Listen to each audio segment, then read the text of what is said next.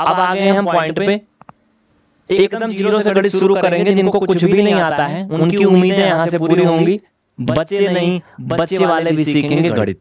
आइए जनाब देखिए यहीं से तो हम शुरू करते हैं। और आपको हाई स्कूल लेवल तक का पूरा मैथ्स मिलेगा इसमें मैं प्रॉमिस कर रहा हूँ। और मैं ये वीडियो कभी डिलीट नहीं करूँगा। आप चाहे लाइक शेयर करो या ना करो कुछ ना करो। चलो तो पहले हम इनको क्या करेंगे लेबल में कैटेगरी में मैंने बांट रखा है। ये पाँच टाइप के हम इसमें क्वेश्चन करेंगे। ठीक है? बिल्कुल चाहे आप बच्चे हैं या आप बच्चे वाले हैं दोनों के लिए। है ठीक है? चलो तो पॉइंट पॉइंट पे बढ़ते हैं आगे। किसी का यहाँ कोई कमेंट वमेंट नहीं लेना है ये कोई लाइव नहीं होगा। जिनको सीखना सिर्फ़ उनके लिए है। बात कोई फालतू नहीं ओनली काम की बात। चलो। इनको सभी जोड़ लेंगे। बचपन में ऐसे हम लोग सीखे थे कैसे सात में तीन जोड़ना है तो हम ऐसे सात लाइन खींचते थे।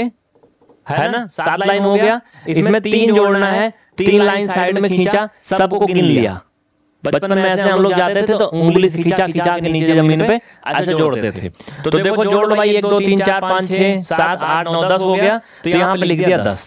लेकिन अब इतने बड़े तो आप हो चुके हैं गदाहाजी से अब तो आप जोड़ लेंगे है ना चलो तो आठ चार बारह नाइन सिक्स फिफ्टीन डन ये है आपका रो मेथड रो मतलब पंक्ति माध्यम में ठीक है? जो ऐसे ऐसे बगल बगल में होता है पंक्ति बोलते हैं रो इंग्लिश में. ये कॉलम मेथड है. इसमें क्या करते हैं? इसमें ऐसे नीचे ऊपर जोड़ते हैं बगल बगल जोड़ते हैं. दोनों वही चीज़ है सेम चीज़ें उसमें भी होती हैं ठीक है? तो छह चार दस और नौ पाँच चौदह. सात पाँच बारह और ये चार तीन सात. ये दिखाता है इतनी जल्दी जल्दी कर रहा हूँ तो. अरे इसमें है क्या? सबको पता है। बस मैं ये दिखा रहा हूँ कि ज़ीरो से आपको सिखाना है कुछ भी छोड़ना नहीं है। आज आपको सब कुछ अलग लग रहा होगा है ना? मैंने सोचा क्या ही दिखाना आपको। मैं कपड़े बदल ही लेता तो क्या हो जाता? पढ़ने से तो मतलब है आपको मैं जैसे भी रहता हूँ ना मेरी एक गंदी आदत है ये। मैं बहुत ज़्यादा वो चीज़ों पे ध्यान नहीं देता बहुत से लोग कमेंट इसके बारे में कर रहे मैं देख रहा हूँ। चलो आगे बढ़े इनको जोड़ेंगे भैया कैसे दो दो अंक के हैं इसमें का लास्ट अंक पकड़ो इसमें का लास्ट अंक ठीक है जोड़ लो। ये लास्ट अंक एक है ये सात है। सात में जुड़ेगा आठ। दूर लिख देंगे थोड़ा सा। अब इसका पहला अंक इसका पहला अंक। भाई इधर से देखो पहला ही होगा ना। तो तीन और एक चार। बस हो गया खत्म। इसमें ऐसे कर लो जल्दी से फटाफट। चलो। इसमें का पहला अंक पीछे से इसमें का पहला अंक। तो चार तीन सात। इसका फ़र्स्ट डिजिट आगे से इसका फ़र्स्ट डिजिट आगे से तो दो एक तीन जिस पे जिस पे चिन्ह लगा रहा हूँ देखते जाओ इसका आंसर खुद से बताओगे आप।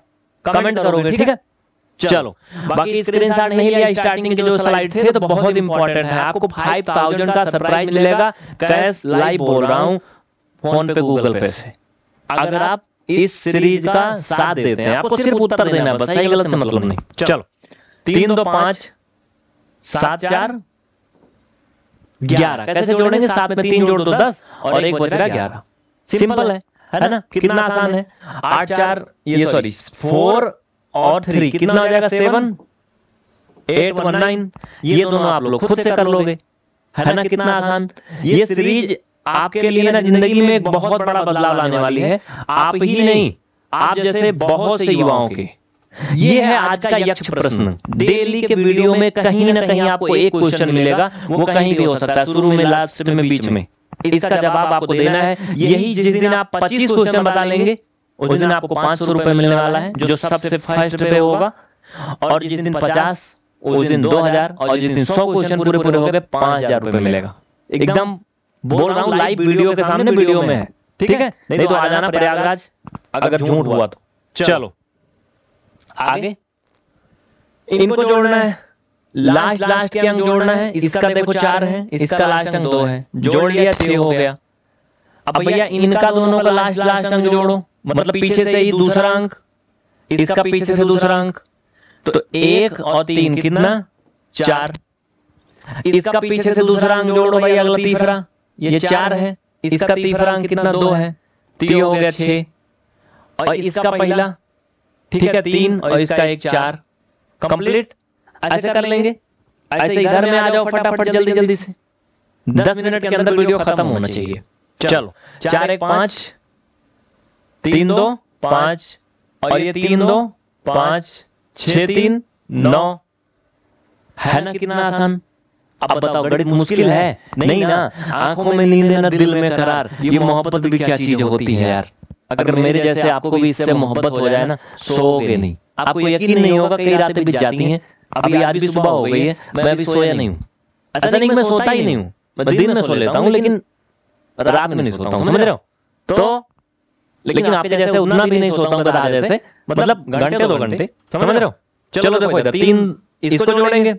कैसे? देखो चार दो छह और तीन एक चार। और ये तीन एक चार। और ये आठ चार। बारह। हो गया ना खत्म? कितना बढ़िया है मस्त है एकदम समझ में आ रहा सबको? ये आपके लिए होमवर्क रहेगा वो दोनों होमवर्क रहेगा। कर लेंगे ना वैसे इसका लास्ट लास्ट हम जोड़ेंगे नहीं समझ में आएगा कमेंट करना बताएँगे। इसमें नंबर पे कोई संपर्क नहीं करेगा। नंबर दिखेगा नहीं आपको? आप सिर्फ़ वीडियो में कमेंट करोगे यहाँ पे। चलो इसमें कैसे करेंगे भाई? इसमें अंक कम है ठीक है? पूरे पूरे नहीं है समझना है यहाँ पे। ये इसका लास्ट अंक ले लो एक इसका लास्ट अंक ले लो तो तीन एक। चार इसका लास्ट अंक ले लो। दो इसका लास्ट अंक। एक तो हो गया तीन। इसका पीछे फिर तीसरा अंक इसका पीछे फिर तीसरा अंक। तो तीन और पाँच आठ। इसका चौथा अंक इसका चौथा अंक पाँच चार नौ।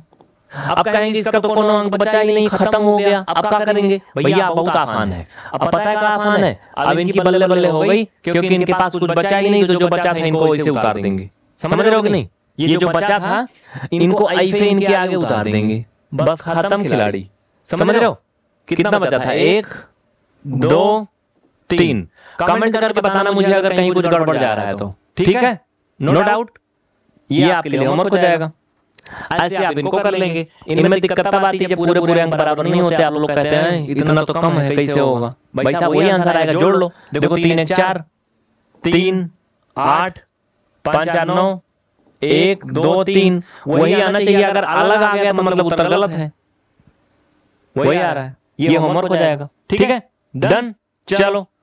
बढ़िया। ये दोनों होमवर्क मिक्स क्वेश्चन भैया ये मिक्सचर वाली खिचड़ी बड़ी खतरनाक है। ए में ज़्यादा गड़बड़ा जाता है। हम्म? ऐसे जोड़ना अगल बगल में कैसे करेंगे? अगल बगल वाला थोड़ा दिक्कत करता है ना? देखो मैं बताता हूँ दिक्कत का समाधान। सबसे पहली वाली गिनती पकड़ोगे आप प्यार पे दूसर की वाली पकड़ो तेरह है ना पीछे से लिखो तीन एक। बाकी छोड़ो कुछ नहीं जाने दो हटाओ। इसमें क्या है? तीन एक दो। तो तीन एक दो। ठीक है? ऐसे खींच दो। भैया बीच में ये अड़बड़ गड़बड़ ना हो जाए इसलिए ज़ीरो लगा दो जिससे बैलेंस बना रहे। इनके नीचे कुछ नहीं है वो भी ज़ीरो लगा दो। अब बैलेंस बना है। जोड़ डालो फटाफट। तीन तीन छह दो आठ। एक एक दो एक तीन। आठ दो दस। हाफिल एक चार एक पाँच। कितना हो गया? पाँच हज़ार अड़तीस। ऐसे आप बगल वाला भी कर लेंगे। बताइए। देखिए, कृपा हुई ना भगवान की। है। ठीक है? आज पढ़ेंगे घटाना। देखो, प्यार से देखोगे, अगर गणित नहीं आती, हमारी पूरी ज़िम्मेदारी है। एकदम बहुत अच्छे समझ में आपको आएगा। ठीक है? चलो आओ। घटाना कैसे करेंगे? सब्सट्रैक्शन वन डिजिट पहले करेंगे, फिर टू डिजिट थ्री डिजिट और उधार वाला घटाना। समझ रहे हो? ये ऐसे ही चलेगा। फिर ज़ीरो वाला। ये नहीं कि हम जल्दी जल्दी फट फट फट फट, गिर गिर पड़े, फट फट पड़े। भाई देखो, सीखना है गणित यार। दस मिनट के अंदर हम आपको एक टॉपिक कंप्लीट कर देंगे। बस, बातें समझ के चलना है। सिर्फ़ पढ़ने सब कुछ नहीं होता है। कैसे पढ़ना ये बहुत ज़रूरी है। इसको सभी कर लेंगे। रो मेथड, पाँच में से तीन जाएगा, दो। नहीं जानते हो तो बचपन वाला तरीका अपनाना। ऐसे तीन, चार, पाँच लाइन खींच करके, हमें तीन घटाना है, तीन लाइन काट दो भैया। दूटी बचरी बिना कटी, हो गई ख़त्म। ये, हमें पता है। ये अधिकांश लोगों को सबको आता है, कहेंगे क्या मज़ाक है? भाई, मज़ाक इसलिए है कि जिससे आप समझो कि हम ज़ीरो से शुरू किए हैं और चार पाँच दिन में आप देखोगे अच्छे खासे चल जाएँगे लाइन पे हम लोग और जिनको बड़ा घबराहट हो रही है, वो इनका जवाब बता दें, अपने दिल से पूछ लें कि हाँ हमें आता है। रुकना, बस आधा मिनट। ये भी आपका बेसिक का सारे सवाल हैं। देखो जरा एक बार। सबको आते नहीं ये? बहुत बेसिक है, कक्षा छः लेवल का सवाल है, कक्षा छः के ऊपर कुछ नहीं है, कक्षा पाँच छः का है। क्या आप इनमें सब जानते हो? अगर जानते हो तो बिना देखो इस वीडियो को, और नहीं जानते हो, देख लो। चलो और टॉपिक पे चलते हैं। तो पॉइंट बाय पॉइंट सब कुछ होता है विदाउट पॉइंट बाय पॉइंट ऐसे भाग दौड़ से कुछ होता नहीं है, ठीक है? तो ये कौन सा है भैया? पहले हो गया वो, ये चीज़ें हो गई, इधर वाला हो गया, वो बचा है, ठीक है? आओ जल्दी जल्दी भाई टाइम मत देखो, नहीं टाइम बहुत ज़्यादा हो रहा है। आठ में से तीन गया पाँच, और ये छः में से चार गया दो ये दोनों होमवर्क है, आप लोग इसको खुद से कर लेंगे। है ना बढ़िया? इसमें देखो, इसमें भाई समझने की कोशिश करो सभी लोग। तेईस में से चार घटाएँगे, बहुत आसान है। आप ये मान लो कि हम तेईस में से तीन घटा रहे हैं। तो बताओ, तेईस में से अगर तीन घटाओगे, बीस आएगा, सबको पता है। और अगर चार घटा रहे हो ज़्यादा घटा रहे हो मतलब वो नहीं आएगा। ऐसे लगाया करो, बाकी कोनो दिमाग नहीं लगाना। देखो, ये में देखो। ये में ये मान लो उनतीस में से छह घटा रहे हैं, ठीक है? तो आप उनतीस मत देखो। आप ये देखो कि हम नौ में से छह घटा रहे हैं। तो नौ में से छह घटा रहे हैं तो तीन आ रहा है। और दो को आगे इसे उतार दो, बात खत्म। 99 से हमें नाइन घटाना है। हमें इस नाइन से नहीं मतलब। हमें इससे मतलब है। इसमें से नाइन घटा लो, कितना आएगा? छ और वो नाइन उतार दो। ऐसे इधर कर लो। है ना? नौ में से चार गया, पाँच। इसके नीचे कुछ नहीं यहाँ ज़ीरो लगा दो। और दो में से ज़ीरो घटाओगे, दो आएगा। खत्म। ऐसे सब कर लेंगे ना। कोई डाउट ना किसी को, नो दिक्कत। चलो। ये तो सब कर ही लेंगे, इसमें कुछ बड़ा नहीं है। मैं सामने से इसलिए हट जा रहा हूँ कि आपको दिखाई पड़े क्लियर नहीं तो कहो, चलो छोटा करके दिखा देता हूँ साइड में, लो। चलो। आओ इधर रो मेथड वाला करते हैं पहले। चलो। इसमें भैया कैसे करते हैं? थोड़ा सा लफड़ा वाली बात हो जाती है। थोड़ा सा दिमाग लगाना पड़ता है। तीन और ये देखो, तीन और दो। ये कम और ज़्यादा है ना? हम क्या करेंगे? लास्ट अंक पकड़ेंगे, ये लास्ट अंक। आप सोचो कि तीन में से हमें एक घटाना है। तो तीन में से एक घटाना मतलब दो? ठीक क्लियर आगे देखो, फटाफट देखे रहो। चार में से क्या घटाना है? तीन घटाना है। तो चार में से तीन गया एक। अब बाकी सात में से कुछ नहीं घटाना, उसके पास कुछ है ये नहीं है तो ये सात ऐसे उतार दो। कुछ गड़बड़ तो नहीं बताया ना? सही? अच्छा इसको भी कर लेंगे। नहीं समझ में आएगा, बताना मुझे, मैं बाद में बता दूँगा, क्योंकि मुझे ना, आपको उस मुकाम पे पहुंचाना है जो काम की चीज़ें हैं, उसको बताना है। आओ। तीन में से एक गया दो, और चार में से तीन गया एक। सात इसके नीचे कुछ नहीं था, ये चिन्ह गलत जगह लगा यहाँ ज़ीरो लगा के यहाँ चिन्ह लगना चाहिए। यहाँ ज़ीरो लगा लो, कुछ नहीं है। ऐसे इसको भी घटा लेंगे, इसमें कुछ बड़ा थोड़ी है। बस मैं आपको दिखाना चाहता हूँ कि आप ज़ीरो से सीख रहे हो। आज का इनाम वाला प्रश्न ये है, भारत का सर्वाधिक जनसंख्या वाला कौन सा डिस्ट्रिक्ट है? वो किस राज्य में है? उस देश में, उस मतलब राज्य में कितनी जनसंख्या है? उस ज़िले में कितनी जनसंख्या है? ये सब आपको पता होना चाहिए, बताना। ठीक है? चलो, इसको देखते हैं। देखो, ये बालाजी का आदेश है, समझ रहे हो ना? हनुमान जी का, जिन्होंने मुझे वहाँ से उठा के यहाँ इतना ऊपर खड़ा किया है। आप सब देख रहे हो। तो आप लोग भी इसका पालन करेंगे और हम भी करेंगे। चलो। अब क्या है? ये दो में से पाँच डायरेक्ट घटेगा नहीं। तो क्या करते हैं? बगल से उधार लेंगे। भाई, ये उधार वाला आ गया बोरिंग वाला। बोरिंग क्या बोलते हैं उसको? पढ़ो जाने दो, अंग्रेज़ी मत पढ़ो। अब दो में से पाँच तो घटेगा नहीं। तो हम इधर बगल वाले से उधार ले लेंगे मतलब बगल वाले से। ये बारह हो जाएगा। बारह में से पाँच गया तो सात। ठीक है? और ये चूँकि उधार दे दिया था तो एक कम हो गया ये। कम हो गया मतलब कितना बचा ये? छः अब छः में से तीन गया तो तीन। है ना कितना मज़ेदार बात? नो डाउट ऐसे इसको भी कर लेंगे। देखो चार में से हमें नौ घटाना है। तो भाई साहब, चार में से नौ तो घटेगा नहीं। इधर बगली से उधार ले लेंगे तो बन जाएगा। चौदह। चौदह में से नौ गया? पाँच। नौ, पाँच, चौदह। और ये उधार दे दिया था तो एक कम हो गया, बचा है सात। सात में से एक गया छः ऐसे फटाफट उतारोगे और खटाखट लिखते चले जाओगे। है ना कितना मज़ेदार? ऐसे इधर वाला भी कर लेंगे। इसमें कुछ बहुत बड़ा हाई फाई तो नहीं, काटने वाला कुछ तो नहीं ना, दौड़ रहा डफने। कितना आसान है ना।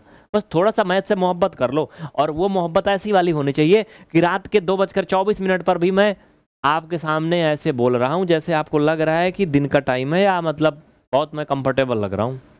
तो ये होता जब किसी चीज़ में आपका मन लगता है। समझ रहे हो कि नहीं? अगर आपका, आपके काम में मन नहीं लग रहा है आप बोर हो जा रहे हो तो आप गलत काम में लगे हो। समझ रहे हो? ऐसा काम में लगो ना कि टाइम का पता ना चले। जैसे देखो, मेरा ट्वेंटी फोर आवर कब बीत जाता पता नहीं चलता है। मैं परेशान हूँ टाइम से। काम नहीं पूरा हो पाता सारा। समझ रहे हो? लेकिन लेकिन टाइम तो रुकता है, नहीं, भागता रहता है। और जो मुझे जानने वाले हैं, वो बहुत अच्छे जानते हैं। देखो इधर। दो में से आठ घटेगा नहीं। बगल से उधार लेंगे, ये हो जाएगा बारह। बारह में से आठ गया तो चार। और इससे उधार लिया था चूँकि ये कम हो गया तो दो दो में से एक गया, एक। ऐसे इनको घटा के आप लोग मुझे बताना, ठीक है? कर लोगे? कोई दिक्कत ना? चलो। हाँ ये मेन वाले हैं थोड़ा सा इनको आओ कर देता हूँ मैं, है तो बहुत आसान। चलो भाई। तीन में से नौ नहीं घटेगा, इधर से उधार जाएगा, ये बनेगा तेरह। तेरह में से नौ गया, चार, क्योंकि नाइन, फोर कितना होता है? थर्टीन होता है? क्लियर? चलो। अब ये चूँकि उधार दिया था इसको देखो, रात का बहुत टाइम हो चुका अगर कहीं छोटा मोटा आगे पीछे हो जाता तो बताना मुझे कमेंट करके, ठीक है?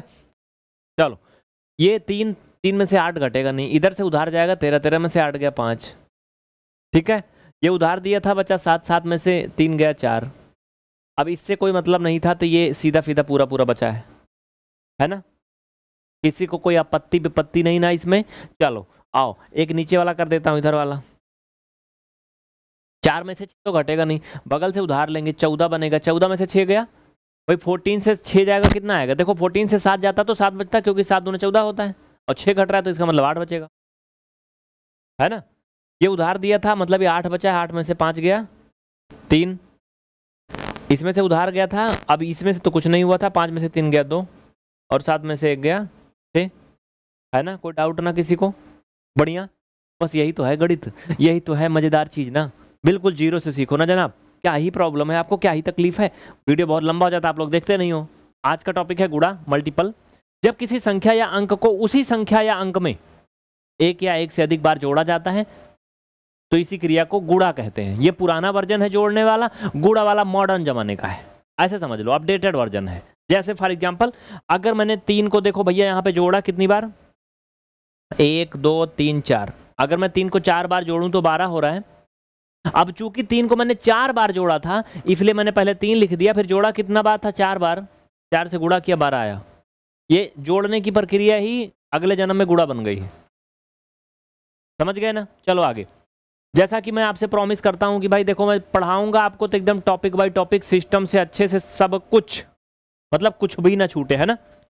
तो सबसे पहले मैं आपको ये दिखाऊँगा कि इसमें किस टाइप के, कितने टाइप के क्वेश्चन होंगे। जरा प्यार से देखना। पहले हम एक अंक का एक अंक में गुड़ा करना सिखाएँगे, क्योंकि हमारी कोशिश है उनको सिखाना जिनको गणित में कुछ नहीं आता है। जो हो चुके हैं बत्तीस साल के, अट्ठाईस साल के, कहीं जाके छोटी क्लास में बैठ के नहीं पढ़ सकते, उनकी बड़ी शर्म आती, लाज आती है, क्योंकि वो बच्चे नहीं, बच्चे वाले हो चुके हैं, उनको सिखाते हैं। तो एकदम स्टार्टिंग से। दो अंक को एक अंक से गुड़ा दो अंक को दो अंक से थ्री को थ्री से टू से ऐसे ऐसे पढ़ लो, आप जो जो लिखा ज़्यादा पढ़ने में टाइम लगेगा। चलिए तो सबसे पहले पॉइंट पे आ जाते हैं एक्सप्लेन करते हैं। टाइम बहुत कम है, दस मिनट में हमें ख़त्म भी करना है। तो एक, दो, तीन। कितना बार जोड़ा गया है? तीन बार। किसको जोड़ा गया? सात को। तो इसलिए इक्कीस हो गया। ठीक? अब यही प्रक्रिया गुड़ा बन जाती है उधर साइड में जाके देखो। सात को कितनी बार जोड़ा था? तीन बार तो सात को तीन से गुड़ा किया इक्कीस। इधर देखो, नौ को कितनी बार जोड़ा है? तीन बार तो नौ तरीक सत्ताईस। हाँ सत्ताईस हो जाएगा जोड़ोगे तो और नौ को तीन में गुड़ा किया सत्ताईस। वैसे नीचे भी देख लो। चलो, आगे बढ़ते हैं नेक्स्ट ये तो हो गया टाइप कितने टाइप के सवाल होंगे? आज उधर वाला पूरा हो जाएगा, इधर वाला नहीं होगा, अगली क्लास में होगा। टेलीग्राम पे ज्वाइन कर लीजिएगा, अगर आप डेली क्लास का लिंक चाहते हैं तो। हाँ सीरियस लीजिएगा, हल्के में नहीं। ये बहुत इंपॉर्टेंट है, ना उम्र की सीमा हो, ना जन्मों का हो बंधन। और गणित सीखने के लिए यहाँ पर हम ये कंडीशन लगा चुके हैं कि इसमें कोई उम्र की सीमा नहीं है, सीखने की कोई उम्र नहीं होती। चलो इस सीरीज़ में हंड्रेड वीडियो मिलेगा बाबू भैया। कितने? सौ वीडियो मिलेंगे पूरे पूरे ये बहुत इंपॉर्टेंट है, जो दिखा रहा हूँ, बस आधा मिनट में खत्म हो रहा है। स्लाइड बहुत ज़रूरी है। अगर आपको ज़्यादा दुख हो रहा है तो आगे स्किप कर लो थोड़ा सा ये जो नए बच्चे हैं, उनके लिए बहुत ज़रूरी है। इनको वीडियो को रोक रोक करके एक एक स्लाइड पढ़ लीजिएगा। बहुत काम का चीज़ है, क्योंकि इसमें पाँच हज़ार रुपये का सरप्राइज़ मिलने वाला है। और वो डिपेंड करता है कि आप डेली क्लास का आंसर देते हैं। जो आंसर यहाँ पे क्वेश्चन पूछे जाएँगे स्पेशली चलो। आ जाओ भैया। वन वन डिजिट पे आ जाए। तो सात का पाँच में गुड़ा किया तो पैंतीस। क्लियर उसी तरीके से सात का पाँच में गुड़ा किया पैंतीस। एक एक डिजिट का देखो, टेबल आपको आता होगा। टेबल ट्रिक नहीं बताया हो क्या? अभी बता देता हूँ। या अगली क्लास में बता दूँगा या आप कमेंट करना, मैं टेबल ट्रिक दे दूँगा, ठीक है? ये अच्छा रहेगा। ये तीन सत्ते इक्कीस। देखो, नौ तक टेबल तो सबको याद करना पड़ेगा, दस तक। नौ तक याद करना पड़ेगा। बाकी आगे मैं ट्रिक बता दूँगा। और याद करना बहुत मुश्किल नहीं है। मैं बताऊँ कैसे करना है? रात को जो सोने जाना ना तो सोने के पहले एक बार अच्छे से प्यार से सरसरी निगाह से देख लेना। व्हाट्सअप व्हाट्सअप दूर रख देना, बाबू बाबू को दूर रख देना। बिस्तर पे लेके ना जाना मतलब वहाँ सोना सकून से, समझ रहे हो? मतलब मोबाइल ना लेके जाना, ठीक है? और कॉपी पेज में लिख के ले जाना और वहाँ पे एक बार देख लेना, फिर सो जाना। और सुबह जैसे उठना, एक बार फिर देख लेना, बस। रटना नहीं बैठ के। अगर दो दो टेबल एक दिन में देखोगे, जैसे पाँच का, छः का देख लिया एक दिन सात का आठ का एक दिन देख लिया, ऐसे याद हो जाएगा। रटना नहीं है, ठीक है? तो ये हो गया। ये नौ चौक, छत्तीस, एट थ्री जा, ट्वेंटी फोर, नाइन फाइव जा, फोर्टी फाइव। ऐसा इसको भी कर लेना, है ना? चलो, देखो रिकॉर्डिंग में यही मज़ा रहता है ना, बिल्कुल टेंशन फ्री होकर पढ़ाया जाता है।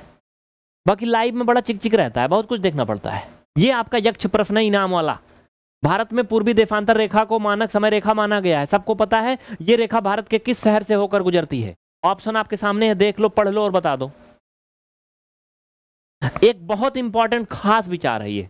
जो लोग कहेंगे कि हमें तो चुनाव से कोनो मतलब नहीं, राजनीति से कोनो मतलब नहीं, हम तो पढ़ने वाले हैं। ज़िंदगी भर पढ़ो, कभी ना वैकेंसी आएगी, कभी ना नौकरी मिलेगी। क्या करोगे पढ़ के?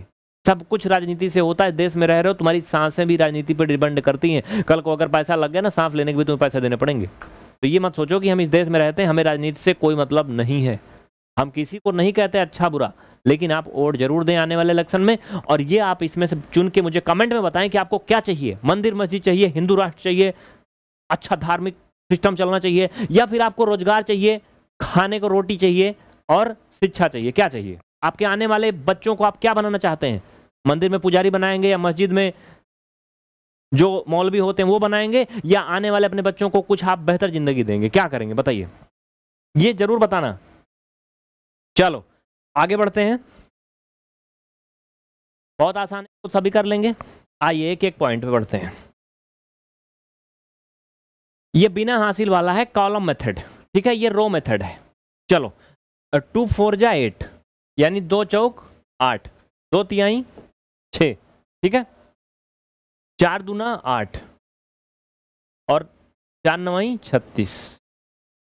सभी को पता है, कोई डाउट ना इसमें। जानते हो ना? भाई, चार का दो बार गुड़ा करना है, चार का पाड़ा दो बार, चार दूना आठ।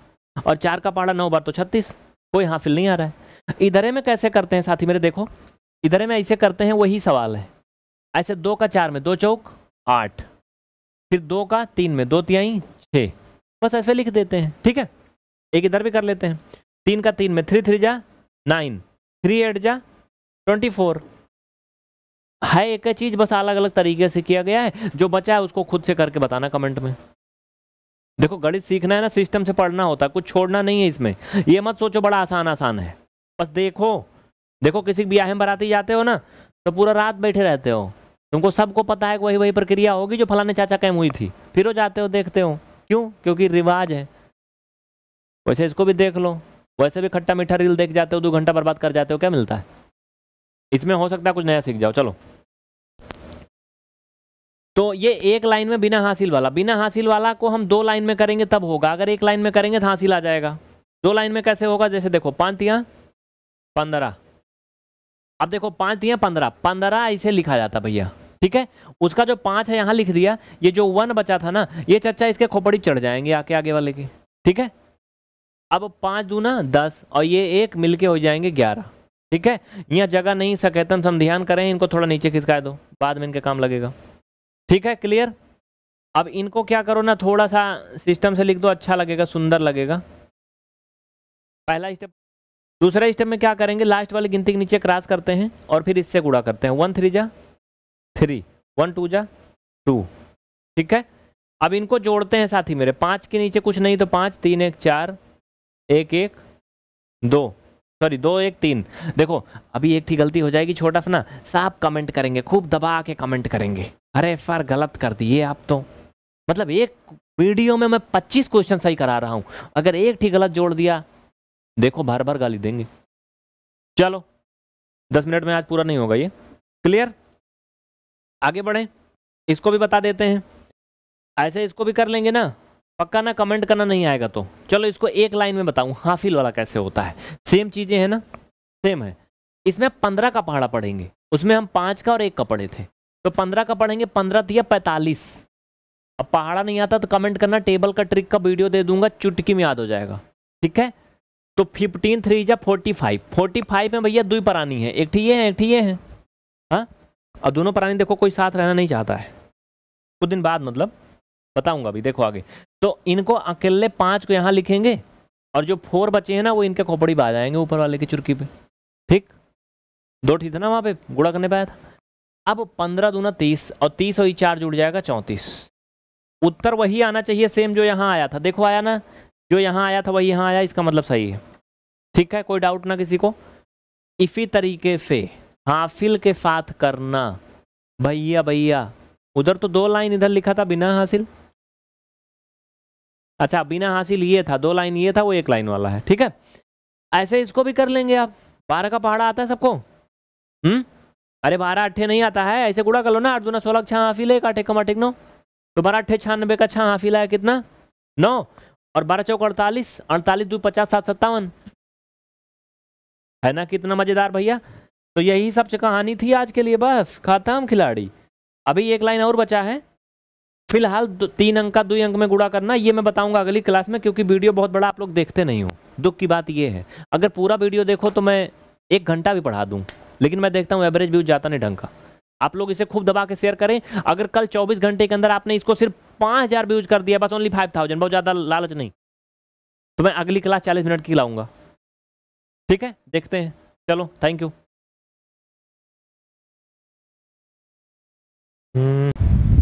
आइए पॉइंट पे चलते हैं। यहीं से कल पढ़ाना था है ना? चलो क्या है ये? भैया तीन अंक को दो अंक से गुड़ा बिना हासिल विदाउट कैरिंग ठीक है वन का फोर में मल्टीपल करोगे वन फोर जा फोर वन थ्री जा थ्री वन सेवन जा सेवन क्लियर ये हो गया? आ, अब क्या करना है आपको? इनको थोड़ा सा इधर करके जगह ले लेनी है। क्योंकि इधर जगह की कमी है। जनसंख्या बढ़ रही ना इसलिए। चलो, इसके नीचे लास्ट वाले के नीचे क्रॉस कर देंगे। कह रहा, बिना हासिल, अगर हम इनका इक्कीस से गुड़ा कर देंगे तो हासिल आ जाएगा, क्योंकि इक्कीस चौके चौरासी होता है। चौरासी का चार, हासिल आएगा आठ। इसलिए हम दो लाइन में करेंगे। तो दो का चार में दो चौका आठ, और दो का तीन में दो तीन छः और दो सात, चौदह। इनको जोड़ दीजिए, चार के नीचे कुछ नहीं, चार, आठ, तीन, ग्यारह। हाफिल एक, सात छः तेरह, एक, चौदह। हाफिल एक, चार, एक, पाँच और ये एक। ठीक है? देखो, बहुत जल्दी जल्दी आज मैं नहीं हल करूँगा, जितना हो पाएगा उतना ठीक है, क्योंकि कल बहुत जल्दी जल्दी हो गया था ना। और जो साथी लाइक नहीं किया, फटाफट लाइक कर देना, जिससे कि मैं और उत्साह के साथ अगली क्लास ला सकूँ। चलो, तीन तरीका। नौ और तीन का ज़ीरो में तो ज़ीरो और तीन अठे चौबीस। कोई डाउट ना किसी को? अच्छा क्या मेरी आवाज़ में शोरगुल भी आ रहा है क्या? मुझे लगता है कि कुछ, अगर इसमें फ़िल्टर नहीं लगा तो हो सकता है, आ रहा हो शायद। कुछ हद तक पॉसिबल है।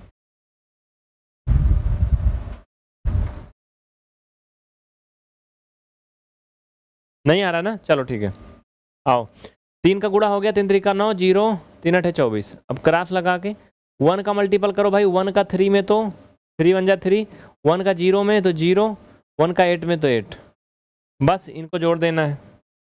ऐसे ऐसे, फटाफट सब चुटकियों में कर लेना है। इनको ऐसे साइड में करते जाओ, थोड़ा जगह बना के। नौ के नीचे कुछ नहीं, नौ, तीन में ज़ीरो जुड़ेगा तीन, चार में ज़ीरो जुड़ेगा चार और आठ दो दस। क्योंकि किसी भी संख्या में ज़ीरो को जोड़ने पर या ज़ीरो को किसी भी संख्या में जोड़ने पर कोई फ़र्क नहीं पड़ता है। क्लियर इसमें कोई डाउट ना किसी को? चलो ठीक है। तो ये पॉइंट वाली बातें मैं थोड़ा छोटा कर देता हूँ, जिससे मैं यहाँ एडजस्टमेंट कर सकूँ सबको ले आ करके हम्म। क्लियर बढ़िया, मस्त, सब गुड चल रहा है। हम्म हम्म हम्म। कितने लोग गाना गा लेते हो भाई? ईमानदारी से बताओ, झूठ मत बोलना, चलो। बताने, उससे बता देंगे आपके, चलो। आओ, चलो, देखें। क्लियर उतना? अब टू का टू में टू टू जा फोर और टू का ज़ीरो में तो ज़ीरो क्योंकि किसी भी संख्या का ज़ीरो में गुड़ा करने पर ज़ीरो होता है। अब टू का फाइव में तो टू फाइव जा टेन लास्ट वाली गिनती नीचे क्राफ लगाएँगे। वन का टू में वन टू जा टू वन का ज़ीरो में ज़ीरो वन का फाइव में तो फाइव बस, हो गया ख़त्म। जोड़ लो फोर के नीचे, कुछ नहीं, फोर। टू में ज़ीरो जुड़ेगा टू। ज़ीरो में ज़ीरो तो ज़ीरो, पाँच, एक, छः। ख़त्म। ये दोनों आपके लिए होमवर्क रहेंगे। अगर आप ईमानदारी से मेहनत करोगे तो पक्का अच्छी बात है, आएगा। नहीं करोगे तो फिर आप जानो आपका काम। ठीक है? नो डाउट चलो, बढ़िया। बहुत आसान है, ये समझ लो कि बहुत ईजी है, बस आपको सिर्फ़ और सिर्फ़ क्या करना है, समझना है। और प्यार से आगे बढ़ना है एक एक स्टेप पढ़ते रहना है। हासिल वाला गुड़ा विदाउट कैरी नहीं, अब विद कैरी देखो कैसे। देखो भाई, चार का पाँच में सीधा सीधा गुड़ा करना है। तो आपको पता है कि चार का पाँच में गुड़ा करने पर आता है बीस। अब यहाँ क्या करते हैं लास्ट वाला जो गिनती है, यानी ज़ीरो बीस का यहाँ ला के लिख देते हैं, ठीक? अब जो बीस में दो आया था, ये क्या बन गया? अगले वाले के लिए कैरी बन गया। तो अगले वाले की क्या करेगा? खोपड़ी चला जाएगा। समझा ना? तो चार पंच बीस का ज़ीरो हाफिल दो। चार फतेह, अट्ठाईस। अट्ठाईस दो, तीस। कोई डाउट ना किसी को? बढ़िया।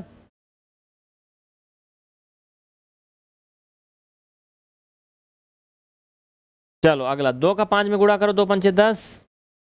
हाफिल एक, दूसरा चौदह, एक पंद्रह। इसके नीचे कुछ नहीं है तो ख़त्म। या ज़ीरो? ज़ीरो में ज़ीरो, पाँच, तीन, आठ और एक। कितना हो गया? एक सौ अस्सी। है ना? कोई डाउट ना किसी को? भाई, कुछ गलत तो नहीं है। चार पंचे बीस, हासिल दो, चार फतेह अट्ठाईस, दो, तीस। एक एक पे ग्राफ लगा दिया। दो पंचे दस, हासिल एक। और दो सौ चौदह, पंद्रह, ठीक है?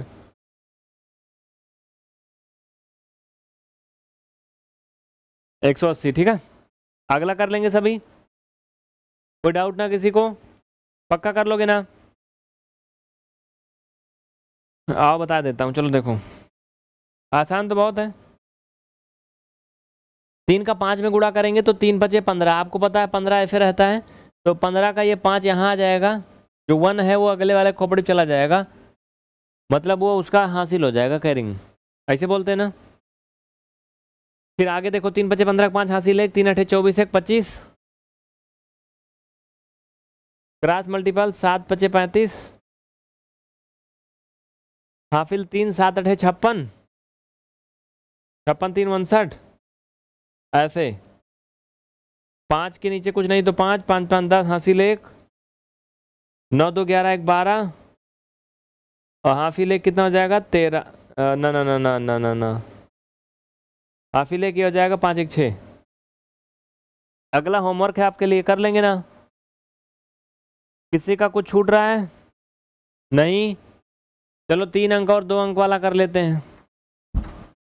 इसमें क्या है ना कि तीन अंक को दो अंक से गुड़ा करेंगे। आइए देखते हैं। समझिएगा, बड़ा प्यार से समझिए ना भैया। चलो देखो।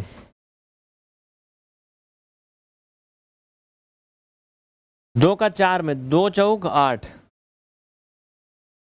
दो तिहाई छ ठीक? दो चौक आठ, दो तिहाई छः दो पंचे दस। Cross multiple. पाँच चौक बीस। ज़ीरो हाफिल दो। पाँच तिहाई पंद्रह। दो सत्रह। हाफिल एक। पचम पच्चीस एक, छब्बीस। आठ छ सात सात और दो। ठीक है नो डाउट इसमें किसी को दो चौक आठ, दो तिहाई छः दो पंचे दस। पाँच चौक बीस। हाफिल दो, पाँच तीन पंद्रह, दो सत्रह। और पचम पच्चीस। कितना हो जाएगा? कहीं कुछ गड़बड़ा रहा है क्या? हफिल एक बजे छब्बीस। ठीक है, सही है।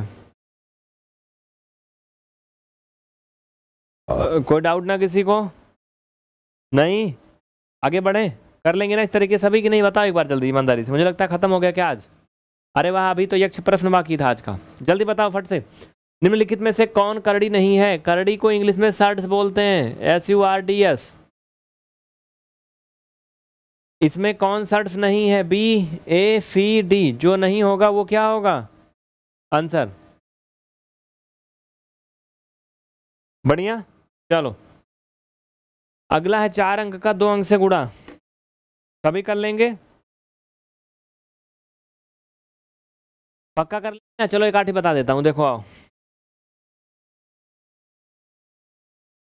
छ, पंचे तीस। छ, पंचे तीस, हाफिल तीन। छः, अठे अड़तालीस। बोलो, होता है ना? अड़तालीस और तीन, इक्यावन। हाफिल आया कितना? पाँच। हाफिल पाँच आया ना? तो छः पंचे तीस का ज़ीरो, हाफिल तीन और छः अठे अड़तालीस। अड़तालीस पाँच। भाई, कुछ गड़बड़ात नहीं रहा है? छः पंचतीस ज़ीरो, हाफिल तीन आया। छः अठे अड़तालीस तीन इक्यावन। हासिल पाँच। छः चौक चौबीस पाँच, वन तीस। ठीक है नो डाउट चलो, आगे बढ़ते हैं, देखिए। नौ पचे पैंतालीस। हाफिल चार, नौ अठे बहत्तर बहत्तर चार, छिहत्तर। हाफिल आया कितना? सात। नौ चौक, छत्तीस। छत्तीस सात।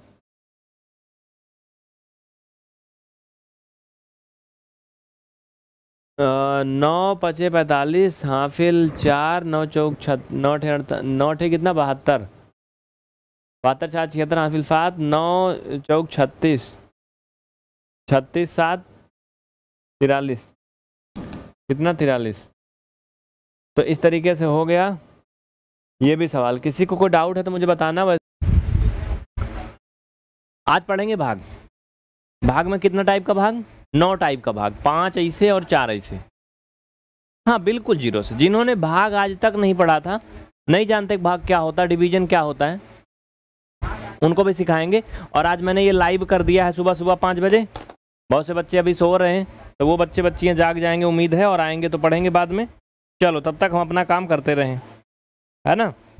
बढ़िया? मस्त चल रहा है सब? चलो ठीक है, गुड। तो ये छह टाइप यहाँ पे डिस्क्राइब किया गया है। जितना हो सकेगा आज उतना किया जाएगा, नहीं तो अगली क्लास में। पहले टाइप की वो भाग होती है जिसमें भाग पूरा पूरा चला जाता है। एक ही बार में। बहुत आसान है, छोटका बच्चवा वाला है ये। जैसे नौ का पहाड़ा पढ़ेंगे तो नौ अठे बहत्तर। सबको पता है? इसमें शेषफल ज़ीरो आ जाता है। हमारा उद्देश्य आपको बताना है कि कैसे करते हैं, ठीक है? ये बारह पंचे साठ। मुझे ये बताओ, उसमें तीसरे में कितनी बार जाएगा? बताओ, कितना बार जाएगा थर्ड वाले में?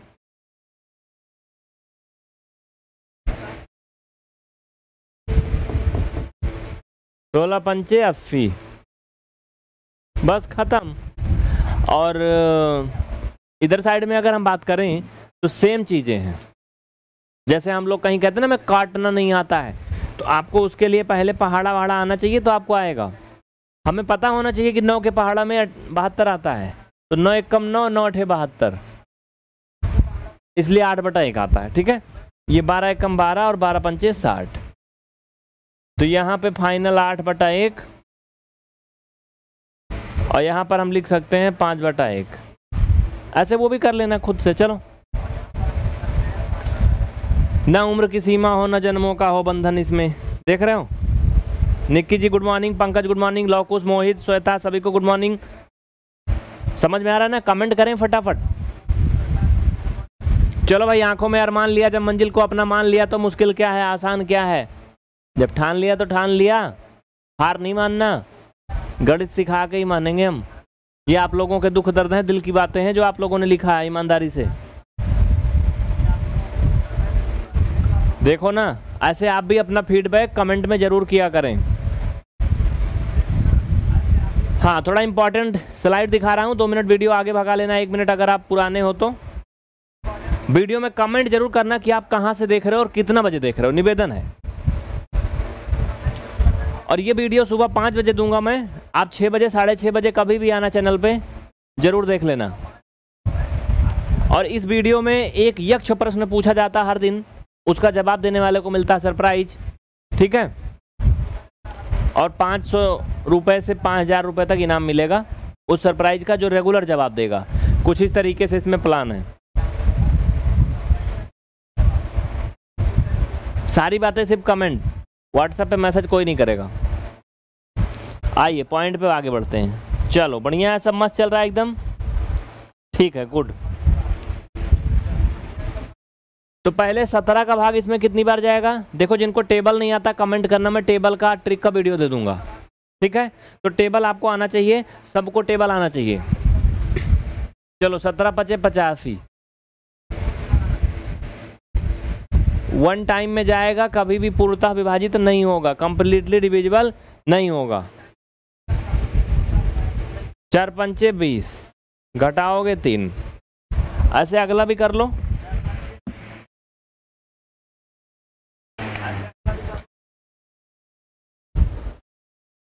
नौ छंग चौवन ना। घटाओगे चार। ऐसे सारे कर लेंगे आप लोग। बढ़िया, कर लेंगे कि नहीं बताओ? टेबल नहीं आता तो बता देना। जैसे देखो 19 का टेबल लोगों को नहीं आता होगा। तो चार बार जाएगा, उन्नीस चौक छिहत्तर। नाइनटीन फोर जा सेवेंटी सिक्स। सभी को समझ में आ रहा है? ये मैं इस क्लास में ये दिखाना चाहता हूँ कि कितने टाइप के डिवीज़न होते हैं छोटे छोटे स्पेशली जिनकी गणित छूट गई थी काफ़ी दिन से, काफ़ी दिन से नहीं पढ़े थे, उनके लिए विशेष रूप से।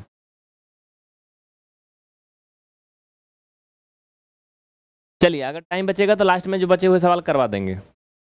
इनको ये थोड़ा अलग टाइप का है। अगर आप देखोगे तो आपको ये लगेगा कि जितने भी टाइप में बता रहा हूँ थोड़ा थोड़ा सब में अंतर है। मैं मानता हूँ आपको तीन चार पाँच टाइप में आते रहे होंगे, लेकिन कुछ ऐसा भी मिलेगा इसमें जो आपको नहीं पता था आज तक। ये गारंटी है, अगर लास्ट तक देखोगे। क्लास लास्ट तक देखोगे तो पक्का मिलेगा। देखो, सात चौक अट्ठाईस। घटाने पर आया दो, ऊपर से उतारा एक। सात तरीक इक्कीस। खत्म। ठीक। ऐसे अगला भी कर लो।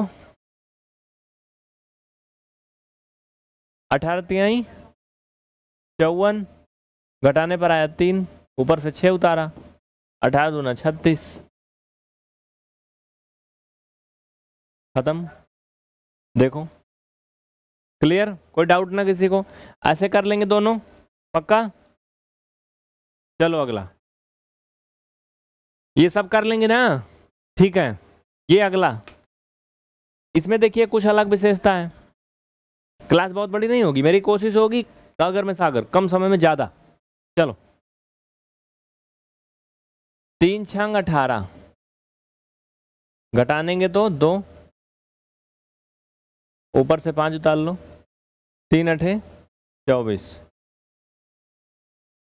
अंतर समझ में आ रहा है कि नहीं सभी में? सभी में डिफरेंस है ना थोड़ा थोड़ा कि नहीं? है ना डिफरेंस सब में थोड़ा थोड़ा? चल भैया, आगे। इसमें कैसे ले जाएँगे? बताओ, कितनी बार जाएगा? सेवनटीन का टेबल फिफ्टी सेवन में कितनी बार जाएगा?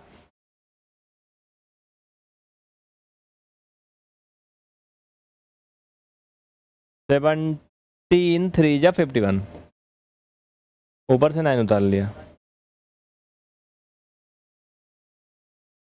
सब ट्रैक करोगे वन आएगा। कितना आएगा? वन ठीक है? नो डाउट इसमें किसी को? बढ़िया। ये सभी आपको करने के लिए क्वेश्चन है, इनको साइड में कर दे रहा हूँ, चलो। जिससे कंफ्यूजन ना क्रिएट हो। तो ये होमवर्क कर लेंगे। पक्का? आइए, ये बेस्ट कंफ्यूजन वाला सवाल। काफ़ी कंफ्यूजन वाला है। क्या आप सबको नोटिफिकेशन गया था यूट्यूब से? बता देना कमेंट में एक बार, ठीक है? नोटिफिकेशन गया था क्या? ये बहुत कंफ्यूजन बनाता है भाई क्वेश्चन देखना समझना है यहाँ पे। बड़ा दिक्कत वाला है ये। ग्यारह तिया तैतीस, घटाने पर आ गया एक। ऊपर से उतार लिया ज़ीरो। अब इसमें ग्यारह का भाग तो जा ही नहीं रहा है। लोग क्या करते हैं, छोड़ देते हैं। ये है गलत। ये गलत है, बताऊँ कैसे गलत है? देखो।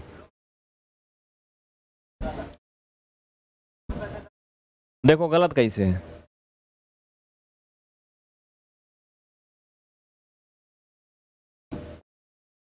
यही छोड़ दिया गलत है। ये गलत है। कैसे गलत है? देखो, ये इसका फार्मूला होता है, स्टैंडर्ड रूप।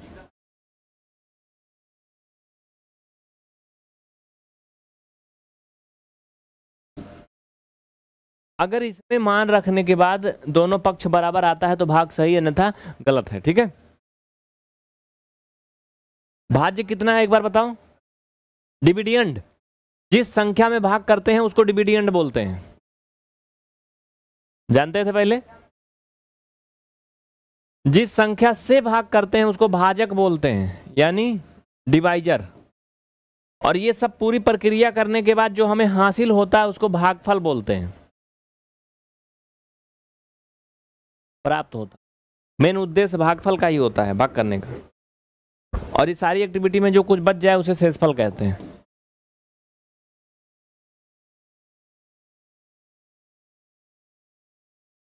भाई साहब, ये जरा प्यार से देखा सब भाई लोग।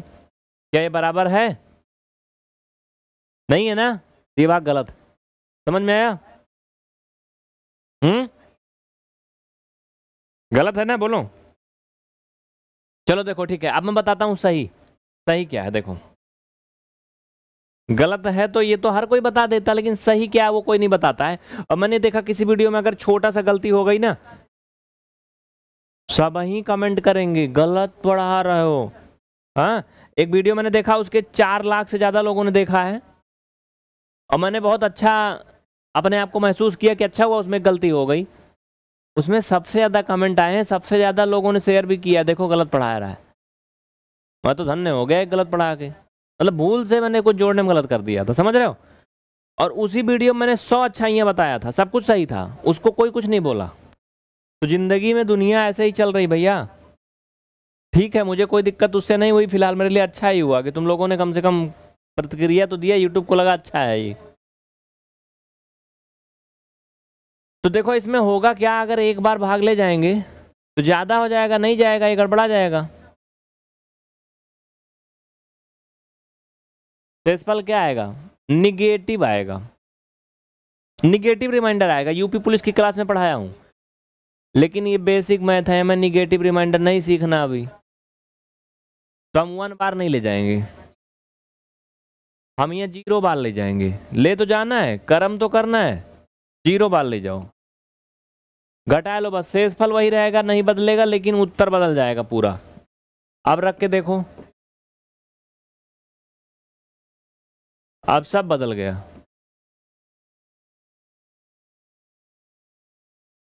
ग्यारह तीन तैतीस, भाई कहीं गड़बड़ा रहा है यार फिर? अच्छा ये तीन सौ चालीस है दादा, एक मिनट, तुम क्या है? उल्टा पुल्टा लिख। उसको रखा भी होता, तब भी वही था। लोग, तुम लोग भी ध्यान नहीं दिए ना, लेकिन फिर भी वो आता नहीं बराबर। 340 बराबर तिरालीस आ रहा था वैसे भी, या 304 लिखा था मैंने, लेकिन बराबर नहीं आता। मतलब वही था, ये तो आएगा।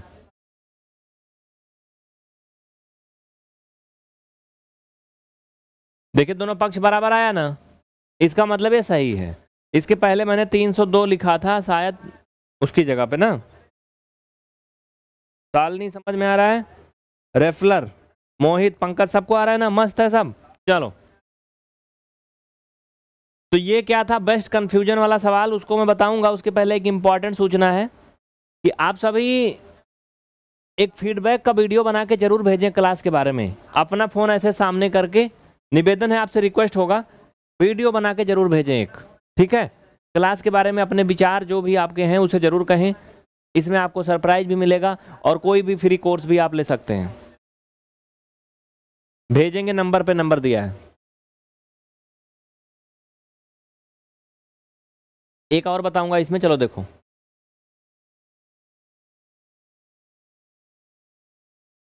सोलह पंचे अस्सी, घटाने पर आ गया एक, ऊपर उतार लिया चार।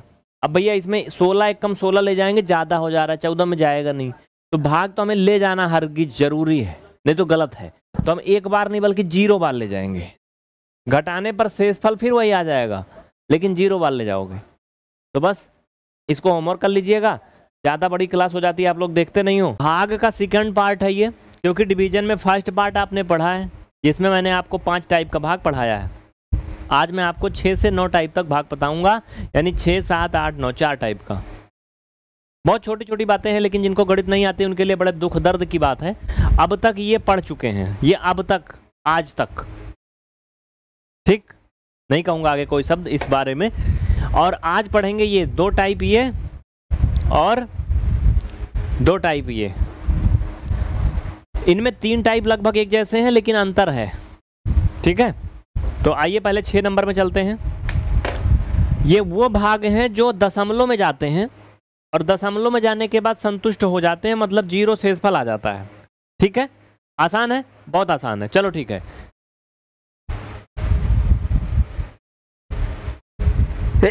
देखो भैया, इसमें डायरेक्ट भाग जाता नहीं है। अगर एक बार भाग ले जाएँ तो ये ज़्यादा हो जाता है। और जो शेषफल आएगा वो माइनस आएगा निगेटिव रिमाइंडर आएगा। निगेटिव रिमाइंडर मैंने आपको शेषफल परमीय में पढ़ाया है और यहाँ अभी नहीं पढ़ना इसको लेकिन। ठीक है? तो इसके बारे में हम बात अभी नहीं करेंगे। तो हम एक बार भाग नहीं ले जा सकते। इसका मतलब हम ज़ीरो बार ले जाएँगे। ज़ीरो बार ले जाएँगे, घटाएँगे, सात आएगा। अब हम ऊपर डेसिमल ले जा सकते हैं। और डेसिमल ले जा करके हमारा जन्म सिद्ध अधिकार बन जाता है कि हम नीचे ज़ीरो उतार सकते हैं, ठीक है? ये क्यों होता है? ये बेसिक का उतना बड़ा हिस्सा नहीं कि मैं आपको ये भी बताऊँ कि दशमलव बढ़ाया तो ज़ीरो क्यों आया? बस इतना भी जान लो कि हाँ दशमलव के बाद ज़ीरो उतारते हैं, कुछ चीज़ें जान लो, बस समझो मत, ठीक है? चलो तो दशमलव के बाद ज़ीरो उतारते हैं और बार बार ज़ीरो उतार सकते हैं। आठ का भाग अब कितनी बार जाएगा इसमें? आपको पता है एट एट जा सिक्सटी फोर यानी आठ अठाई चौंसठ, घटाएँगे छः आएगा। चूँकि एक बार दशमलव बढ़ाया था, इसलिए क्या कर सकते हैं हम ज़ीरो? उतार सकते हैं, ठीक है? क्लियर अब कितनी बार जाएगा? एक बार मुझे बता देना ईमानदारी से। लगभग सेवन बार जाएगा। अगर हम फिर से एट बार ले जाते तो सिक्सटी फोर हो जाता, जो कि ज़्यादा हो जाता। अब इसको घटाओगे चार आएगा, ठीक है? देखो, एक बात मैं क्लियर कर दूँ, जिनको गणित सीखना है, ईमानदारी से क्लास को पूरा देखना, थोड़ा टाइम देना, ठीक है? थोड़ा टाइम देना सीखो ज़िंदगी में कुछ अच्छे काम के लिए। अगर सोचो हम दो मिनट में गणित सीख जाए तो दो मिनट में तुमको एक टाइम बर्बाद करने वाला वीडियो देख सकते हो बस। ज्ञान की बात दो मिनट में नहीं मिलती। ज़िंदगी बीत जाती है ज्ञान सीखने में। चलो। आठ सतह छप्पन ये हो गया। अब फिर से ज़ीरो उतार लेंगे। एक बार दशमलव बढ़ाया था तो ज़ीरो बार बार उतार लेंगे, ठीक है? अब ये पाँच बार जाएगा। देखिए, इसमें दशमलव के बाद तीन चार स्टेप गया, लेकिन ज़ीरो शेषफल आ गया। मतलब ये क्या था? टर्मिनेटिंग डेसिमल था। शांत दशमलव परफार इसके बारे में बहुत ज़्यादा विस्तार से हम बात करेंगे। जब शांत अशांत दशमलव पढ़ाएँगे तो अभी आप इतना ही जान लो कि ये भी एक प्रकार की भाग है जो दशमलव में करने के बाद ज़ीरो शेषफल लेके आती है। ठीक है? क्लियर कोई डाउट ना किसी को? चले आगे? चलो, ठीक है। तो कुछ लोगों को लग रहा होगा कि साइड में चले जाते हैं। देखो, मैं अगर ऐसे आऊँगा ना तो ये क्वेश्चन ऐसे गायब हो जाएगा। तो मैं एक काम कर लेता हूँ। इनको दो जने को इधर ले आता हूँ और फिर मैं अब इनको खटाखट जूम कर देता हूँ, है ना? चलो। बढ़िया है मस्त है। इसको नोट करते जाओ भैया, इसे हाथ फैला के मुँह फैला काम नहीं चलेगा। नोट करते जाओ कॉपी पेन में हाँ? गणित है ये। दिमाग नाम का चीज़ मांगती है चलो। अब 16 का भाग अगर एक बार ले जाओगे, ज़्यादा हो जाएगा, घटाओगे तो निगेटिव आएगा रिमाइंडर निगेटिव रिमाइंडर अभी आपको नहीं पढ़ना, पहले बता चुका हूँ। तो हम एक बार नहीं ले जाएँगे। हम ले जाएँगे ज़ीरो बार। घटाएँगे, ग्यारह आएगा। अब यहाँ दस हम लोग बढ़ाएँगे, यहाँ ज़ीरो उतारेंगे। अब सोलह का भाग एक सौ दस में कितनी बार जाएगा? सबको पता है लगभग ना? बताओ ईमानदारी से। कह दो, हमें तो पहाड़वे नहीं आवत तो जाएगा अगर ना आवत पहाड़वे तो कमेंट करना सभी लोग, हम पहाड़वा का लिंक भेज देंगे। ठीक? चलो। तो सिक्सटीन फाइव जा एट्टी सोलह पंचे अस्सी सोलह छक्का छियानवे होता है। सोलह सत्ते एक सौ बारह होता है। इसका मतलब ज़्यादा हो जाएगा। गुड़ा कर लो, चाहे तो सात छंग बयालीस, सात एकम सात चार ग्यारह। तो छः बार जाएगा। छः छक छत्तीस छः एकम छत्तीस, नौ। सोलह छक्का छियानवे घटा लो इसमें से, चौदह आएगा। अब चूँकि ऊपर दशमलव बढ़ा दिया था तो नीचे हम ज़ीरो उतार सकते हैं। हम तुम्हें जन्म सिद्ध अधिकार है। चलो। अब सोलह का भाग कितनी बार जाएगा? सोलह सत्तर एक सौ बारह, सोलह अट्ठे एक सौ अट्ठाईस। सोलह नवैया वन फोर्टी फोर तो नौ बार तो जाएगा नहीं, आठ बार जाएगा। सोलह अट्ठे एक सौ अट्ठाईस। घटा लो भैया। देखो, अगर 125 होता तो घटाने 15 आता फीदा फीदा लेकिन ये तीन और ज़्यादा है। तो 15 से तीन कम कर दो मतलब 12 आएगा। है ना? भैया, अट्ठाईस में दो जोड़ दो, तीस हो जाएगा। और तीस और चालीस के बीच दस का गैप है, बारह हो गया। खत्म। अब ज़ीरो उतार लो। फिर कितनी बार जाएगा भैया? जरा सोचते जाओ। सोलह, सत्ते, एक सौ बारह। अट्ठे ज़्यादा हो जाएगा। सात बार जाएगा। लेकिन देखो, ये ज़ीरो आ जाएगा शेषफल। देखना अभी। घटाओगे, सिर्फ़ और सिर्फ़ आठ आएगा बस। ऊपर से ज़ीरो उतार लो अब। दशमलव बढ़ाया था तो ज़ीरो बार बार हम उतार सकते हैं। एक ज़ीरो। डबल ज़ीरो नहीं, एक। जैसे देखो, हम लोग के देश में अधिकतर जगह पे बहुबुल, बहु क्या बोलते हैं उसे? बाहुक जनसंख्या में एक भी अनुमति होती है। ये नहीं कि अनुमति है तो हम तीन ठिकाल लें। गड़बड़ हो जाएगा, मार डालेगी पहले वाली। समझ रहे हो? तो एक एक कर सकते हो। लेकिन एक ज़ीरो उतारने की उपस्थिति में बगल में दूसरा नहीं उतार सकते हो, सिर्फ़ एक। तो अब कितनी बार? पाँच बार अस्सी। घटाओगे, खत्म, ज़ीरो। तो ये हुआ क्या? टर्मिनेटिंग डेसिमल, जिसमें आपने देखा कि इनको दो बार आपने किया, दोनों क्वेश्चन आराम से ज़ीरो आ गया। तीसरा आप खुद से करोगे और मुझे बताओगे। एक बार मैं फिर बता दूँ, बार बार देखो, इतना तो बेसरम होने की मैं बार बार हाथ जोड़ूँगा, नहीं, भैया, पढ़ लो पढ़ लो। तुम बर्बाद होना चाहते तो हो जाओ जाओ, मुझे कोई दिक्कत नहीं, ठीक है? और अगर गणित सीखना है तो जितना भी पार्ट देखना क्लास का पीवीआर स्टडी में, ईमानदारी से पूरा देखना शुरू से अंत तक और नोट्स बनाना। और वैसे भी इस सीरीज़ में आपको सरप्राइज़ भी मिल रहा है, पाँच हज़ार रुपये तक, समझ लो, तुम्हें फ्री पढ़ाया भी जा रहा है, इसमें से पाँच हज़ार रुपये भी दो तीन लोग को मिल सकता है, कोर्स पूरा करने के बाद। समझ रहे हो? हंड्रेड क्वेश्चन आएगा ना, तब तक जानते हो, डेली एक क्वेश्चन पूछते हैं। लेकिन अगर पढ़ो तब और मैं क्या ही कर सकता हूँ? चलो। ये सातवा टाइप का है। ये बिल्कुल जिद्दी हिकना टाइप का जैसे हिकना गाँव में सुने थे ना पहले? हम लोग सुनते थे, कहा जाता है। ये कटता नहीं कभी। कभी ना तो ये कहे, ना तो कोई काम करे ये, और ना तो मना करे। कुछ लोग होते नहीं है। उनसे कुछ होता भी नहीं, वो अगले को मना भी नहीं कर पाते। हम नहीं कर पाएँगे, हमसे नहीं होगा। वो सब में कहेंगे, हम हम करेंगे, हम। और होगा कुछ नहीं। समझ रहे हो? तो वो ऐसे है। देखो। तीन छंग, अठारह। घटाओगे कितना आएगा? दो। ईमानदारी से बताना कितने लोग ऐसे हैं। अब ऊपर क्या करेंगे? दशमलव बढ़ाएँगे भैया। क्योंकि अब तीन का भाग दो में जाएगा नहीं, क्योंकि शेषफल जो है छोटा हो गया, भागफल सॉरी भाजक बड़ा हो गया। तो दशमलव बढ़ाएँगे, ज़ीरो उतारेंगे। अब फिर तीन छंग अठारह। फिर घटाएँगे, दो आएगा, फिर ज़ीरो उतारेंगे। फिर तीन छंग अठारह। फिर घटाएँगे, दो आएगा, और फिर ज़ीरो उतारेंगे। फिर तीन छंग अठारह। अब तो इतने में तुम समझ गए होगे कि जब तक तुम्हारी इच्छा ना पूरी हो जाए, तब तक तुम दशमलव नहीं बढ़ाओगे। नीचे ज़ीरो बढ़ाते जाओ, ऊपर छः बार ले जाते हो। ज़ीरो बढ़ाओ छः बार ले जाओ। बुढ़ा उड़ा जाओ, लड़के बच्चे हो जाए तो चार ठीक वो भी बगल में आके वो भी ज़ीरो बढ़ाएँगे। खत्म नहीं होगा ये। ऐसे जाता जाएगा जाता जाएगा। समझ रहे हो ना? तो अगर तुम चाहते हो कि अपनी ज़िंदगी में इसको पूरा कर दो, लड़के बच्चों को ना बुलाओ बगल में तो इसको यहीं छोड़ दो बस। समझ रहे हो कि नहीं? चलो देखो। तो छोड़ के क्या करोगे इसको? ये सिक्स पॉइंट जो सिक्स बार बार रिपीट हो रहा है, इसके ऊपर बार लग जाएगा। समझ रहे हो? मतलब चिन्ह लग जाएगा, इनकी पहचान हो जाएगी कि हिकना टाइप का है। ऐसे समझ लो, इनकी एक क्रेडिट बन जाएगी। जैसे देखो, अगर आपने किसी से पैसा लिया, मान लीजिए आपने कहा, भैया, बहुत ज़रूरी है, दे दो दस हज़ार रुपये, बहुत ज़रूरी है, मर रहे हम खाने बिना। और अगला आपको अगर दे दिया हाँ आपने उसको लौटा के फूटी कौड़ी नहीं दिया, दोबारा फ़ोन करता है तो हम बिज़ी हैं। अरे, अभी थोड़ी देर बात करना। होता नहीं, अरे, लोग पैसा लेने के बाद बहुत उनके प्रॉब्लम आती है ज़िंदगी में, इसलिए किसी को पैसा मत देना। अगर उसको सुकून से जीने देना चाहते हो, वो बहुत बिज़ी हो जाता है, बहुत डिस्टर्ब हो जाता है। ज़िंदगी उसकी बड़ी गड़बड़ चलने लगती है, समझ रहे हो? तो उनकी एक क्रेडिट बन जाती है, फिर ऐसे अगले के साथ करता है, अगले के साथ, फिर उसके बाद उसको पैसा कौन देता है? ऐसे बैंक भी करता है, अगर आपने बैंक से कोई लोन लिया, उसको नहीं चुका रहे हैं तो बैंक का एक रिकॉर्ड होता है, ठीक है? क्रेडिट स्कोर जिसे बोलते हैं, उसको अपडेट कर देता है, ये आदमी लतखोर टाइप का है, फिर उसको कोनो बैंक लोन नहीं देता है, समझ रहे हो? तो वो क्या है? ये इनकी क्रेडिट है, इनके जो ऊपर लाइन लग गई, इनकी क्रेडिट है बन गई कि हाँ ये इस टाइप का है, ठीक है? चलो। अगला भी ऐसे करेंगे।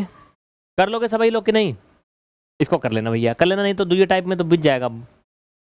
ठीक है, ऐसे ले जाएँगे इसको भी, जैसे ये गए सेम ऐसे। नहीं आएगा तो मुझे कमेंट में बता देना। चलो, आठवां टाइप में आ जाओ। ये थोड़ा सा अलग टाइप का है। थोड़ा दमदार टाइप का है ये। मतलब फिर भी मज़ेदार है। चलो। इसमें ज़ीरो आएगा क्या? आठवां टाइप कहाँ गया अरे बाबा? इसमें भी ज़ीरो नहीं आएगा। ये और ख़तरनाक है। देखो कैसे। पहले हम क्या करेंगे? एक बार तो जाएगा नहीं, क्योंकि सेवन का भाग अगर इसमें एक बार जाएगा तो ये बहुत बड़ा हो जाएगा, माइनस छः आएगा। ऐसा तो कर सकते नहीं हम। इतना तो मेरे हिम्मत है नहीं। तो ज़ीरो बड़ा, बार ले जाएँगे। घटाएँगे एक आएगा। अब ऊपर दशमलव बढ़ा के यहाँ ज़ीरो उतारेंगे। अब एक बार जाएगा। ठीक है? तो सात एक कम सात, घटाएँगे तीन आएगा। अब दशमलव बढ़ाया है तो क्या करेंगे? ज़ीरो उतार लेंगे। सात चौक अट्ठाईस। घटाएँगे क्या आएगा? दो। ठीक है? अब क्या करेंगे? समझते जाना ऐसे।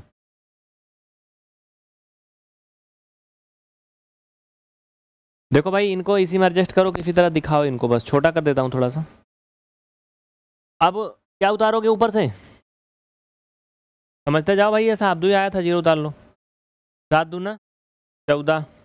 घटाओगे छः आएगा। अब फिर क्या करोगे? ज़ीरो उतार लो दशमलव बढ़ाओ। सात अठे छप्पन। घटाओगे, क्या आएगा? चार, ज़ीरो उतार लो। सात पाँचे पैंतीस। घटाने पर क्या आया?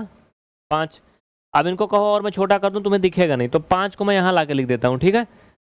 अब हम्म नियम के अनुसार जैसे सबके बगल ज़ीरो उतारा था, यहाँ ज़ीरो उतार लेंगे। सात का भाग पचास में कितनी बार जाएगा? सात बार। घटाओगे, कितना आएगा? एक। आप ये मान लो, इनको इसी के नीचे ला के जोड़ दो, इसी के नीचे अभी जा रहा है ये। ठीक है? अब देखो वन पहले भी था वन फिर आ गया। हमने वन से स्टार्ट किया था। यानी हम अर्श से फर्श पे गए, फर्श से फिर अर्श पे आए, ऐसा कुछ। अब फिर से अगर इसे भाग करोगे तो फिर ज़ीरो उतारोगे, फिर एक बार जाएगा, सात एकम सात। और फिर देखो, यही प्रक्रिया यहाँ फिर रिपीट होना शुरू हो जा रही। और फिर यही होगा। यानी हम एक लाइन में ये कह सकते हैं, दोबारा धोखा ना खाते हुए कि यही पूरा पूरा रिपीट होगा। और फिर होगा, ऐसे बार बार होगा। समझ रहे हो ना? टाइम बहुत तेज बीत रहा है, गुरु। तो इस तरीके से फाइनली हम इसको क्या लिख सकता हूँ? इसको मैं लिख सकता हूँ ऐसे सेवन से भाग हुआ है, यानी वन अपान सेवन ना? One upon seven equal zero point one four two eight five seven one इसके ऊपर बार जितना नंबर रिपीट हो रहा है। सॉरी वन नहीं रहेगा वन नहीं। ये वन नहीं रहेगा वन तो वन तो ये एक्स्ट्रा ले जाने पा रहा था ना? इतना रिपीट हो रहा है, ठीक है? दस मिनट का प्राय मैं वीडियो करता हूँ, लेकिन ये दस मिनट में कुछ हो नहीं रहा है। ये कोई आंटी जी का रील थोड़े है कि एक मिनट में ऐसे ऐसे कर दिया, बस हो गया, ख़त्म। ख़त्म ही नहीं होता, दस मिनट में भी नहीं ख़त्म हो रहा है। समझ रहे हो? और मैं आंटी को नहीं बोल रहा हूँ बात, तू समझ रहे हो किसको बोल रहा हूँ? चलो, किसी को लग ना जाए, इसलिए मैं ऐसा बोला। चलो, ठीक है, आगे बढ़े। तो अगली क्लास का भी टाइम है, मैं एक और कर सकता हूँ इसमें का। नहीं तो आप खुद से कर लेना यार, मैं क्या करूँ? फालतू काहे को करूँ ना? ऐसे सेम भाग करना भैया बाबू। जो नंबर रिपीट होंगे बार बार, उन पे ऐसे बार लगा देना। नहीं समझ में आएगा, मुझे कमेंट करना कि टाइप नंबर सा आठ का पहला नहीं समझ में आया। हम फिर बता देंगे, ठीक है?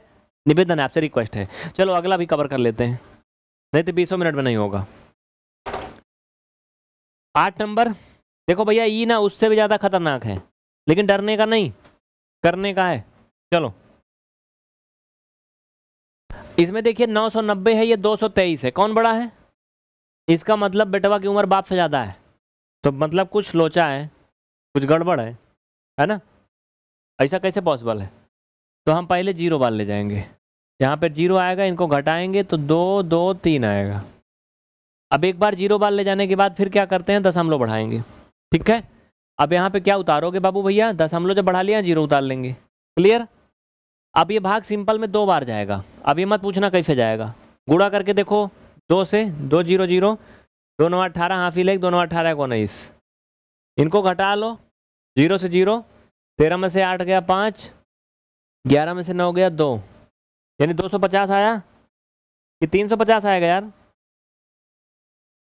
कुछ गड़बड़ है का रे बाबा। ये दो सौ तैंतीस है, दो सौ तेईस नहीं है।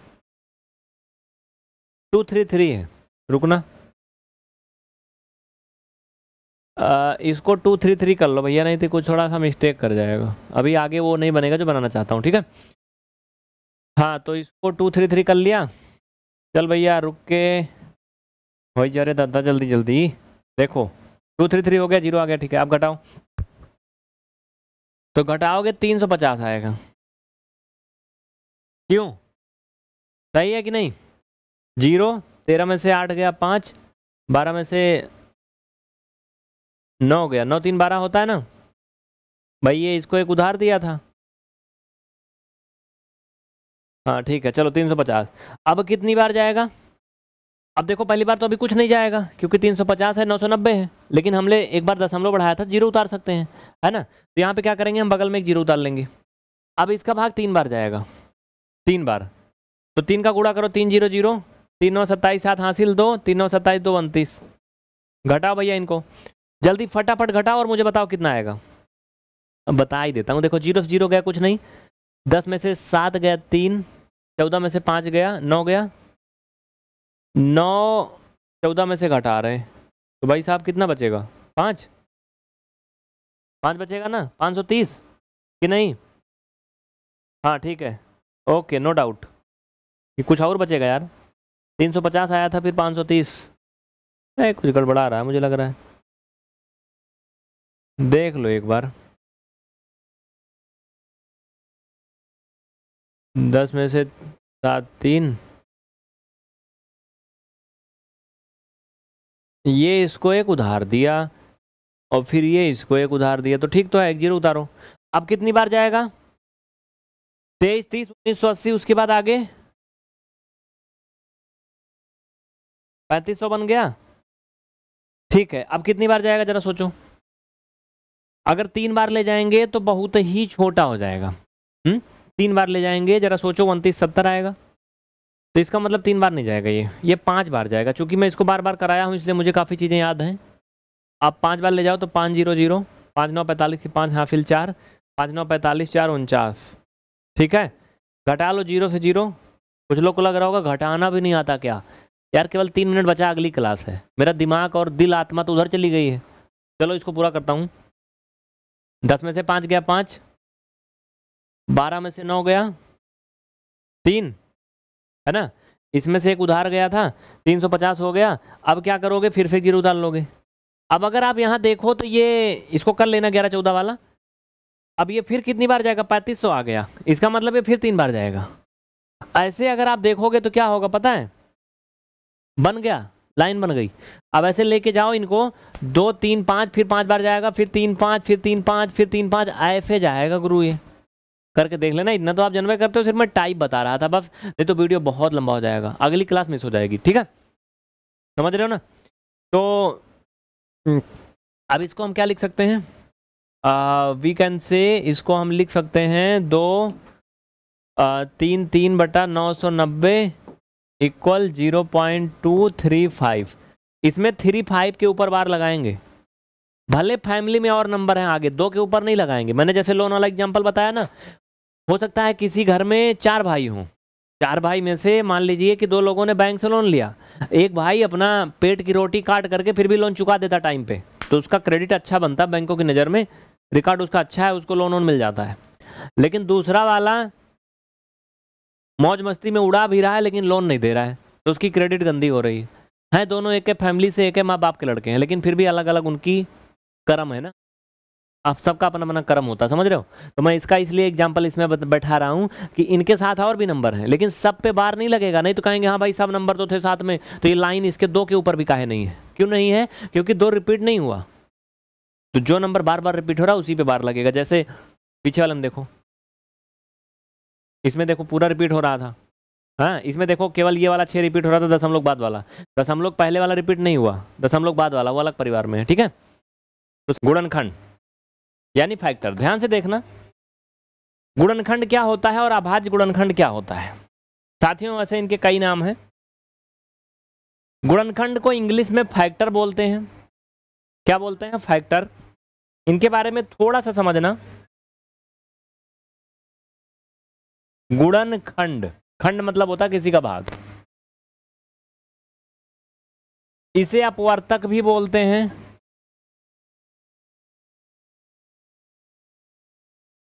विभाजक भी बोलते हैं। मतलब ये तीनों एक है नाम है। ठीक है, जैसे किसी का स्कूल का नाम पंकज है, घर उसको रोहन नाम से बुलाते हैं। होता नहीं है? आपने देखा होगा ना? कुछ लोगों के डबल नाम होते हैं निक वैसे। ठीक है? इंग्लिश में फैक्टर इन दोनों के इसको डिवाइजर भी बोलते हैं। नामकरण हो गया। अब काम देखो, पहले नाम, फिर काम, है ना? लेकिन काम भी होना चाहिए, तभी नाम का फ़ायदा होता है। काम में देखो क्या है। ये है गुणनखंड और ये है अभाज्य गुणनखंड। मतलब समझना। पहली बात तो गुणनखंड और अभाज्य गुणनखंड, दोनों में अंतर आपको तब समझ में आए बढ़िया जब आपको भाज्य और अभाज्य संख्या पता हो, लेकिन अभी पता है नहीं तो मैं आपको मोटा मोटा समझा देता हूँ, बाकी भाज्य भाज्य संख्या आगे पढ़ाऊँगा तो आ जाएगा, ठीक है? आप ये समझ लो थोड़ा सा शॉर्टकट में, जैसे ये भाज्य संख्या है ना, ये दोनों एक दूसरे से संबंधित हैं। ये क्या है अभाज्य संख्या? समझना कैसे? जैसे संख्या बारह ले लिया और इधर संख्या ले लिया तेरह। अगर हम देखें तो बारह में एक का भाग करेंगे तो ज़ीरो शेष फल आएगा, भाग कर लेना। भाग करना सिखा चुका हूँ। दो से भाग करेंगे तब भी ज़ीरो शेष फल आएगा। तीन से करेंगे तब भी ज़ीरो आएगा। चार से छह से या बारह से? बोलो हाँ या नहीं। भाग कर लोगे तभी? इनमें से किसी से भी भाग करोगे तो ज़ीरो शेषफल आएगा।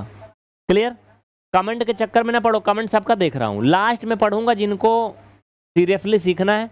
लास्ट तक जुड़ेंगे लास्ट में सारा कमेंट पढ़ूँगा। जिनको लग रहा है मेरा नाम ले लें, वो भाग जाए यहाँ से। नाम नहीं लेता मैं किसी का। सिर्फ़ पढ़ाई ओनली पढ़ाई। चलो। तेरह में अगर एक का भाग करेंगे तो ठीक है, और तेरह में तेरह का भाग करेंगे तो ठीक है। बाकी और कुछ भी ठीक नहीं। कैसे? अगर हम, साथी मेरे एक का भाग करेंगे तेरह में तो एक एक कम एक, घटा एफ़ ज़ीरो। खत्म हो जाएगा तीन, एक तिहाइया तीन। ज़ीरो से फल आएगा ना? मतलब यहाँ घटाओगे ज़ीरो, ठीक है? बट अगर हम तेरह में दो का भाग करेंगे तो क्या ज़ीरो आएगा? नहीं आएगा ना? अगर किसी संख्या में किसी संख्या का भाग करने पर ज़ीरो शेषफल नहीं आता है तो हम कहते हैं कि वो संख्या फलानी संख्या से पूर्णता विभाजित नहीं है। क्योंकि ये फलानी संख्या क्या है? अरे भैया, जिस संख्या से भाग किया था। हम यहाँ ये कहेंगे कि संख्या तेरह, संख्या दो से पूर्णता विभाजित नहीं है।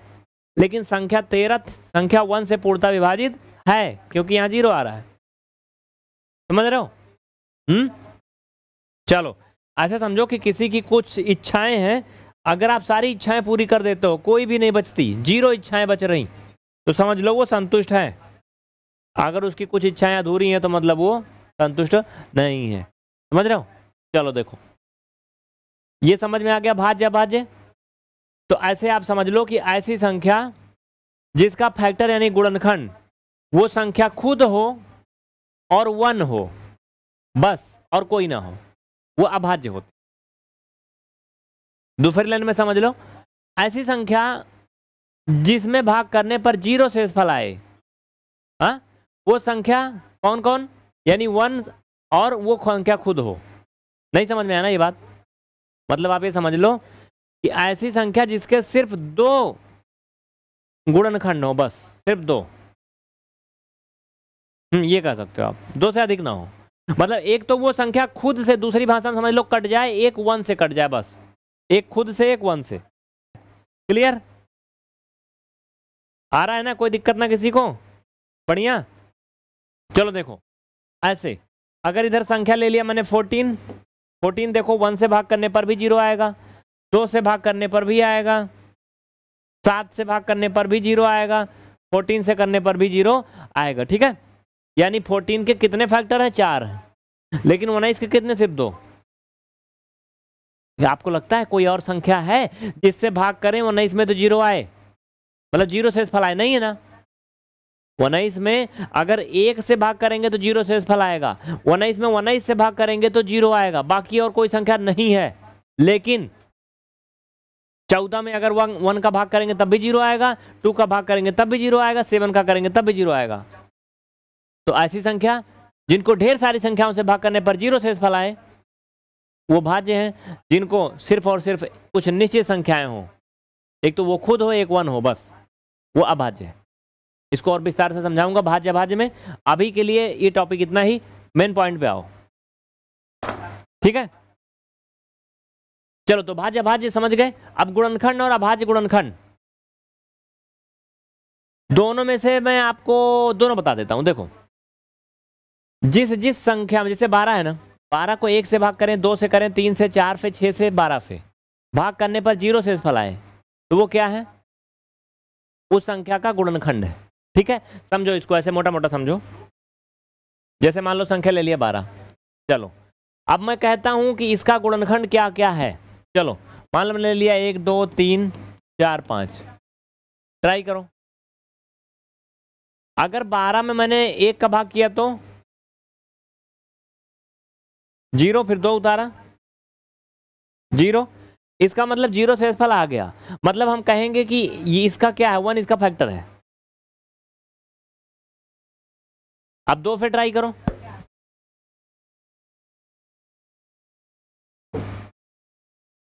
ज़ीरो से फल आ गया। आ गया। तो हम कह सकते हैं कि दो भी इसका फैक्टर है। अच्छा ऐसे तीन से करो। कहोगे हाँ फैक्टर है। अच्छा पाँच से कर लो।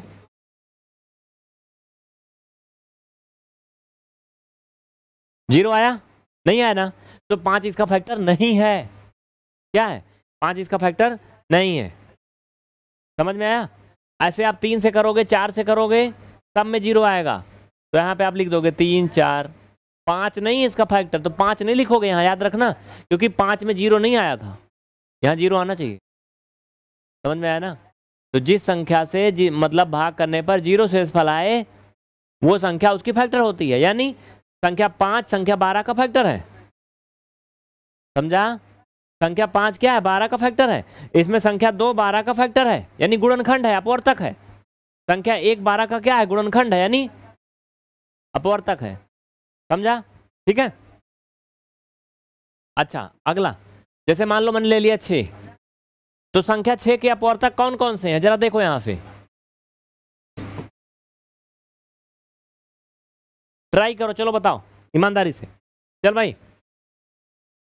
अगर एक का भाग करेंगे छ में तो एक छक्का छ घटाने पर ज़ीरो आया तो इसका अपवर्तक है। दो से भाग करो, ज़ीरो आया तो दो भी इसका अपवर्तक है। अभी सबका डाउट लूँगा, सबर करो थोड़ा सा। इसी तरीके से अगर हम तीन से करेंगे तो ये भी इसका अपवर्तक होगा।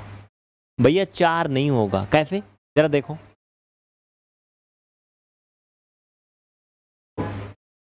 चार एक कम चार।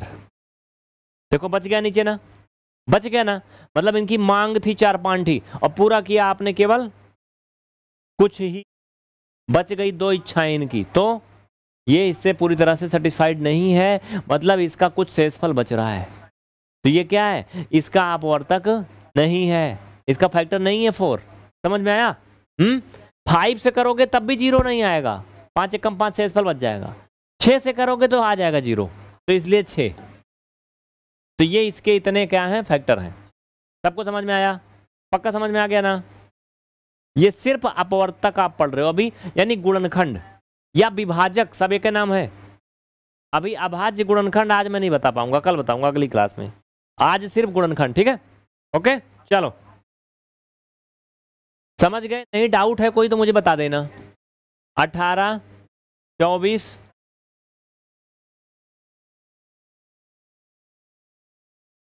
इनका फैक्टर आप लोग करके मुझे बताओगे ये होमवर्क है? ठीक है? क्लास बहुत बड़ी ये वाली चलती नहीं है, क्योंकि ये फ्रीज ज़्यादा बड़ा लोग देखते नहीं है। अगर आप इस क्लास को खूब लाइक शेयर करोगे टेन थाउज़ेंड व्यूज़ बनाओगे चौबीस घंटे में, मैं इसको दो दो घंटे चलाऊँगा। देखता हूँ, आप करते हो नहीं? ठीक है? और आज का यक्ष प्रश्न है,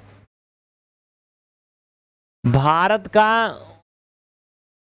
सर्वाधिक जनसंख्या वाला जिला। सर्वाधिक जनसंख्या वाला जिला, ठीक है? क्या? सर्वाधिक जनसंख्या वाला जिला। मैक्सिमम पॉपुलेशन वाला जिला, डिस्ट्रिक्ट। हो सकता है मेरी लैंग्वेज थोड़ा सा गड़बड़ हो, ठीक है? मैक्सिमम पॉपुलेशन वाला डिस्ट्रिक्ट नेम आपको बताना है। तो कल तक क्या पढ़ा था? यहाँ पे दिख रहा है। आज क्या पढ़ेंगे? उधर साइड में लिखा है। कमेंट्स अभी के पढ़ूँगा मैं लास्ट में क्लास के एंड में। तब तक जिनको पढ़ना है सीरियसली वो पढ़ाई करेंगे। ठीक है? जो ओनली पढ़ने वाले हैं, वही यहाँ पे रुकेंगे। बाकी बातचीत करने वाले अपना एंजॉय करते रहेंगे, उनकी अलग ज़िंदगी है। कल आपने पढ़ा था कि कंपोजिट एंड प्राइम नंबर क्या होते हैं? भाज्य भाज्य संख्या। जो कि इसी टॉपिक का हिस्सा था, इसलिए बताया, बाकी इसको अलग से विस्तार से पढ़ाऊँगा, ठीक है? आपने ये भी पढ़ा कि गुणनखंड क्या होता है, इसकी परिभाषा क्या होती है, वो भी बताया था? क्लास नंबर सात में। आज आप पढ़ेंगे गुणनखंड व अभाज्य गुणनखंड में क्या अंतर होता है और अभाज्य गुणनखंड करना कैसे सीखते हैं? मतलब कैसे निकालते हैं अभाज्य गुणनखंड? आइए थोड़ा सा इनका कलर चेंज करते हैं। आँखों को ज़्यादा आराम नहीं देने का। आइए। तो अगर हम इधर साइड में लिख दूँ गुणनखंड, क्या? गुणनखंड। इंग्लिश में इनको फैक्टर बोलते हैं। अभाज्य गुणनखंड।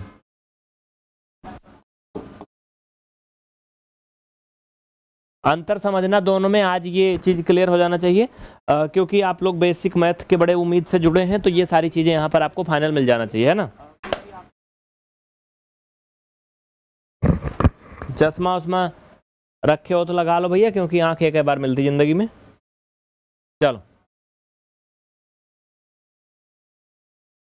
प्राइम फैक्टर जैसे फॉर एग्जांपल एक छोटा सा नंबर ले लूँ, प्यारा सा तो इनके गुणनखंड क्या क्या हो सकते हैं? सोलह के one, two, four, eight, sixteen.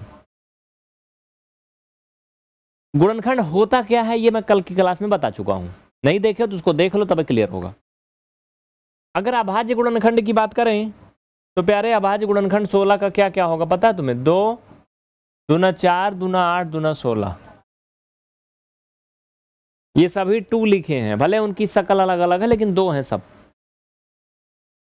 जिन्हें प्राइम फैक्टर बोलते हैं। क्या बोलते हैं?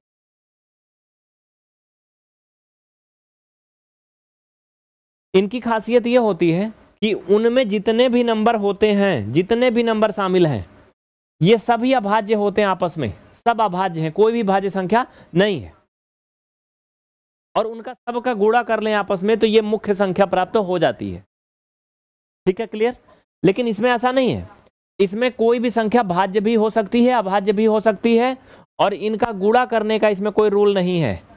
ठीक है, इनका आपस में गुणा नहीं करना आपको। जैसे ये देखो, अभाज्य संख्या है? नहीं है। ये ना भाज्य है, ना अभाज्य है, बिरादरी से बाहर है। मेल फीमेल में नहीं है थर्ड जेंडर में, समझ रहे हो? चलो, ये क्या है? ये अभाज्य है। ये क्या है? भाज्य है। ये भी भाज्य है, ये भी भाज्य है।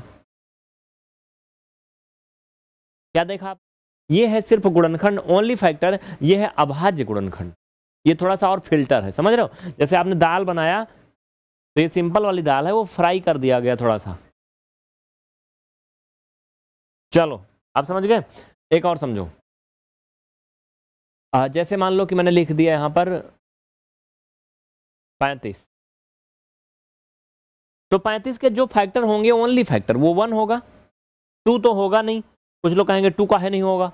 कल बताया हूँ बच्चा, कल नहीं देखे हो तो मत समझो। कल की क्लास में बताया हूँ, इसका फैक्टर टू क्यों नहीं होगा? तीन, चार नहीं होगा, पाँच इसका फैक्टर होगा। सात होगा और पैंतीस होगा। है ना? यानी वो सभी संख्याएँ इनके फैक्टर होंगी थर्टी फाइव के, जिनसे भाग करने पर थर्टी फाइव में मतलब ज़ीरो से फल आए। मतलब सात से भाग करेंगे, पैंतीस में तो ज़ीरो से फल आएगा। पाँच से भाग करेंगे तो ज़ीरो से फल आएगा, पैंतीस से करेंगे तो ज़ीरो आएगा। अब अगर हम अभाज्य गुणनखंड की बात करें तो तो सबसे पहले इनको हम फाइव से डिवाइड करेंगे। तो सेवन आएगा, फिर सेवन से करेंगे। हो गया, खत्म। बस, इसमें वन को नहीं लिया जाता, कोई मतलब नहीं। यानी इसके अभाज्य गुणनखंड क्या है? पाँच और सात। लेकिन इसके गुणनखंड क्या है? एक, पाँच, सात, पैंतीस सभी को समझ में आ रहा है मेरी बातें? एक बार यस बोल दें और ये सेशन को फटाफट लाइक करें। देखो, आप लोग अगर लाइक वाइक करते हो ना, थोड़ा मोटिवेशन मिलता है कि क्लास बढ़िया चले। ठीक है? चलो। आओ आगे बढ़ते हैं।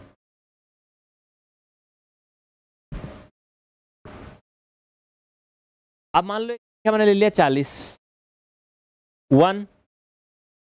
और इसका फैक्टर और क्या होगा? टू, फोर, फाइव, एट, और टेन, ट्वेंटी, फोर्टी। ये सभी इसके फैक्टर हैं। यानी इसमें से किसी भी एक संख्या से अगर आप भाग करो, इनको तो ज़ीरो से फल आएगा सभी को मेरी बातें क्लियर आ रही? मस्त, कोई डाउट ना? कहो। समझ समझ में आओ था बस ऐसे देखा था कि हाँ सभी देखा था इसलिए मुँह देखा था ही। आएगा। अब अगर इस 40 को हमने इधर ले आया तो? इनके अभाज्य गुणनखंड क्या होंगे? अभाज्य गुणनखंड निकालते कैसे हैं? आप लोग ये तो पूछे नहीं रहे हो, ये कह रहे हो ला के लिख दे रहे हो, लेकिन आ कहाँ से रहा भगवान? कहाँ से गिर रहा है ये? बताता हूँ, देखो। जैसे इनका ले लो तो अगर दो, दूना चार बताता हूँ। दो से भाग करेंगे, बीस आएगा, फिर दो से करेंगे, दस आएगा, फिर दो से करेंगे, पाँच आएगा, और फिर पाँच खत्म। दो दूना चार दूना आठ दूना, ऐसा कैसे? दो दूना चार दूना आठ पंचे चालीस। लेकिन ये बना कैसे? मेरे दिमाग में खोपड़ी में आया कैसे कि हम दो दो, तीन बार लिख दें, एक बार पाँच बार लिख दें। तुम लोग सोच रहे होंगे मन मन गरिया रहे हो गए पता नहीं कहाँ लिख दे रहा है। बताता हूँ, देखो। ये समझ गए? अब देखो, निकालते कैसे जैसे मैंने संख्या ले लिया चालीस। इनके अभाज्य गुणनखंड करना है तो देखो प्यारे, सबसे पहले इसे हराई फनाओगे इसे। जानते हो नहीं? अपने घर में बूढ़े बुज़ुर्गों से पूछना, हराई मतलब क्या होता है। चलो देखो। ऐसे करोगे, हर एक नंबर में, फिर यहाँ पर ऊपर इस नंबर को बिल्कुल इज़्ज़त के साथ लिखोगे अच्छे से। फिर आपको सबसे छोटी गिनती लेनी है जिससे इसको भाग करना है। ठीक है? मतलब इसका जो सबसे छोटा से छोटा क्या हो? गुणनखंड हो। तो वो क्या होगा? वन होगा। वन को हम छोड़ देंगे इग्नोर कर देंगे। क्यों? क्योंकि वन हर किसी के गुणनखंड में आ जाता है। समझ रहे हो? और तुमको एक लाइन बताया था शुरू की क्लासों में ही, कि अगर कोई किसी को हद से ज़्यादा भाव देता है तो उसको लोग रद्दी के भाव समझते हैं। तो रद्दी के भाव उनको समझा जाता है, इसलिए इसको वन से भाग नहीं करते हैं। क्योंकि वन से भाग हर किसी में चला जाता है, और फ़र्क कोई पड़ता नहीं है। समझ रहे हो? तो वन से नहीं करेंगे। फिर अगला नंबर क्या आता है? टू।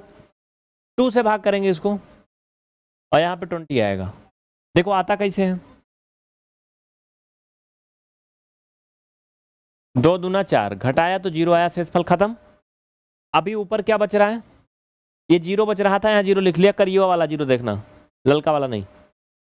अब अगर हमने ऊपर से ज़ीरो यहाँ उतारा है तो हमें एक बार भाग ले ही जाना है।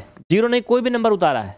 जब मैंने भाग वाली सीरीज़ पढ़ाया था, उसमें इस तरह का सवाल बताया था कि अगर एक बार भाग कंप्लीटली खत्म हो जा रही लेकिन लास्ट में कोई गिनती ऊपर बच रही, जो कि भाजक से छोटी है। ऐसी दशा में ऊपर एक ज़ीरो बढ़ा के भाग खत्म करते हैं। तो ऊपर एक ज़ीरो बढ़ाएँगे। खत्म। तो जो हमें मिलता है ऊपर, समझना यहाँ पे। ये ऊपर जो मिलता है, इसको बोलते हैं क्या? भागफल।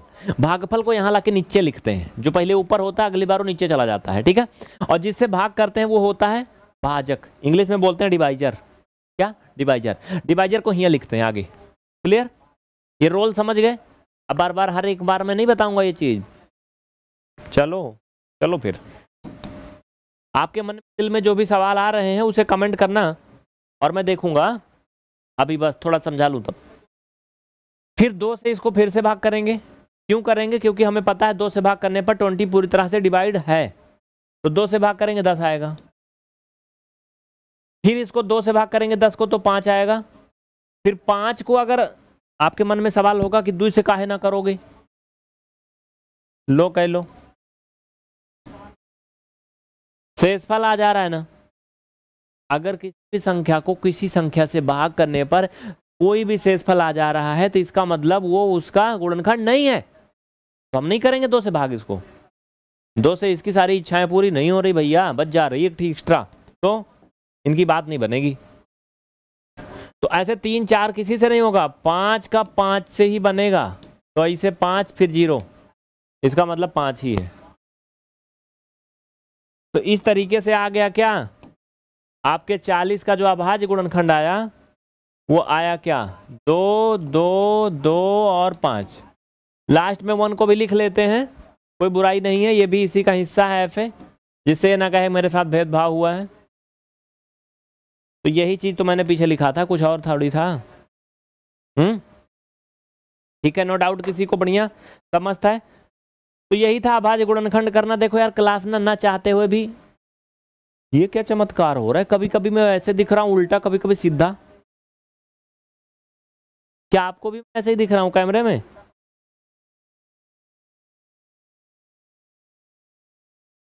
हाँ?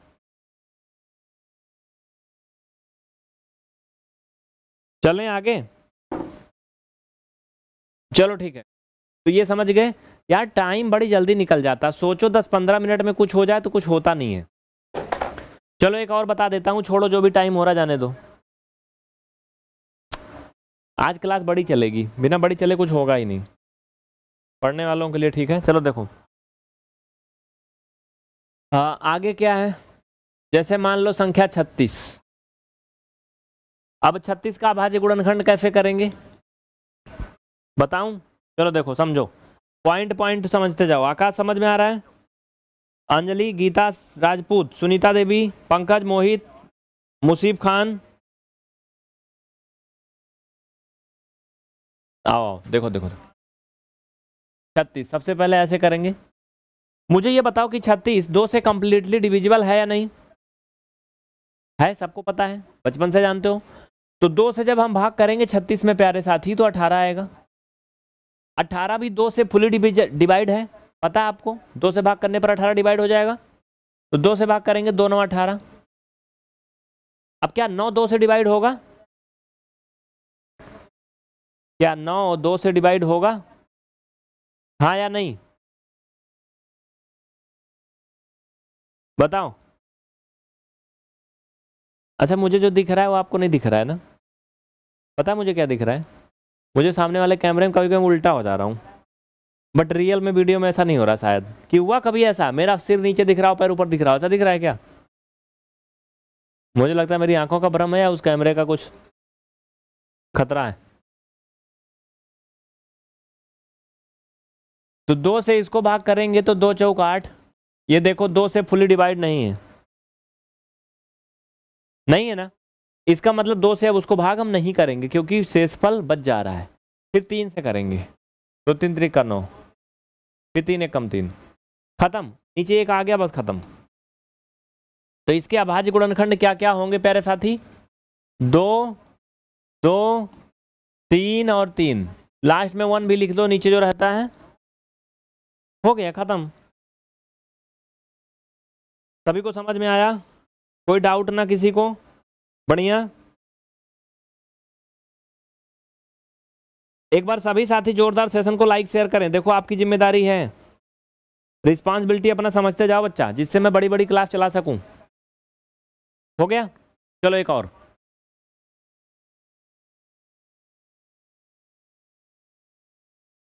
एक और।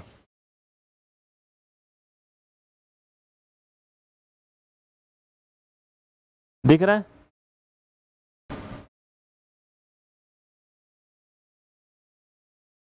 अगर मैंने एक संख्या ले लिया साठ, अब साठ के अभाज्य गुणनखंड कितने लोग कर लेंगे? ईमानदारी से बताओ। चलो हाथ उठाओ।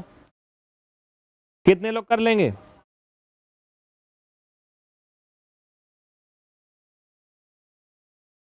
कर लोगे? चलो ठीक है, बढ़िया है। आओ चलो। आओ बच्चों, तुम्हें दिखाएँ। यहाँ के हिंदुस्तान की, है ना? चलो। तो सबसे पहले इसको सबसे छोटी संख्या फिर ट्राई करेंगे। आपको पता है कि सबसे छोटी संख्या वन से स्टार्ट होती है काउंटिंग नंबर लेकिन वन से भाग करने पे कोई फ़र्क पड़ता नहीं है तो हम वन से नहीं करेंगे, दो से करेंगे। हमें पता है कि दो से भाग करने पर ज़ीरो से फल आ जाएगा, क्योंकि हमने इतना पढ़ा है ऑलरेडी पहले। दो से भाग करेंगे यानी तीस आएगा ना? साठ का आधा तीस। तो दो से भाग कर लो, तीस आएगा। इसका लिखने का क्या तरीका है पहले बता चुका हूँ अभी, कि यहाँ पे तीस क्यों लिखेंगे, दो यहाँ क्यों लिखेंगे? बताया हूँ। फिर दो से भाग करोगे, तीस में तो पंद्रह आएगा। अब दो से भाग नहीं करेंगे पंद्रह में काहे को? काहे को शेषफल ज़ीरो नहीं आएगा फिर?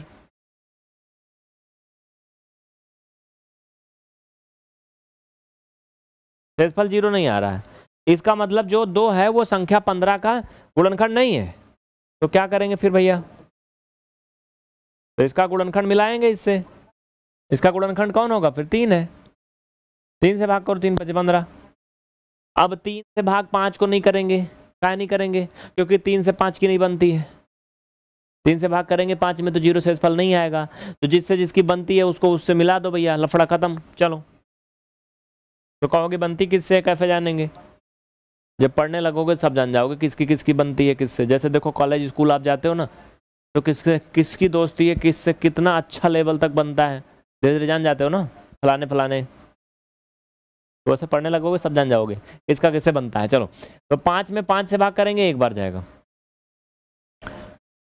तो इस तरीके से अब आगे देखो, दो दो ना चार, और ये क्या है, तीन, और ये पाँच। एक वन भी लास्ट में बनता है, चाहे तो इसको यहाँ वन भी लिख दो या ना लिखोगे, तब भी कोई गलत नहीं करेगा, बस खत्म। तभी समझ गए ना मेरी बात? किसी को कोई डाउट ना? हम्म? चलिए ठीक। नाम वाम किसी का नहीं लेता हूँ मैं। नाम लेना छोड़ दिया मैंने। ओनली पढ़ाई। नो नाम। चलो। तो ये चीज़ें समझ में आ गई सभी को। अभाज्य गुणनखंड करना सीख गए आप। अच्छा। बहुत अच्छे बच्चे हो तुम लोग फिर। टेलीग्राम पे नहीं ज्वाइन किया था बच्चा पार्टी तो कर लेना। अभी आगे भी मैं पढ़ाऊँगा, लेकिन कुछ इंपॉर्टेंट जानकारी सुन लीजिए। न उम्र की सीमा हो, न जन्मों का हो बंधन, क्योंकि इस सीरीज़ में 110 साल वाले भी पढ़ते हैं। सीखने की कोई उम्र नहीं होती। ये आपके फीडबैक अभी क्वेश्चन आगे करवाऊँगा। इस सीरीज़ में 100 वीडियो मिलेंगे, और प्रत्येक वीडियो में आप ज़रूर कमेंट करोगे क्लास के बाद में कि आप कहाँ से पढ़ रहे हो, कितना बजे पढ़ रहे हो। ज़िम्मेदारी है आपकी। समझे? इस वीडियो का सीरीज़ का नया सीरीज़ डेली सुबह पाँच बजे आता है, लेकिन कभी कभी हम इसे और टाइम पर भी दे सकते हैं। मतलब एक्स्ट्रा वीडियो। ये सब पढ़ते जाओ, स्क्रीनशॉट लेते जाओ। इसमें एक यक्ष प्रश्न पूछा जाएगा, जिसका आपको सरप्राइज़ मिलेगा। पाँच सौ एक रुपये से पाँच हज़ार रुपये तक का इनाम मिलेगा, जिसमें प्रथम पच्चीस सवाल पर पाँच सौ रुपये जो बच्चे सही जवाब देंगे, पचास क्वेश्चन का दो हज़ार और जो सारे के सारे सभी सवाल का जवाब देगा, सारी क्लास अटेंड करेगा। भाई सारी क्लास अटेंड करोगे, तभी तो सारा जवाब दे पाओगे। तो आपको मिलेंगे फाइव थाउज़ेंड अगर आप बीच से क्लास देखते हैं, पहली क्लास से नहीं फॉलो कर रहे हैं तो आपको दुख होने मतलब दुखी होने की बात नहीं है। अगली फ्री बहुत जल्दी हम लेके आएँगे, उसमें आप सिस्टम से बने रहना। ठीक है? आइए पॉइंट पे आगे बढ़ते हैं। चल भैया। अच्छा एक नंबर मान लो कि मैंने ले लिया दो, चार, तीन। अब बताओ, ये किससे डिवाइड होगा? ईमानदारी से मुझे कमेंट करके बताना। क्या ये दो से डिवाइड है? क्या ये दो से फुल डिवाइड है? क्या दो इसका गुणनखंड है? क्या दो इसका फैक्टर है? क्या दो इसका विभाजक है? नहीं है।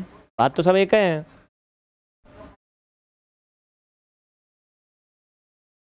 ये भ्रम है, केवल नाम का भ्रम है, आँखों का भ्रम है, समझ रहे हो? आजकल राजनीति वाले भी ऐसे आपको भ्रमित करते हैं। आपकी आँख फोड़ देंगे, फिर कहेंगे, मैंने तो चश्मा दिया, इसको चश्मा दे के फिर साथ में फ़ोटो खिंचाएँगे। कहेंगे, देखो, मैं अच्छा काम कर रहा हूँ ना देश के लिए, जनता के लिए। वही कंडीशन है आज वर्तमान में, देश में, समझ रहे हो? आपकी चीज़ें गड़बड़ कर करके वाह वाही लूट रहे हैं लोग। देखो तो ये दो से डिवाइड नहीं है। क्यों? क्योंकि दो से भाग करने पर ज़ीरो शेषफल नहीं आएगा। घटाओगे, ज़ीरो शेषफल आया। चार उतार लिया। अब टू टू जा फोर घटाएँगे, ज़ीरो आया। ऊपर से थ्री उतार लिया। टू वन जा टू देखो सब ट्रैक करने पर वन बच गया। तो टू क्या है? इसका फैक्टर नहीं है। तीन से ट्राई करो।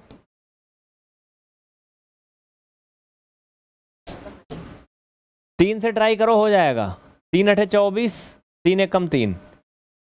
फिर से तीन से भाग करोगे? तीन दूना छः तीन सतह इक्कीस।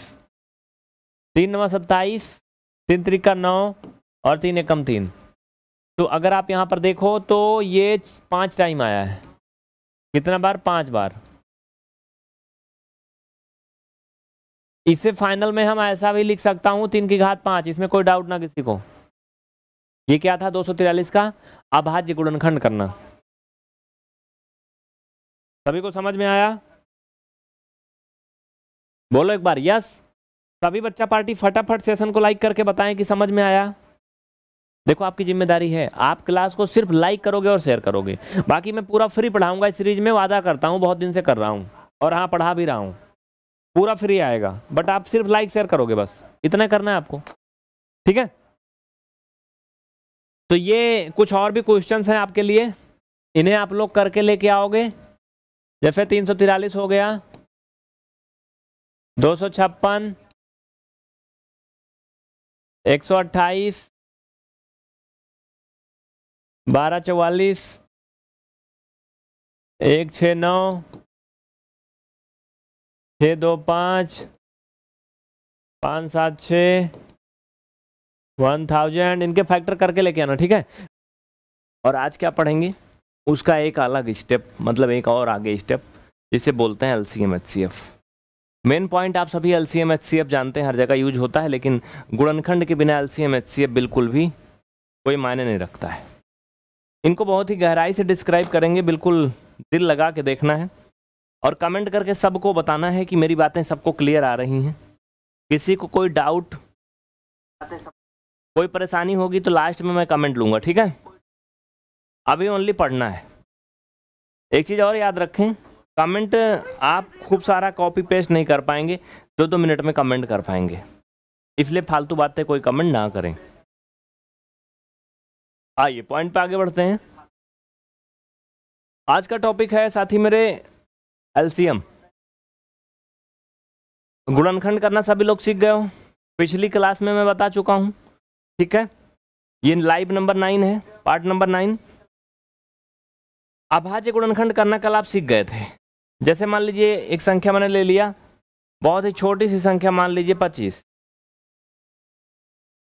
अभाज्य गुणनखंड इसके क्या होंगे? पाँच गुणे पाँच। मान लो कि मैंने एक संख्या ले लिया पैंतीस। इसके अभाज्य गुणनखंड क्या होंगे? पाँच गुणे सात। बताया हूँ? एलसीएम क्या होते हैं? गुणनखंड विधि से। देखो, बताता हूँ। सबसे पहले तो नाम लेना सीख लो। भाई, नाम एल सी एम हर एक अक्षर का एक एक मतलब होता है एक एक लेटर का। एल मीन्स लीस्ट या लोएस्ट भी बोलते हैं।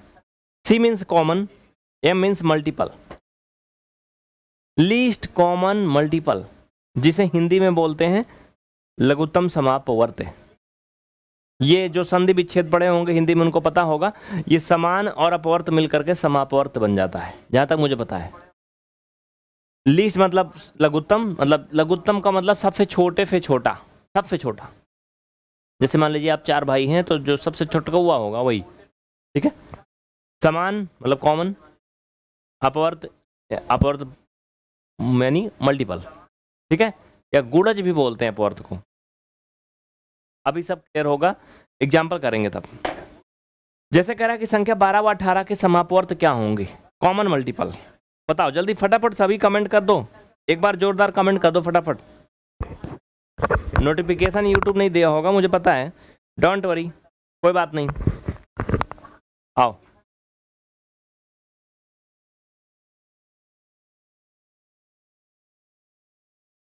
बारह व अठारह का क्या करना है? समापवर्त ना? ठीक है। तो पहले संख्या बारह ले लेते हैं। अभाज्य गुणनखंड प्यारे, में बता चुका हूँ आप सभी को। तो मुझे बताना है नहीं? है ना? चलो तो दो गुड़े दो, गुड़ा तीन। ये क्या हो गया इसका? अभाज्य गुणन दो, गुड़ा तीन गुड़ा तीन। ये इसका अभाज्य गुणनखंड प्राइम फैक्टर। दो दूना चार दो तिहाई बारह। दो तिहाई छात्रिक अठारह अब इसमें क्या करना है हमें?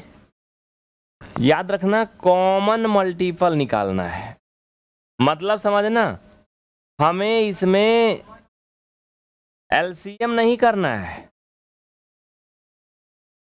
एलसीएम से एक स्टेप पीछे रहना है। कॉमन मल्टीपल ये सभी मल्टीपल हैं। कॉमन कौन है? कॉमन नहीं जानते हो? एक कॉमन का मतलब क्या होता है? देखो, रुक जा, बताता हूँ।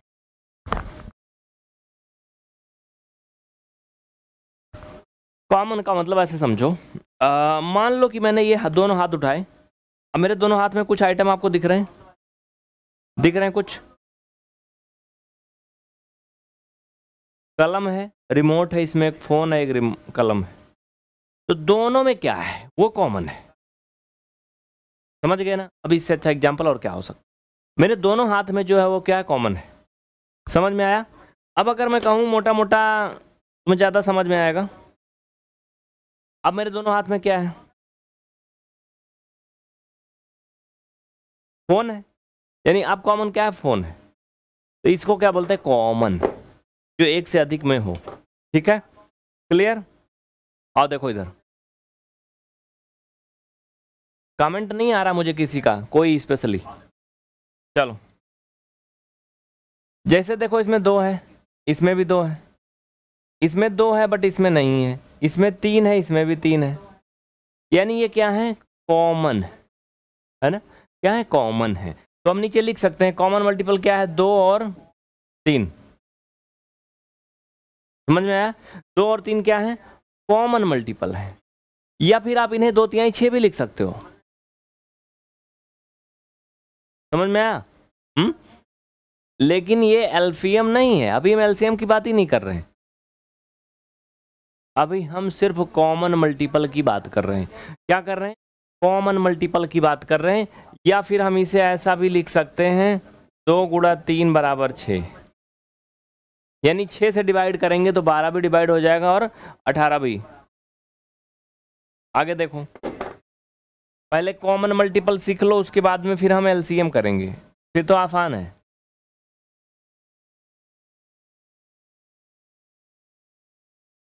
इनका फैक्टर करो भैया। दो, दूना चार, दूना आठ, त्रिक चौबीस। ये करना, कल सिखा चुका हूँ। ऐसे ऐसे करके ना? हम्म। इसका फैक्टर करो दो त्याई छ पंचे तीस। कल सिखा चुका था। कैसे करते हैं फैक्टर इसीलिए हर एक क्लास देखना ज़रूरी है। नहीं देखे वो वीडियो में कमेंट करना, मिल जाएगा अगला पार्ट कॉमन मल्टीपल।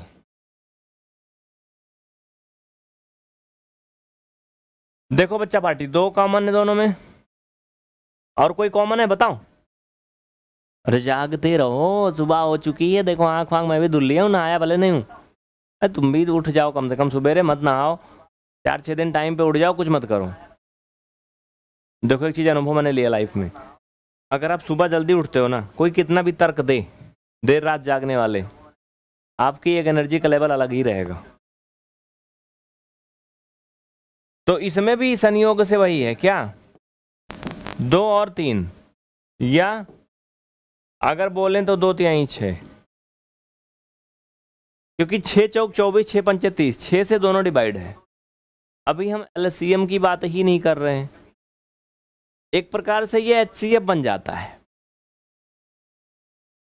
ये एच बन जाता, लेकिन अभी हम उसकी बात नहीं कर रहे हैं। हम ओनली कॉमन मल्टीपल खोज रहे हैं, दोनों में कॉमन क्या है बस? ठीक है?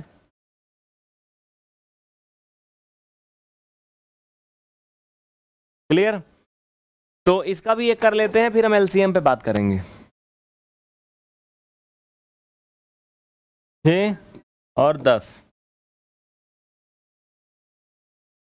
इनका अगर हम क्या करें, समापवर्त करना है ना भैया?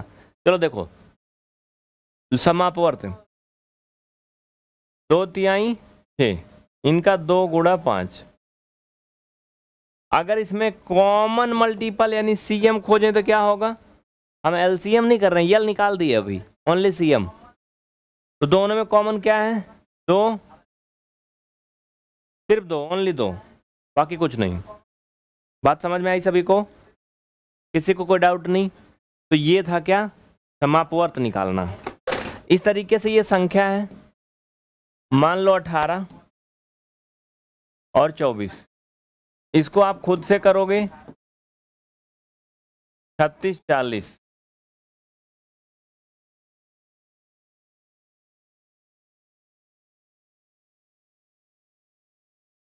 ये आप खुद से करोगे, ठीक है? ये सीरीज़ में बहुत बड़े बड़े वीडियोज़ नहीं दे पाऊँगा, क्योंकि आप लोग ज़्यादा बोर हो जाते ठीक है। चलो। तो कल अब तक क्या पढ़ा था? ये याद दिलाना बहुत ज़रूरी है। अब तक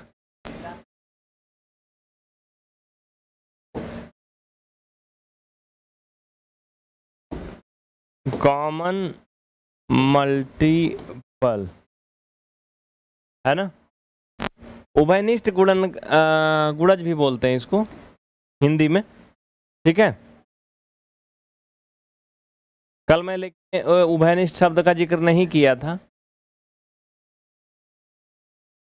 क्योंकि जो उभयनिष्ठ है, ये कॉमन की हिंदी होती है, जहाँ तक मुझे पता है, ठीक है? कॉमन क्या चीज़ होता है, कल बता चुका हूँ। जैसे अगर मैं एक छोटा सवाल करूँ इसमें, बहुत ही छोटा सवाल है। मुझे बताओ, संख्या पचास हुआ, पचपन में कॉमन मल्टीपल बताओ सभी जल्दी से। बहुत अच्छा बच्चा पार्टी, देखो बहुत अच्छा वेरी गुड बहुत से बच्चे जुड़े हैं कमेंट सबका दिख रहा है, बस थोड़ा सा तसल्ली रखे, मैं आगे बात करता हूँ, ठीक है? अभी सबका नाम लूँगा लास्ट में, अभी ओनली काम काम की बात, ठीक है? तो ये क्या है भैया? पचास और पचपन के बीच में कॉमन मल्टीपल आपको बताना है। आज पढ़ेंगे एल्फियम क्या पढ़ेंगे?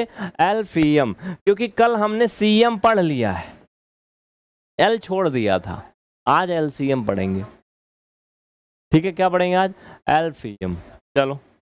सीएम और एलसीएम में क्या अंतर है भैया? आओ। क्वेश्चन नंबर पहला।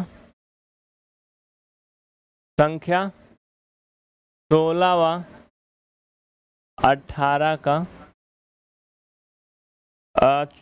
एल्फियम थोड़ा छोटी नंबर ले लो जिससे ये बात हम आपको समझा पाए अच्छे से। आ, कि ज़ीरो लेवल वाली बातें हैं ना यहाँ पे। संख्या छः व बारह कैल्शियम आओ। पहले इनका हम क्या करेंगे? फैक्टर करेंगे ओनली फैक्टर तो छः के क्या करेंगे? फैक्टर। याद रखें यहाँ पर ओनली फैक्टर करेंगे प्राइम फैक्टर नहीं, गुणनखंड करेंगे, ठीक है? हमें एलसीएम निकालना है लीस्ट कॉमन मल्टीपल छोटे से छोटा गुड़ज है ना? यही ना? मल्टीपल की बात हो रही है बट यहाँ तो अभी तक हमने क्या बताया था आपको? गुणन फैक्टर बताया था ना? यहाँ गुड़ज की बात हो रही छोटे से छोटा गुड़ज। तो मैं एक काम करता हूँ। सबसे पहले मैं आपको गुड़ज भी बता देता हूँ। तो आपने गुड़नखंड तो पढ़ ही लिया है, गुड़ज भी आपको पढ़ना ज़रूरी है है ना? तो चलो पहले गुड़ज भी इसी में बता देता हूँ, क्योंकि इसकी भी ज़रूरत पड़ेगी। जैसे फॉर एग्ज़ाम्पल एक देख लो, बताता हूँ। छ फिर बारह का अठारह छः चौक चौबीस छः पंचे तीस, वैसे ये बारह, चौबीस बारह तेईस छत्तीस बारह चौक अड़तालीस बारह पंचे साठ। ऐसे बढ़ता जाएगा आगे। ठीक है? इसका मैंने टेबल लिख दिया। एक मिनट।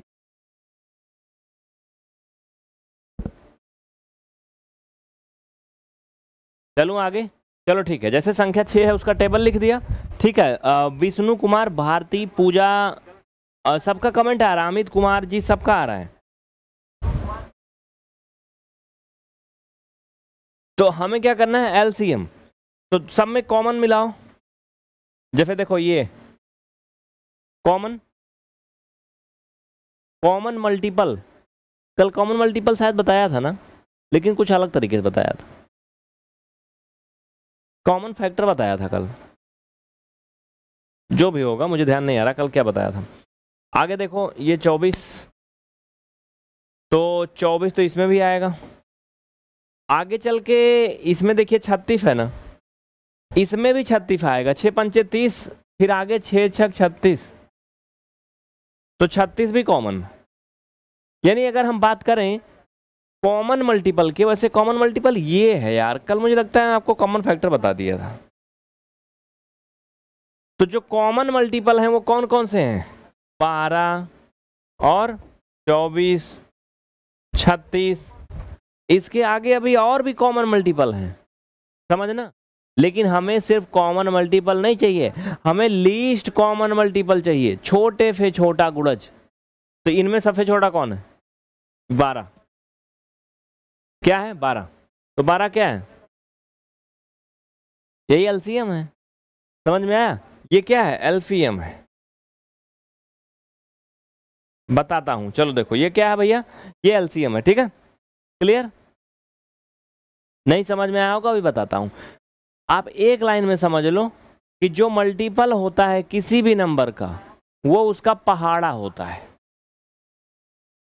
ठीक है, जैसे छह का मैंने मल्टीपल लिखा है तो छह कम छह दुना बारह, छह तरीक अठारह, छह चौबीस, ऐसे होता है। इसको थोड़ा सा और डिस्क्राइब करता हूँ। यहाँ पे देखना। जैसे मान लीजिए मैंने क्वेश्चन किया इसी से संबंध में। संख्या आठ का पांचवा गुड़ज। मतलब वही मल्टीपल बताओ। सभी बता लोगे ना। संख्या आठ का जो पांचवा गुड़ज है मतलब आठ में पाँच से गुड़ा करने पर प्राप्त होगा। बस यही सिंपल सी बात है। ठीक है? आओ देखो आगे कैसे। आठ का पचवा गुड़ज मतलब आठ में पाँच से गुड़ा करने पर मिलेगा यानी चालीस। ठीक है? अगर मैं बोलूँ, आठ का बारवा गुड़ज तो? बारह अठे छियानवे तो आठ का बारहवा गुड़ज क्या होगा? छियानवे होगा। ठीक है? अगर मैं बोलूँ कि भैया आठ का तीसरा गुड़ज तो चौबीस। किसी भी संख्या के अनंत गुड़ज हो सकते हैं मल्टीपल इन्फिनिट हो सकते हैं। मुझे इसको पहले आपको विस्तार से पढ़ाना पड़ेगा, तब एलसीएम एचसीएफ में जाएँगे, तब आपको क्लियर होगा, बढ़िया समझ में आएगा। एक चीज़ और खासियत है, जो गुणज है किसी भी संख्या का, वो उससे छोटा ही क्या? छोटा नहीं होगा। वो या तो उसके बराबर होगा या उससे बड़ा होगा, ये विशेषता है। लेकिन गुणनखंड में उसके बराबर हो सकता है अधिकतम, नहीं तो उससे छोटा ही होगा। दोनों का अंतर जो मैं आपको बताऊँगा, तभी आपको बहुत अच्छा से बेहतर समझ में आएगा। चलो, पहले एक एक पॉइंट क्लियर करते हैं। आज पहले गुड़ज बहुत अच्छे से बता देता हूँ, ठीक है? तो जैसे देखो, आठ का पहला गुड़ज क्या होगा? आठ का पहला गुड़ज मतलब आठ को एक से गुड़ा करें तो आठ। अच्छा आठ का दूसरा गुड़ज बताओ, चलो। बताओ। चेतना तिवारी, बहुत अच्छा। पीयूष वेरी गुड ठीक है। कोई डाउट चलें आगे। बहुत अच्छा। आओ देखो आगे। आठ का पहला गुणज कितना? आठ। आठ का तीसरा गुणज? बहुत अच्छा। वेरी गुड तीसरा गुणज तीन से गुड़ा करोगे। दूसरा गुणज तो दो से करोगे। बस खत्म। आगे बढ़ू? कोई डाउट ना किसी को? ठीक है बढ़िया। मनी पांडे वेरी गुड ठीक है। आ, एक मिनट रुकना।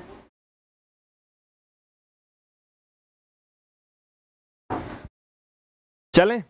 ये हो गया सभी समझ गए गुड़ज समझ गए ना। अगर गुड़ज समझ गए तो फिर एलसीएम समझ गए। क्योंकि लीस्ट कॉमन मल्टीपल जो है वो इसी से संबंधित होता है। आइए। अगला देखो यहाँ पे समझो। आगे मैं क्या बता रहा था? संख्या 28 का तीसरा गुणज, जल्दी बताओ। तीसरा गुणज बताओ।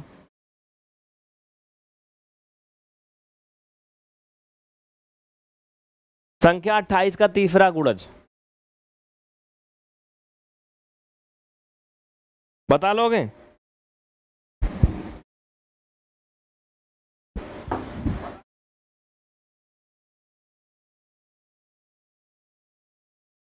ठीक है, बहुत अच्छा। वेरी गुड ठीक है ठीक है ठीक है। देखिए, तीसरा गुणज क्या होगा? 28 को तीन से गुणा कर दे। तीन अठे चौबीस, तीन दूना छह दो आठ। एटी फोर ना? ये बताओ, सबको पता है ना गुणज? अच्छा अट्ठाईस का सबसे बड़ा गुणज क्या होगा?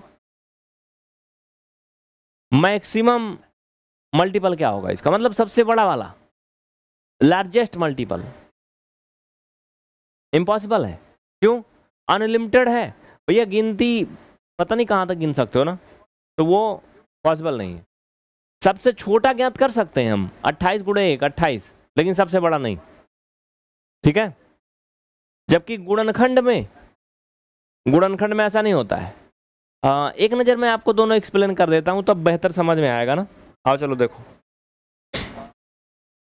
क्योंकि ये दोनों भाई भाई हैं। इन दोनों को साथ में समझना ज़रूरी है। गुणज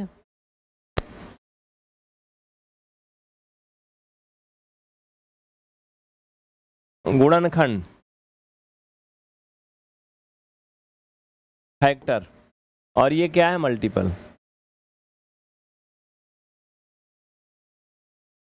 इनके अलग अलग नाम होते हैं, जैसे गुड़ज है ना, वैसे इसको अपवर्त भी बोलते हैं। क्या बोलते हैं? अपवर्त भी बोलते हैं, इसको गुणनखंड को विभाजक भी बोलते हैं, और एक और नाम से बोलते हैं यार, अपवर्तक भी बोलते हैं। ठीक है तो याद रखना नाम। चलो। तो पहले इनकी विशेषता आप समझ लो, मैं बताता चलूँगा पॉइंट बाय पॉइंट। जैसे संख्या बारह है तो इसके जो गुणज होंगे, वो बारह, चौबीस, छत्तीस, अड़तालीस, ऐसे डाट डाट डाट डाट अनंत तक होंगे। नोट कर लेना मेरी बातों को, सुन लेना, क्योंकि सब कुछ यहाँ लिख नहीं पा रहा हूँ मैं। पहली विशेषता है कि किसी भी संख्या का जो गुणज है, वो उस संख्या से कभी छोटा नहीं हो सकता। उस संख्या के बराबर होगा या उससे बड़ा होगा। ठीक है? किसी भी संख्या का गुणज उस संख्या से कभी छोटा नहीं होता है, वो या तो उसके बराबर होता है या उससे बड़ा होता है। गुणनखंड में क्या होता है? जैसे संख्या बारह थी, गुणनखंड में क्या भैया? वन टू इनके फैक्टर हैं, ठीक है? तीन, चार छ और बारह। यानी किसी भी संख्या का जो फैक्टर है, अधिकतम वो उस संख्या के बराबर हो सकता है। कभी भी उस संख्या से बड़ा नहीं हो सकता है। जैसे बताया था ना, बेटा की कभी उम्र बाप से ज़्यादा नहीं हो सकती, बस वास्तव में रियल बेटा होना चाहिए। समझ रहे हो ना? तो जो गुणनखंड है, ये कभी भी उस संख्या से बड़ा नहीं होगा, उसके बराबर होगा अधिकतम बस। और हाँ अगला। गुणनखंड की संख्या निश्चित होती है। किसी भी संख्या के जो फैक्टर होते हैं, अपवर्तक होते हैं, यानी गुणनखंड होते हैं, विभाजक होते हैं, सब एक नाम है। उनकी संख्या लिमिटेड होती है, उन्हें हम प्राप्त कर सकते हैं कि इनकी कुल कितनी संख्या है। समझ रहे हो ना? ठीक है? पीयूष बेटा, तुम पढ़ नहीं रहे हो। हमारे पास एक है ऑप्शन है, तुमको ब्लॉक कर दें। और तुम्हारे जैसे नालायकों को मैं नाम नहीं बोलता हूँ कभी। मैं ब्लॉक करता हूँ डायरेक्ट ठीक है? तुम्हें लगता है कि मैं इधर उधर करूँगा तो नाम बोलूँगा, नाम नहीं बोलता हूँ। चलो, तुम्हें 24 घंटे के लिए डाउन कर दिया है। आगे बढ़े। तो ये हो गया क्लियर सभी को समझ में आया? गुड़नखंड और गुड़ज में एक अंतर समझ में आया?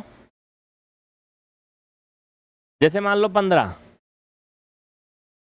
अब इसकी अगर हम मल्टीपल की बात करें, यानी गुड़ज की तो इसका सबसे छोटा जो गुड़ज होगा, वो क्या होगा? पंद्रह। उससे बड़ा, दूसरा गुड़ज तीस। तीसरा पैंतालीस। ऐसे डाट डाट डाट अनंत तक होगा, इसकी कोई लिमिट नहीं है।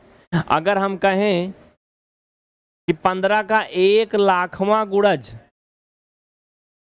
तो पंद्रह का एक लाखवा गुड़ज भी हो सकता है। कितना? पंद्रह लाख। समझ में आया? लेकिन इसके जो मल्टीपल हैं भैया, ओ सॉरी फैक्टर यानी अपवर्तक, विभाजक, वो लिमिटेड होते हैं। तो पंद्रह के जो अपवर्तक हैं, वो क्या क्या होंगे? एक, तीन, पाँच और पंद्रह। यानी इसके जो अपवर्तक हैं, कुल चार ही हैं, पांचवा नहीं जन्म ले सकता। लेकिन विभाज, वो गुड़ज जो है, वो अनलिमिटेड हैं। कितने हैं? अनंत हैं, ठीक है? समझ में आया? क्लियर सभी को? तो आप गुणनखंड और गुड़ज समझ गए? पक्का? ठीक है। तो इस तरीके से एक एक पॉइंट छोटा छोटा थोड़े थोड़े टॉपिक आप समझते चलें। ठीक है? क्वेश्चन है आपके लिए, सभी के लिए, होमवर्क है। क्या है? देखो क्या क्या करना है इसमें। प्रथम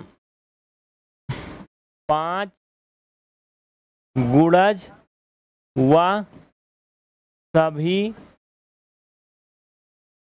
गुणनखंड ज्ञात करना है, ठीक है?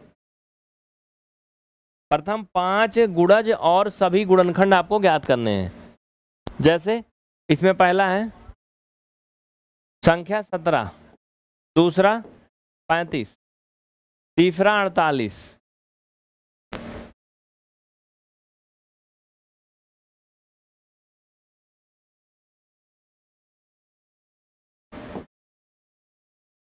अभी हट जाता हूँ।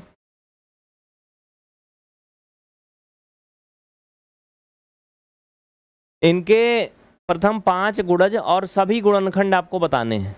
ठीक है, कर लोगे कि नहीं? कुछ ज़्यादा बड़ा हो गया क्या नंबर? जो ज़्यादा बड़ा थोड़ा छोटा कर लेना। बता लोगे ना? कोई डाउट है तो कमेंट करना। तो ये क्लास का टाइम ओवर होता है। थैंक यू छोटी छोटी क्लासें चलती हैं। अगर आप बड़ी क्लास चाहते हो तो क्लास को लाइक करके शेयर करो और कमेंट करके बताओ फटाफट कि आप कितने देर की क्लास चाहते हो। ठीक है? और हाँ आज का यक्ष प्रश्न तो भूल ही रहा था। इनाम वाला सवाल तो आज भूल ही रहा था। आज का सवाल क्या था?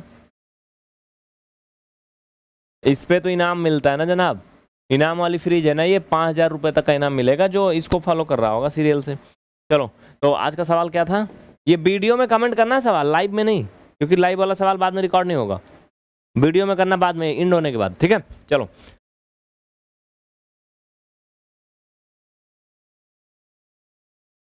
संख्या 120 का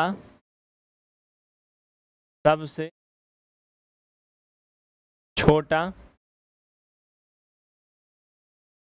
अपवर्तक यानी फैक्टर ये आपको बताना है, ठीक है? आज गुणनखंड विधि से आप एलसीएम करेंगे, ठीक है? थोड़ा सा मैं पिछली क्लास में कोशिश किया था, लेकिन कुछ चीज़ें छूट गई थी तो उनके चक्कर में ये नहीं हो पाया था। चलिए, पहला सवाल है। आठ व दस का एलसीएम। तो मैं दोनों तरीके बताऊँगा, आज एलसीएम क्लियर हो जाएगा। जैसे एलसीएम को मैंने बताया था, इसका मतलब क्या होता है, लीस्ट कॉमन मल्टीपल ना।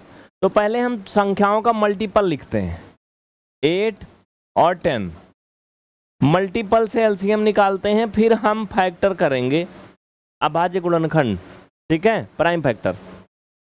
तो इसका मल्टीपल एट का क्या होगा? पहला एट होगा, दूसरा सिक्सटीन होगा, तीसरा ट्वेंटी फोर होगा, फिर थर्टी टू होगा। ऐसे इसके मल्टीपल होंगे डाट डाट डाट अनंत तक। टेन का मल्टीपल टेन होगा ट्वेंटी होगा।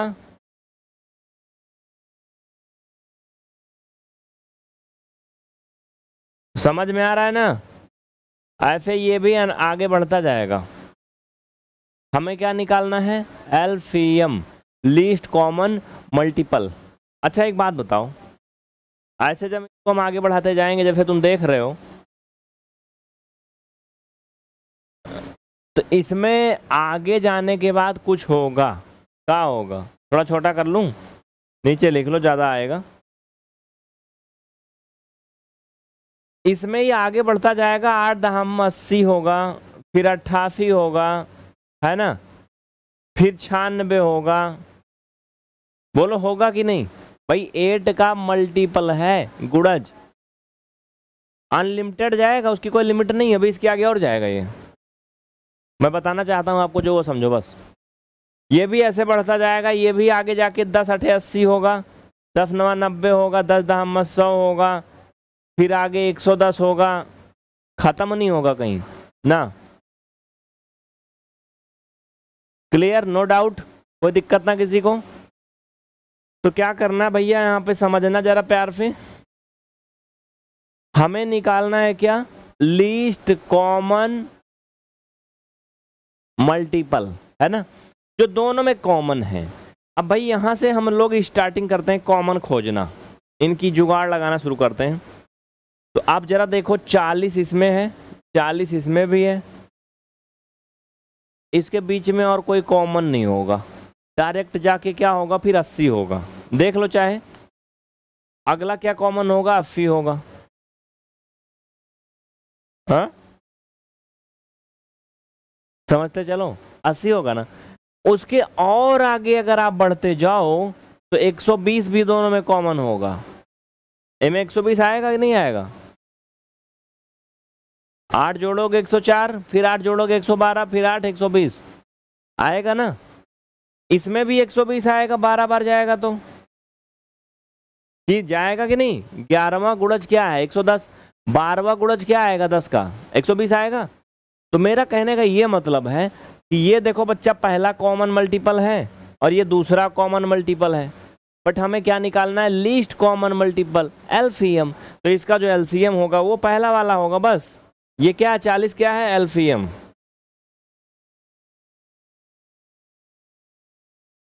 यहाँ कोई दिमाग नहीं लगाना, समझ में आया ना? लेकिन ये थोड़ी बड़ी गिनती थी। हो सकता है लोगों को थोड़ा भ्रम हुआ हो। थोड़ी और छोटी गिनती पे आगे चलते हैं। है ना?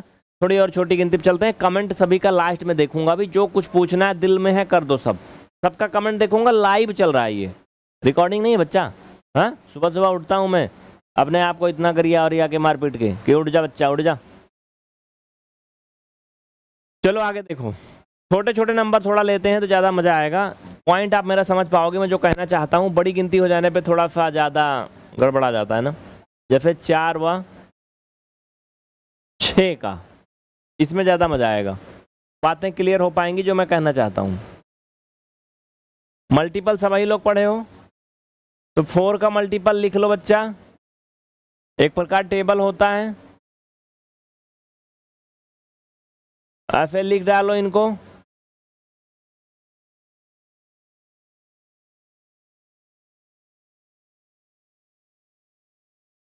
एफ़ इनको लिख डालो। हमें क्या निकालना है? कॉमन मल्टीपल हम एलसीएम निकाल रहे हैं, लेकिन आपको कॉमन मल्टीपल मेथड से बता रहे हैं अभी। मतलब मल्टीपल मेथड से एक प्रकार से। अभी फैक्टर मेथड नहीं बताया। गुड़नखंड वाला नहीं। चलो। तो पहले कॉमन खोजो दोनों में। बारह। फिर कॉमन आगे क्या? चौबीस। फिर आगे क्या कॉमन होगा? अड़तालीस होगा। कि नहीं? कहेंगे दो यूनिट तो दिखाते हो। आगे अड़तालीस होगा बच्चा। ए में ना, ये छठा गुड़ज है चौबीस। सतवां गुड़ज क्या होगा? अट्ठाईस।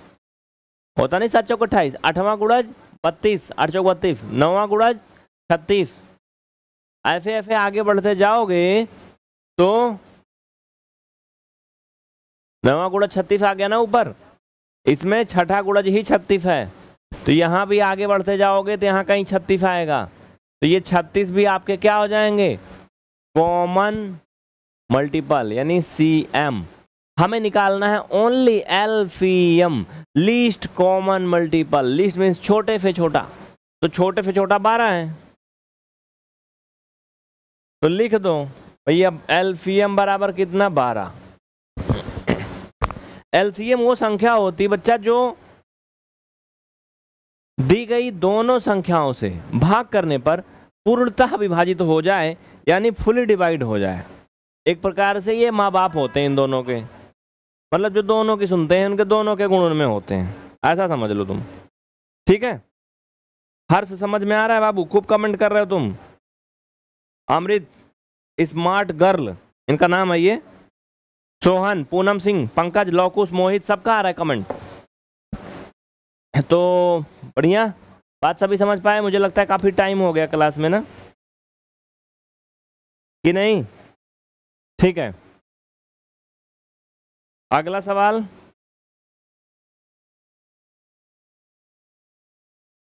क्वेश्चन नंबर तीसरा, बहुत ही छोटे छोटे पॉइंट होंगे छोटी छोटी क्लासें होंगी, आप मतलब की बात समझो बस। संख्या, चल भाई, सात व पाँच का एल्फियम समझते चलना अच्छे ठीक है? अभाज्य गुणनखंड विधि से, ठीक है? अभाज्य गुणनखंड नहीं, अभी अभी तो मल्टीपल मेथड सात का मल्टीपल लिख दो, फिर पाँच का लिख लो। छोटा छोटा लिखना जिससे आ जाए। सात दूना चौदह सात त्रिक इक्कीस, सात चौक अट्ठाईस, ऐसे सात पचे पैंतीस, फिर आगे बढ़ते जाएँगे, सात धाम सत्तर। ग्यारहवा मल्टीपल बारहवा, बारह सौ चौरासी, फिर ऐसे आगे जाएगा।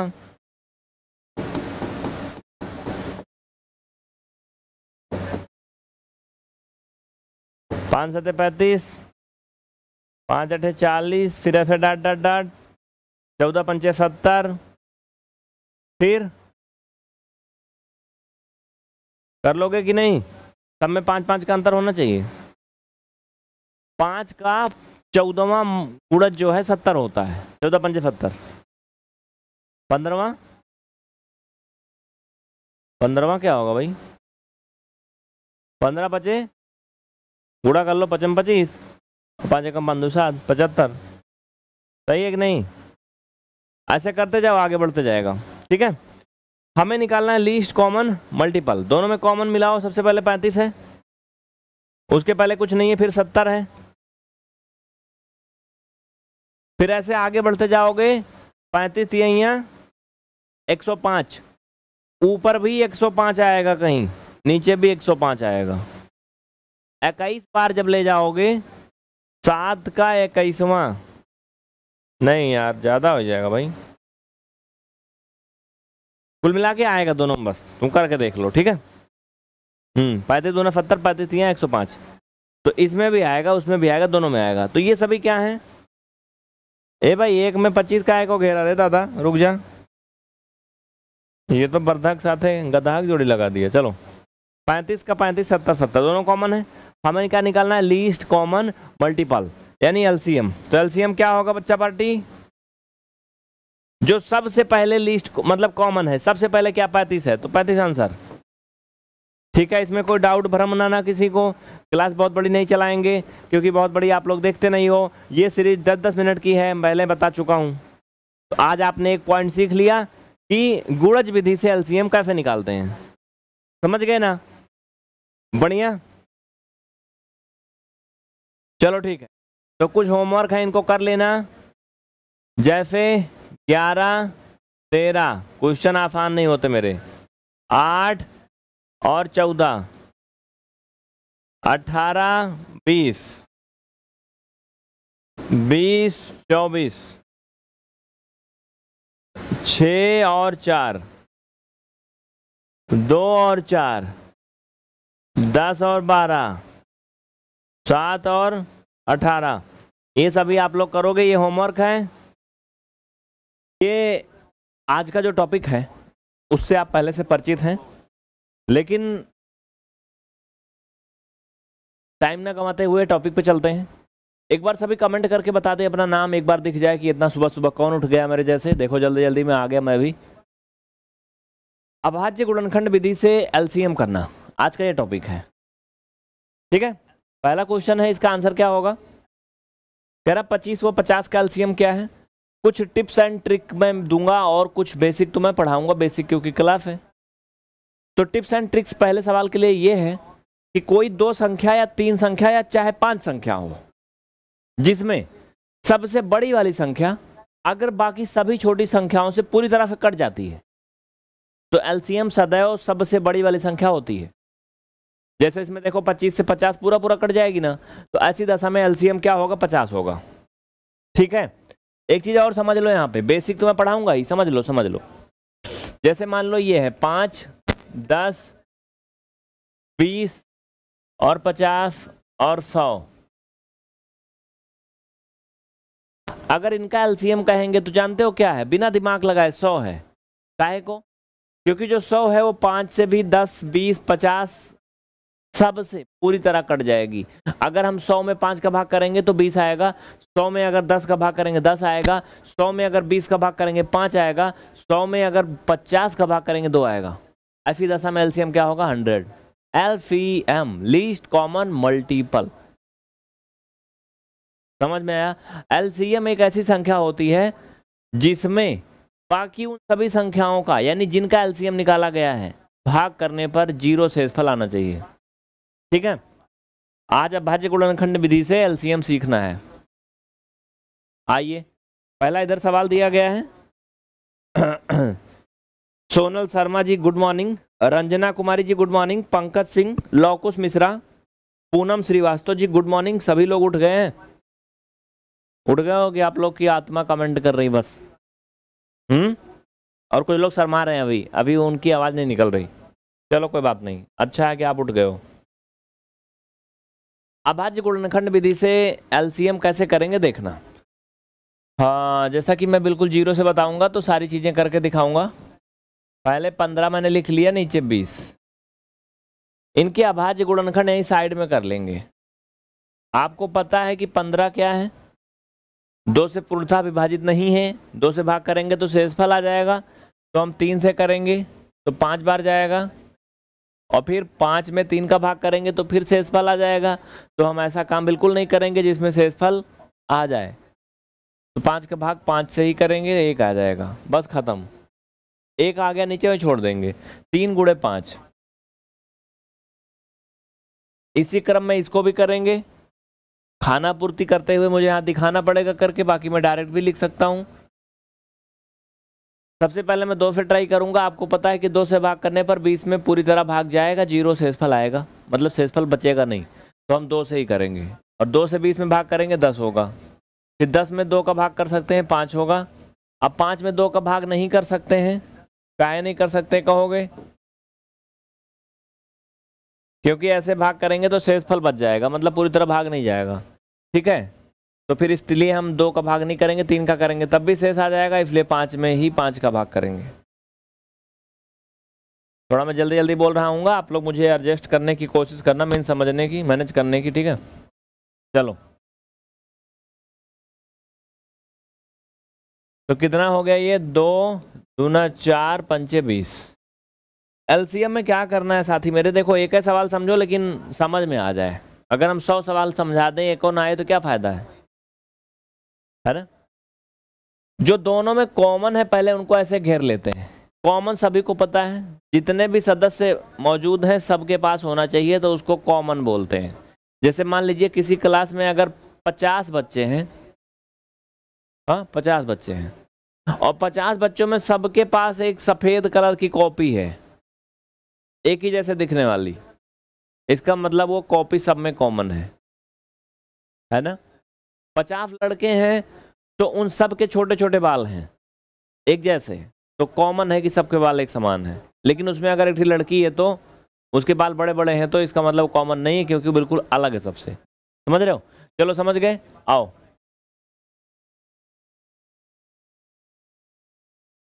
अब एलसी क्या करते हैं, जो दोनों में कॉमन है, पहले वो गिनती लिखते हैं, फिर गुड़ा का चिन्ह लगाते हैं। फिर बाकी बची हुई जितनी भी गिनती जो कॉमन नहीं थी, कहीं उनको भी लिख लेते हैं। जैसे ऊपर तीन, नीचे बचा था दो और दो। सबका गुड़ा कर लेंगे। पाँच तिहाई पंद्रह, दूना तीस और तीस दूना साठ। यानी इनका एलसीएम क्या हो गया? साठ। एलसीएम सही है कि नहीं सही है, ये चेक करने के लिए जो भी एलसीएम आया है, उसमें दी गई दोनों संख्याओं से या तीन, चार, पाँच, जितनी भी संख्या है जिनका भी एलसीएम निकाला गया था, उनसे भाग करेंगे। अगर भाग करने पर शेषफल ज़ीरो आ जाए, इसका मतलब एलसीएम सही है। अगर ज़ीरो नहीं आ रहा मतलब एलसीएम गलत है। ठीक है, क्लियर? चलो, बस हो गया पहला। यही तरीका था। यह अभाज्य गुणनखंड विधि से एलसीएम। क्योंकि मैं ज़ीरो से पढ़ाता हूँ तो सो मैं इसको बहुत अच्छे से एकदम बिल्कुल शून्य से स्टार्ट कर रहा हूँ और इसको एक्सप्लेन भी कर रहा हूँ, ठीक है? ये सवाल है। पैरा संख्या साठ व अस्सी का एलसीएम करिए।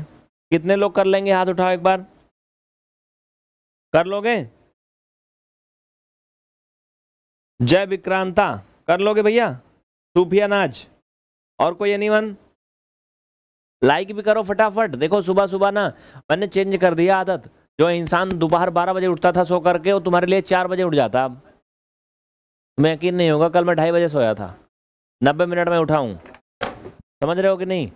एक चीज़ और जान लो, यहाँ पे एक मोटिवेशन मिलता है। क्या पता है? ज़रूरी बात। लोग बहुत परेशान रहते हैं, सुबह उठ नहीं पाते हैं, क्योंकि रात में नींद आती नहीं है, सुबह नींद खुलती नहीं। सबसे आसान तरीका है। तुम उठने का टाइम सेट कर लो, बाकी टाइम अपने आप सेट हो जाएगा। तुम्हें चार बजे उठना है तो उठना है। अगर हम तीन बजे सोए फिर वो चार बजे उठना है। और फिर अगर तुम चार बजे उठ गए ना, एक घंटा सोए हो ना, अगले दिन शिकायत नहीं रहेगी, नींद नहीं आती है। निंदिया छः बजे से आग खड़ी रहेगी चपकती रहेगी। और फिर सो जाओगे नौ बजे, दस बजे या ग्यारह बजे, जब भी तुम चाहोगे तब सो जाओगे। और फिर अगले दिन तो आराम से उठ जाओगे चार बजे। तो एक दिन की कुर्बानी दो ऐसे, समझ रहे हो? बस। ये शिकायत लोगों की रहती है, सर, रात में नींद आती नहीं, सुबह नींद खुलती नहीं। आएगी, दौड़ के आएगी, शाम से ही आके बैठी रहेगी आपके दरवाजे पे। बस तुम एक दिन सो ना।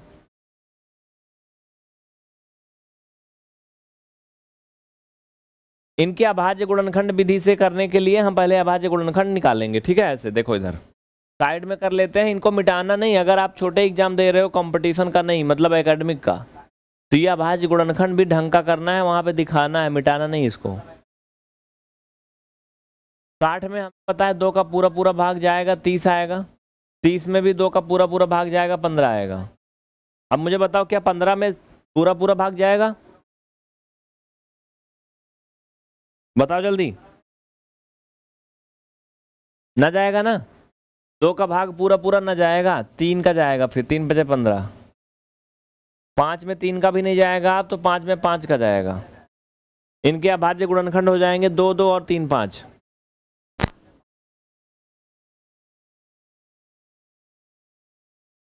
क्लियर नो डाउट किसी को। चल भैया, अगला वाला पकड़ो, उसको भी कर डालो। दो से भाग करोगे, चालीस आएगा। फिर दो से करेंगे, बीस आएगा। फिर दो से करेंगे, दस आएगा। पाँच आएगा, फिर पाँच का भाग एक बार।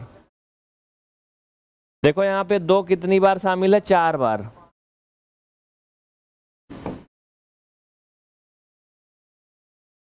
हो गया, लिख दिया। चलो, इनको एडजस्ट कर लेते हैं कहीं साइड में सिस्टम से कर देते हैं जिससे जगह हो जाए यहाँ पर। ये है अभाज्य गुणनखंड। क्या है ये? ये प्राइम फैक्टर हैं जो निकाले गए हैं। पहले जो सब में कॉमन है, उनको ले लो, जैसे पाँच हो गया। और कौन कॉमन है? दो हो गया। तीन गिनतियाँ कॉमन है, जो कॉमन है, यहाँ पे लिख लो। दो दो बार कॉमन है, एक पाँच कॉमन है। अब जो कॉमन नहीं है, उनको भी उधार लेते हैं एक तरफ़ से। तो ऊपर देखो, तीन बचा था, नीचे टू टाइम टू बचा था। सबका गुणा कर लो, बात खत्म। कर लो बाबू, दो दूना चार, पंचे बीस, तिहाई साठ। दूना एक सौ बीस, दूना दो सौ चालीस। बस हो गया खत्म, छाप लो फटाफट, चलो। लिख लो जल्दी से। सबको समझ में आ रहा है? देखो, जो इस टाइम देख रहा होगा क्लास ना मैथ में मास्टर बनना गारंटी है उसकी। क्योंकि सुबह सुबह कहते हैं ना, ब्रह्म मुहूर्त का टाइम होता है और इस समय की गई साधना कभी व्यर्थ नहीं जाती है। जब ये क्लास चल रही है तो पाँच बजे ये डेली चलती है, मैंने प्रण किया, चाहे पाँच लोग ही क्यों ना देखें। पाँच लाख में अगर पाँच लोग भी देखेंगे, तब भी मैं पढ़ाऊँगा सुबह ही। बाद में तो देखोगे ना। चलो। कमेंट करके बताना कि ये क्लास आप कितना बजे देख रहे हो। इसका एलसीएम बताओ भाई, ये थोड़ा सा डिस्टर्ब हो गया है। अभाज्य गुणनखंड विधि से एलसीएम। कितने लोग कर लेंगे? एक बार कमेंट ही कर दो जल्दी से। चलो।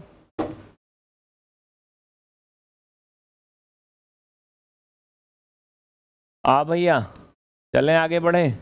चलो इनको यहाँ ले आओ साइड में, क्योंकि यहाँ ऐसे तरीका यही है करने का अच्छा वाला। सबसे पहले दी गई संख्याएँ लिखेंगे। इनका अभाज्य गुणनखंड करेंगे। अभाज्य गुणनखंड इनके सामने करना चाहिए, वो अभी तक मैं जो कर रहा था थोड़ा कम सही था। अभाज्य गुणनखंड करना पिछली क्लास में बता चुका हूँ, ये मत कहना कि ये कैसे करते हैं। अगर आपने सारी क्लासेस सिस्टम से नहीं देखा तो नहीं समझ में आएगा। शुरू की क्लासों में ये बताया हूँ कि अभाज्य गुणनखंड कैसे करते हैं। हाँ भैया ना? बताया ही ना हो। या देखा पाँच यहाँ चला गया। ये इनके मौसिक हिस्सा रहा अंजनिया भाग का लो। अब फिर क्या करेंगे? 125 का करेंगे तो पाँच पाँच और पाँच आएगा। आ, मैं बिना यहाँ दिखाए भी कर सकता हूँ क्योंकि उतना एक्सपीरियंस हो चुका है। ऐसे क्योंकि ये दो से डिवाइड होगा नहीं तीन से भी नहीं होगा। डायरेक्ट पाँच से ही होता है।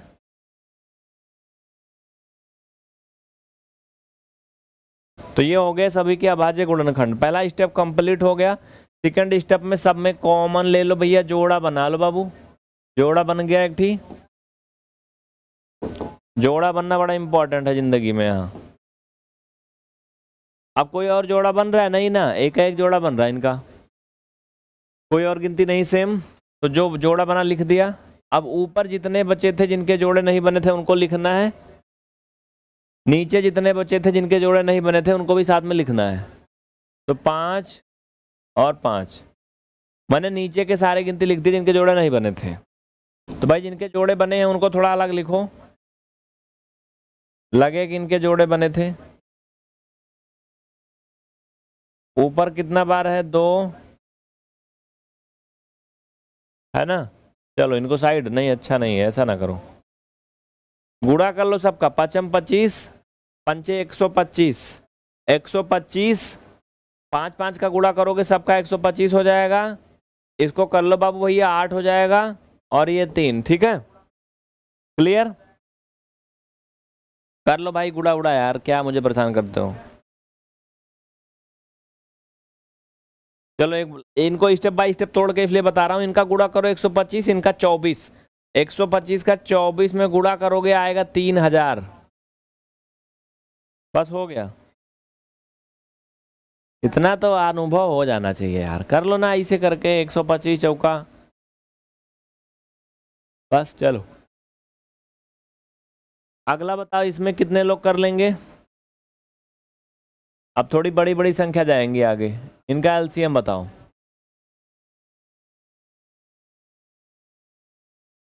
बताओ भाई, जल्दी से फटाफट। कितने कर लेंगे? अच्छा इस समय बच्चे पढ़ने वाले होते हैं कमेंट वमेंट नहीं करते ज़्यादा। जाग रहे हो ना? बोलते जाओ, नहीं, मुझे लगता है सो गए हो तुम। क्योंकि सुबह सुबह ज़बरदस्ती उठ तो भले जाते हो, लेकिन उंगाते रहते हो।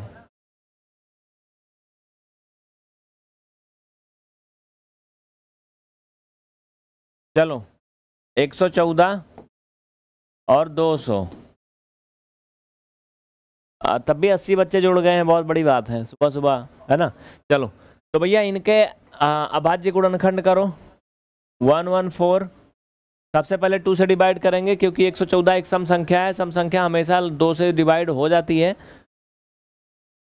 तो दो पंचे दस, दो सत चौदह। अच्छा ये बताओ 57 किससे डिवाइड होगा?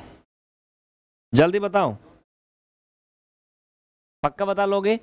देखो, जिनको टेबल आता है वो बता लेंगे। उन्नीस तिया सत्तावन होता है।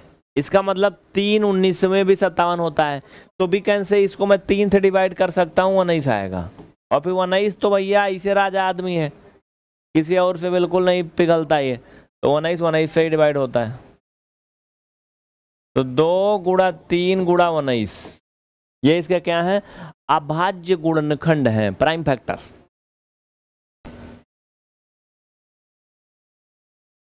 दो सौ को ले लो, इसके भी अभाज्य गुणनखंड कर लो ऐसे भैया। ऐसे दो से भाग करोगे सौ आएगा, फिर दो से करोगे पचास आएगा। फिर दो से करोगे पच्चीस आएगा। बाकी तुम जनवय करते हो, अभाज्य गुणनखंड बता चुका हूँ, आठ नौ क्लास में शायद।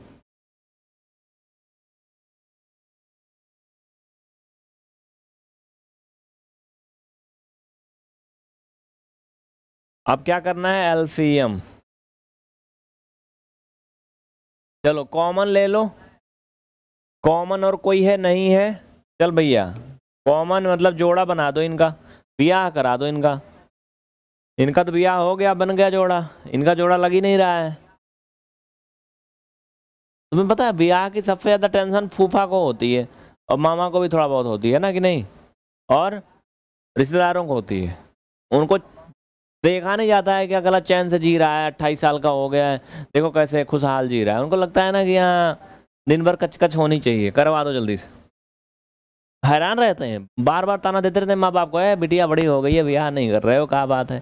बेटे, शादी करने लायक हो गया भाई, बड़ा हो जाएगा, ब्याह नहीं होगा। अरे, नहीं होगा तो कौन दुनिया हार जाएँगे? वैसे भी हम विश्व में जनसंख्या में सबसे आगे हो चुके हैं तो क्या ही दिक्कत है? चलो देखो आगे। इनका जोड़ा बनाओ भाई, किसी का नहीं बन रहा है। ऊपर क्या बचा है फिर? तीन, उन्नीस। नीचे क्या क्या बचा है? लिख लो सबको। एक, दो। लिख दिया? पाँच और पाँच। गुड़ा कर लो भैया सबका, फटाफट चलो। क्या क्या बच रहा है? कर लो पहले दो दो का। दो, दूना चार, दूना आठ। त्रिक चौबीस। ठीक है छोटा छोटा अलग अलग कर लो। पहले दो दो का करेंगे, फिर तीन का। तो दो, तिहाई छः दूना बारह, दूना चौबीस। पहले मैंने दो दो का कर लिया और तीन का भी कर लिया।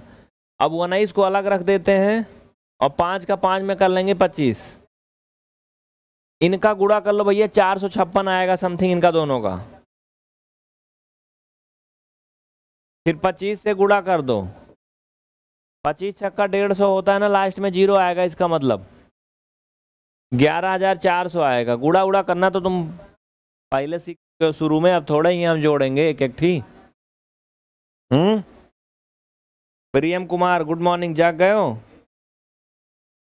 कह रहे हैं योर इंग्लिश इज़ इम्प्रेसिव हम इंग्लिश बोलते हैं ना तो कहाँ इंग्लिश इम्प्रेसिव लागत है हाँ?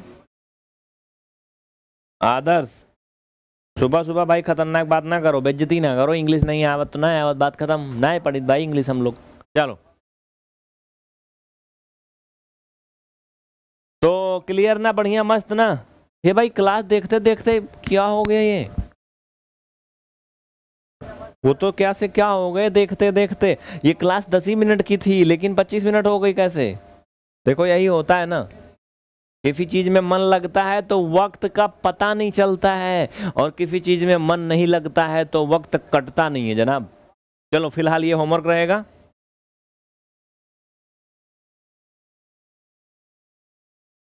टॉपिक क्या है? एल्फियम भाग विधि।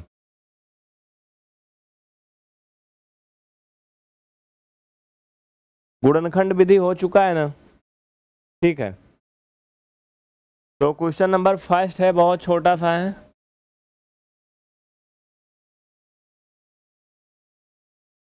छ व दस का एलसीएम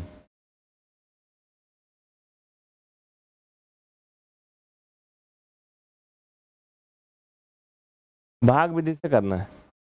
गुणनखंड विधि आप सभी जान चुके हो। देखो, बहुत ही सिंपल सिंपल सी चीज़ें होंगी क्योंकि ज़ीरो से सिखाया जा रहा है तो बहुत हाई फाई कुछ नहीं होगा। इसमें क्या करते हैं साथी मेरे? सबसे पहले ऐसे खींचते हैं जैसे आप फैक्टर करते हो और दोनों नंबर्स को लिख देते हैं जिनका हमें एलसीएम फाइंड करना है कॉमा लगा लगा के। अब एक ऐसा नंबर चूज़ करेंगे जिससे दोनों डिवाइड हो जाए, फुली डिवाइड हो जाए। सबसे पहले यही तरीका है।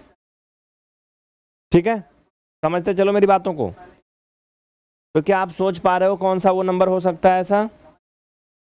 परवीन कुमार। हाँ बहुत अच्छा। सीमा कुमारी, ठीक है? आदित्य। करेक्ट। सबसे छोटा नंबर और दोनों में कॉमन हो जाए तो दो है। दो तिहाई छः दो पंचे, दस।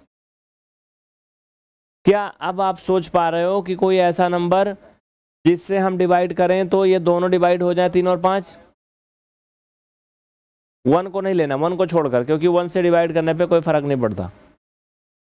नहीं है, वन को छोड़कर कोई नंबर नहीं है जिससे इन दोनों डिवाइड हो जाए। तो इन दोनों को अलग अलग फिर करते हैं जो छोटा है उससे। तो तीन को तीन से भाग करेंगे, एक आएगा पाँच में भाग करेंगे तो शेष फल बच जाएगा, इसलिए हम पाँच को नहीं छेड़ेंगे, इसको ऐसे उतार देंगे। अगली लाइन फिर पाँच के लिए कर लेंगे, वन को ऐसे उतार देंगे, पाँच में पाँच, एक आएगा, बस हो गया, खत्म। नीचे लिखेंगे एलसीएम इक्वल, जितना बार डिवाइड हुआ है, two, three, five. Two, three जा, सिक्स, फाइव जा, थर्टी, यानी दो तिहाई छः पंचे तीस। ये था एल्फियम और कौन सा विधि? भाग विधि। फटाफट लिख लो। कोई डाउट किसी को? नहीं ना। कोई डाउट तो बता दो मुझे। परवीन आया समझ में? पक्का? चलो। भैया आगे बढ़ूं। कर लेंगे ऐसी चीज़ें ना, बहुत छोटी छोटी सी हैं, ये सब कुछ हाई फाई तो है नहीं, बहुत बड़ा।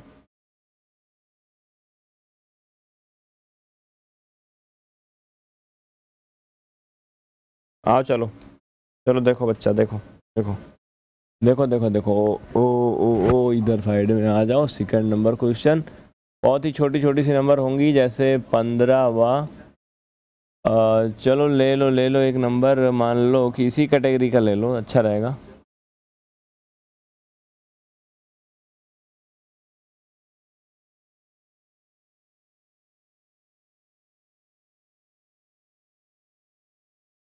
कितने लोग कर लेंगे इसको?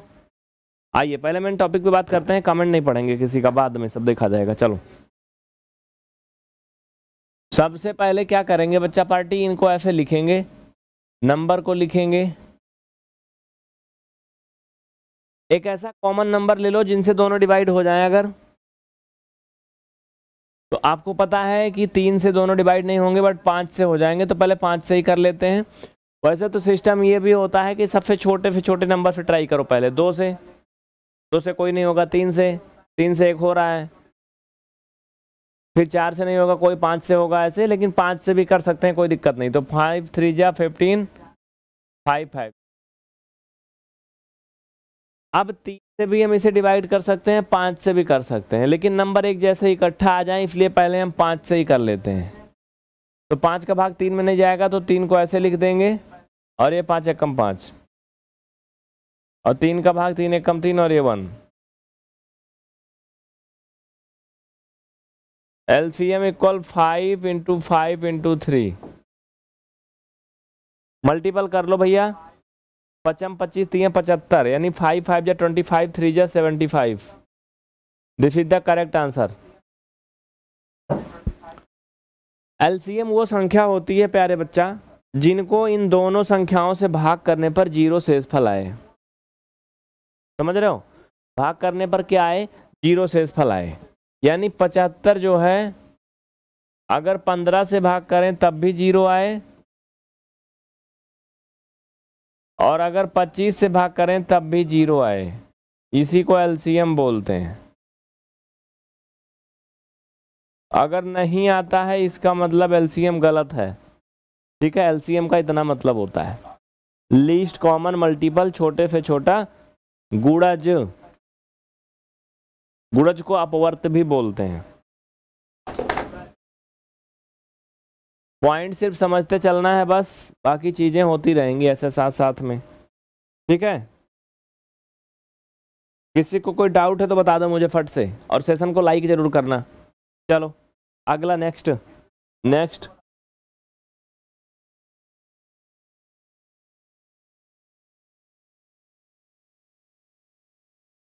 अट्ठाईस व अड़तालीस का।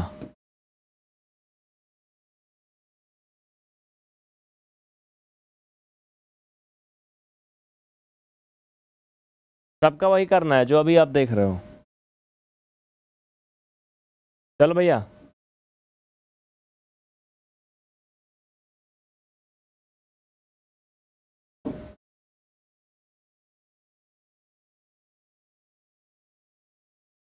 सबका एलसीएम करना है, भाग विधि।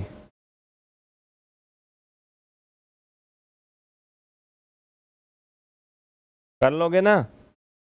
बताओ। सिर्फ़ तरीका सीखो बस।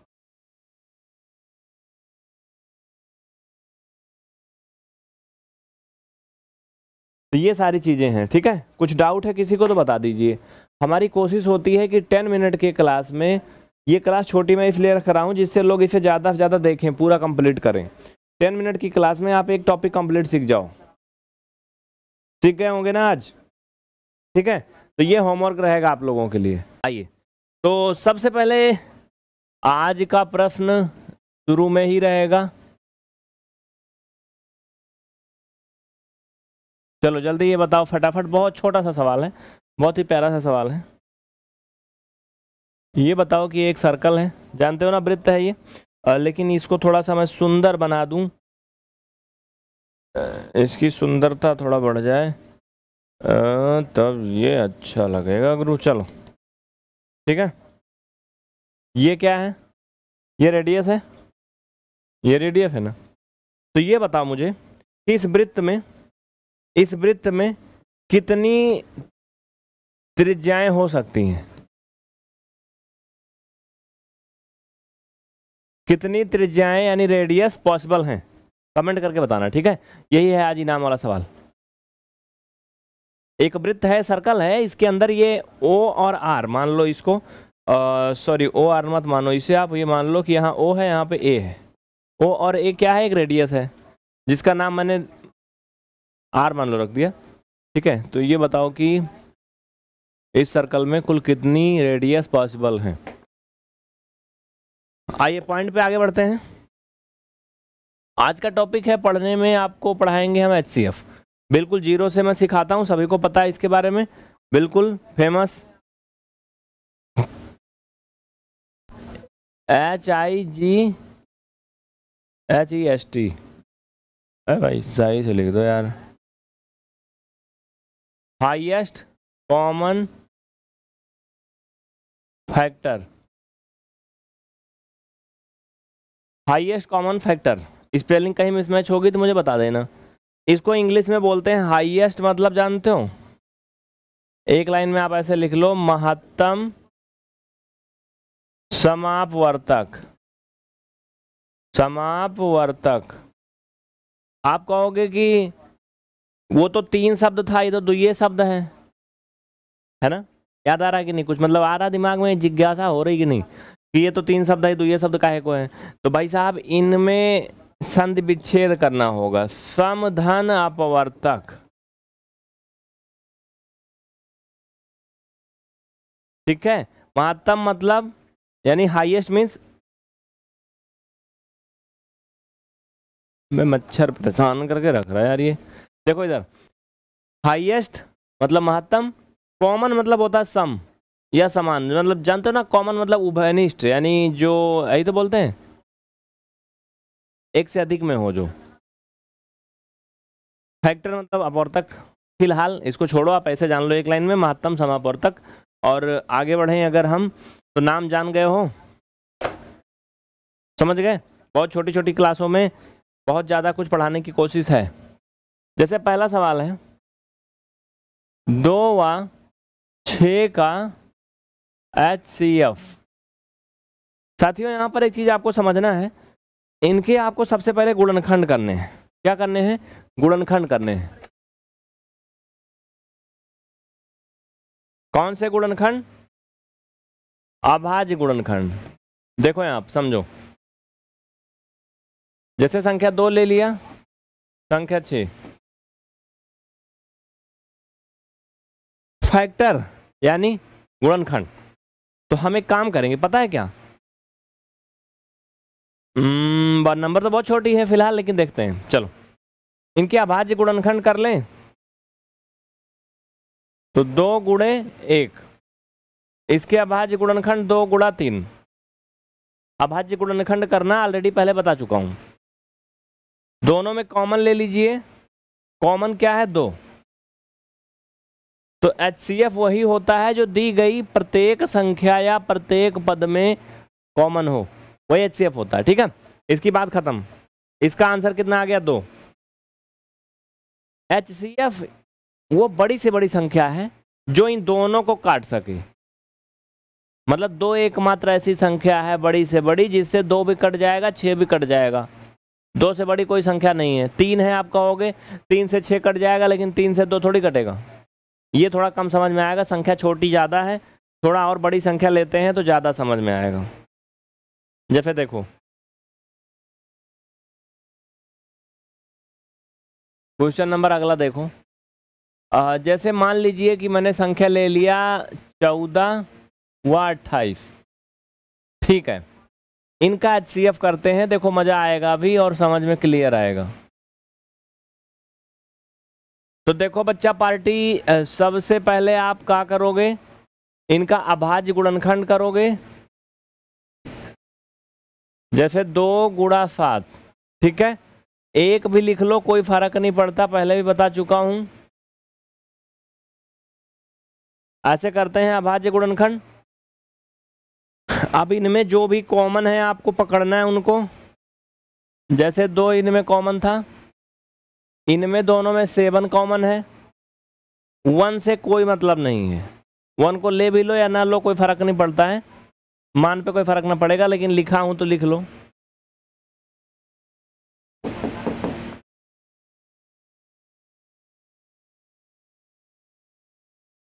जो जो कॉमन था मैंने लिख लिया।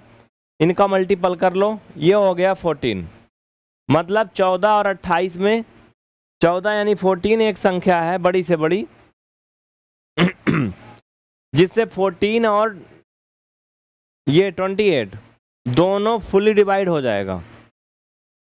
आप कहोगे कि भैया ये तो दो से भी हो जाएगा। हाँ हो जाएगा, बताता हूँ, देखो। ये चौदह और अट्ठाईस जो है, दो से भी डिवाइड हो जाएँगे बात सही है। लेकिन लेकिन क्या है? देखो, दो से डिवाइड हो जाएगा, दो से चौदह है चौदह आएगा। दो से डिवाइड तो हो जाएगा, लेकिन दो के बाद भी एक ऐसी संख्या है। कौन सी? सात है। सात से भी डिवाइड हो जाएगा, चौदह और अट्ठाईस। सात से डिवाइड करोगे तो सात दूना चौदह और सात चौक अट्ठाईस। लेकिन ये चौदह और अट्ठाईस, चौदह से भी डिवाइड हो जाएगा तो चौदह एक कम चौदह चौदह दूना अट्ठाईस। यहाँ पर ये दोनों संख्याएँ क्रमशः तीन संख्याओं से फुल डिवाइड हैं। किससे किससे? पहली कंडीशन में ये दो से डिवाइड है, दूसरे में सात से हैं, तीसरे में चौदह से हैं। आपने क्या देखा, सबसे बड़ी संख्या कौन सी है? फोर्टीन। यानी महत्तम यही है, अधिकतम। कहते ना, महत्तम समापवर्तक हाईएस्ट कॉमन फैक्टर मींस इन दोनों संख्याओं की 14 एंड 28 की ये सब फैक्टर हैं, लेकिन बड़की वाली कौन सी है? सबसे बड़की तो सबसे बड़की 14 है।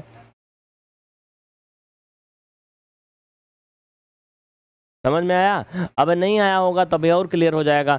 आगे देखना। चलो, आगे देखो, अब सब आ जाएगा। चलो देखो। मान लो कि मैंने ये संख्या ले लिया। ट्वेंटी व सिक्स ज़ीरो सिक्सटी। हाँ सही है। का? एच सी एफ़ मैं आपको बता दूँ, इनका एच सी एफ़ ट्वेंटी होगा। ट्वेंटी होगा। लेकिन, समझो। कैसे निकाल लेंगे पहले तरीके से करेंगे। तो दो, दूना चार, पंचे बीस। दो, दूना चार। एक बार दो से भाग करोगे, तीस आएगा, फिर दो से भाग करोगे तो पंद्रह आएगा, फिर तीन से करोगे, फिर पाँच से। ठीक है क्लियर कॉमन ले लो। ले लो भैया कॉमन बना लो जोड़ा इनकी। करा दो भैया। चलो देखो। अब इसमें दो का एक जोड़ा ये, इसमें से एक और इसमें से एक। तो दो दूना चार, पंचे बीस। कितना आ गया? ट्वेंटी। ये इसका एच सी एफ़ है। अब मैं इसका दूसरा पहलू बताता हूँ। ये तो किताबी भाषा थी।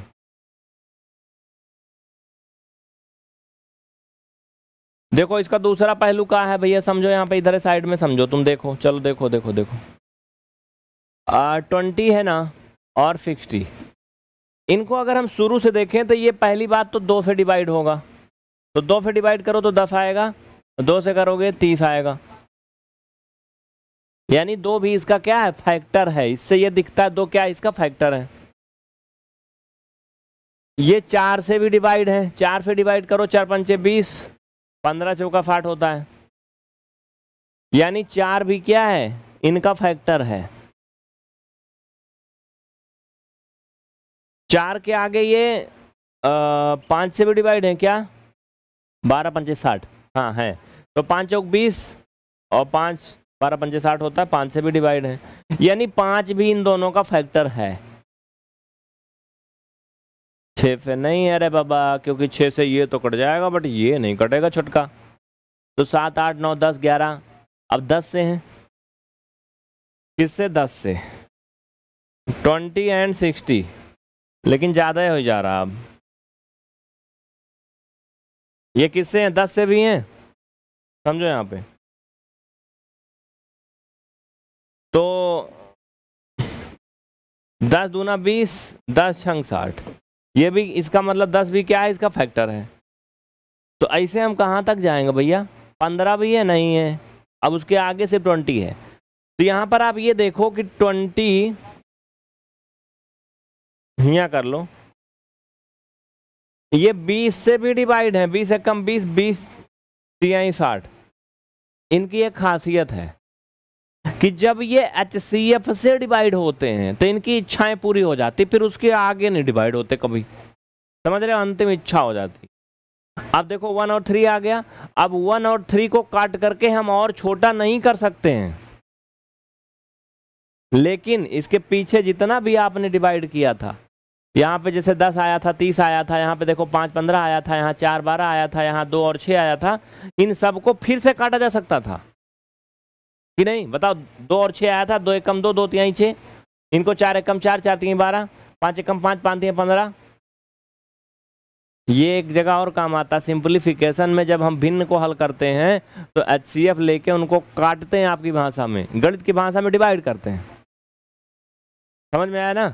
तो ये क्या है फिर? अगर ऐसी कंडीशन जहाँ बन जाए कि उस इच्छा के बाद और कोई इच्छा ना हो, यानी उसके बाद वो संख्या फिर और डिवाइड ना हो, वही एच सी एफ़ होती है। आप समझ गए? तो ट्वेंटी इधर टेन इधर ये आपका फाइव फोर और टू ये सब इसके दोनों के क्या हैं? फैक्टर हैं, लेकिन सबसे बड़ी जो संख्या है, वही एचसीएफ होती है। समझ में आया? सबको समझ में आया? एक बार यस बोल दो, फटाफट आगे बढ़ते हैं। एक्स स्मार्ट ऋषि समझ में आ रहा है, आरती समझ में आ रहा है, भारती वर्मा, सुजीत कुमार, खुशबू मौर्य, पंकज सिंह, लौकुश, रंजना संजना, मोहिनी, सबको समझ में आ रहा है? अमित? ठीक है, देखो सुबह सुबह इतने बच्चे जुड़े हैं, बहुत अच्छी बात है। लग रहा है कि आप पढ़ रहे हो, है ना? गुड मॉर्निंग गुड मॉर्निंग सबको गुड मॉर्निंग पढ़ाई पे ध्यान दो भैया मॉर्निंग बाद में होगी, चलो। तो ये चीज़ आप समझ चुके हो। तो फटाफट छापो भैया। लिखो पंद्रह, पच्चीस।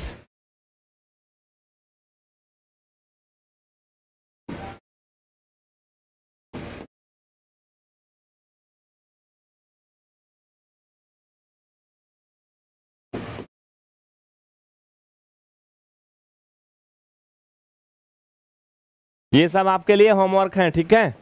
ये क्या है होमवर्क है इनको पूरा करके? और इसी वीडियो में कमेंट करोगे। आज का टॉपिक होगा भाग विधि से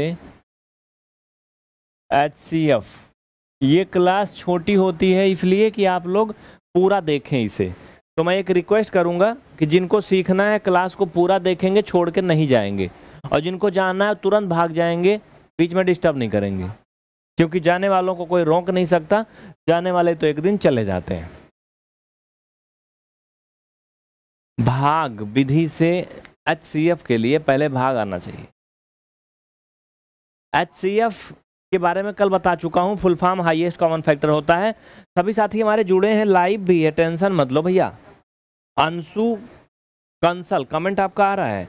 अजय विक्रांता, विपिन कोरी, रंजना कुमारी, नीतीश कुमार, पंकज पारुल, सौरभ सिंह, मोहित, गौरव। देखो बहुत बहुत धन्यवाद आप सभी को जो आप सुबह उठ गए हो इतनी जल्दी।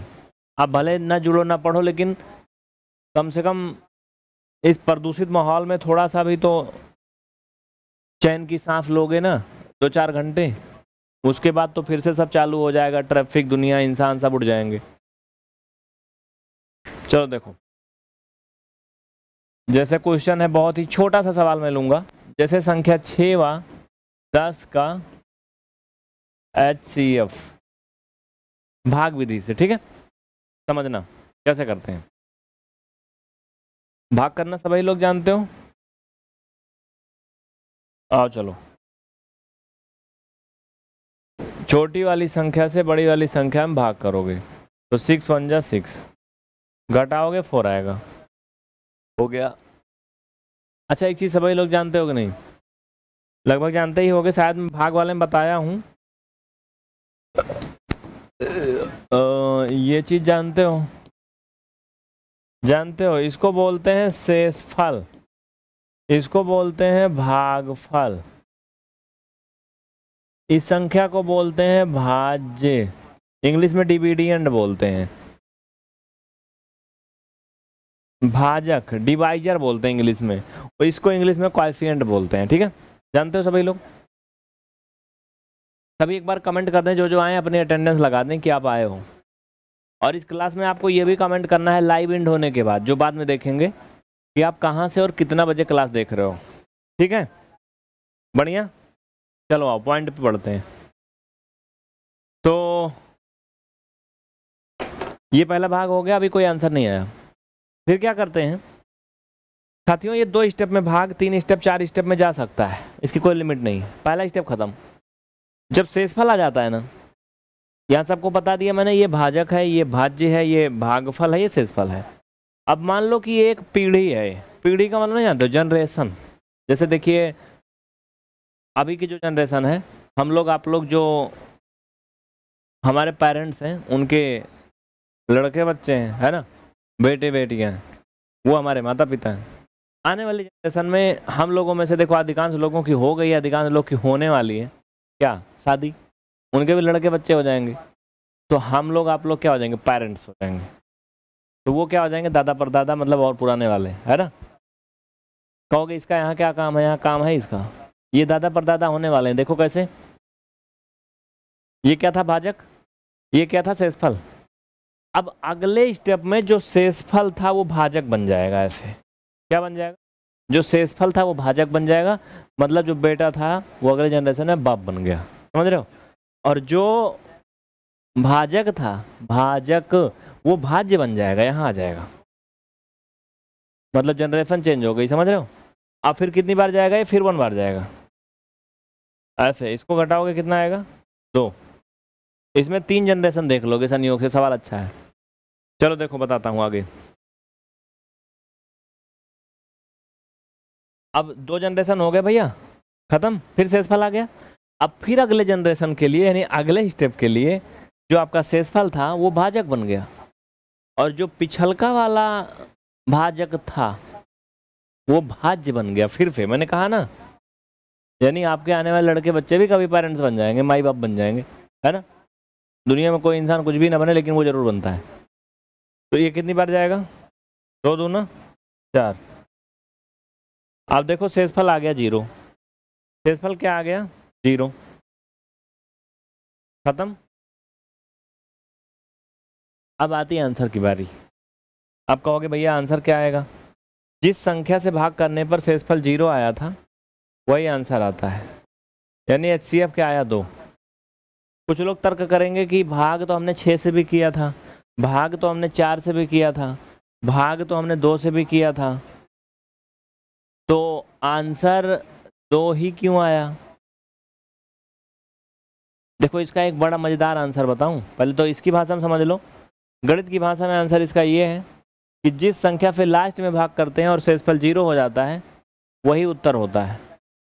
दूसरा, अगर तुम्हें नहीं याद होता है तो तुम ऐसे समझ लो, एक सभ्य तरीके से पढ़ाकू लड़कों के तरीके से कि बहुत से कंपटीशन के एग्ज़ाम में कई लेवल होते हैं। जैसे आप अगर यूपीएससी ले लो, जहाँ तक मुझे पता है, बहुत ज़्यादा तो नहीं पता है। प्री मेंस होता है, उसके बाद इंटरव्यू है ना? या डॉक्यूमेंट वगैरह पहले वेरिफिकेशन वगैरह, फिर इंटरव्यू फिर और उसके बाद और भी जो भी प्रोसेस होता है तीन चार होता है। तो अगर आप प्री में क्वालिफाई हो गए मेंस में नहीं निकले, तब गड़बड़ है। आप प्री मेंस क्वालिफाई कर ले इंटरव्यू नहीं क्वालिफाई कर पाए, तब गड़बड़ है। नहीं होंगे, है ना? अगर लास्ट में आपके डॉक्यूमेंट में कोई इशू आ गया, तब भी नहीं होगा। जहाँ तक मुझे पता ऐसा होता है ना? तो यानी लास्ट में सारे स्टेप क्वालिफाई आप करेंगे, या जो भी करेगा, वही सेलेक्ट होगा। समझ रहे हो? मान लो कि प्री एक हज़ार लोगों ने क्वालिफाई कर लिया। मेंस में आठ सौ लोग ही क्वालिफाई हुए, और इंटरव्यू में तीन सौ लोग ही पास हुए तो फाइनल में सेलेक्ट हुए तीन सौ लोग। समझ रहे हो? स्टेप तो उन्होंने भी किया था ना सारे। सारे थोड़े सेलेक्ट हुए। तो वैसे स्टेप सबने किया था लास्ट में ज़ीरो जिससे आया वही आंसर है। दूसरा एक मज़ेदार एग्ज़ाम्पल जो तुम कभी ना भूलोगे, वो ये है, जैसे तुम लोग को पढ़ाई के टाइम में बड़ा अफेयर चलता है। कभी उनसे चल रहा है, कभी उनसे कभी उनसे, कभी कुछ दिन वहाँ वहाँ वहाँ वहाँ। तो लास्ट में एक लोग से बिया हो जाता है, समझ रहे हो? भले उनसे ना चल रहा हो। तो जिससे तुम्हारा बिया हो जाता है, उसी से रात दिन सिर्फ़ फुटबॉल होती है। सबसे थोड़ी होती है, सब तो साइड हो जाते हैं। बोलना नहीं कभी एग्ज़ाम्पल चलो। सवाल भूल जाओगे एग्ज़ाम्पल नहीं बोलोगे तो अब ये मत कहना कि भैया हमारा तो कई जगह चला था, सबसे काहे नहीं हुआ, सबसे नहीं होता है। भैया हाथ एक लोग से होगा ना लास्ट में, सबसे थोड़े होगा। आंसर समझ गए? चलें आगे। हम आपको सिर्फ़ कंसेप्ट सिखाते हैं इसमें, बस ओनली कंसेप्ट बाकी बड़े बड़े सवाल अभी नहीं करवाएँगे, कुछ भी। क्योंकि ये कंसेप्ट की क्लास है। अगला देखो, संख्या बारह व अठारह का एच सी एफ़ तुम कहो तो मैं इसका आंसर बता दूँ, पहले ही छः आएगा। पता है कैसे होता है आंसर? बताता हूँ। नीतीश यूट्यूबर कमेंट आ रहा है, रोस, रुस्तम सर, ऑफिशियल। हाँ जी, आपका भी आ रहा है। पढ़ाई भी ध्यान दीजिए, सर। मैडम सब लोग।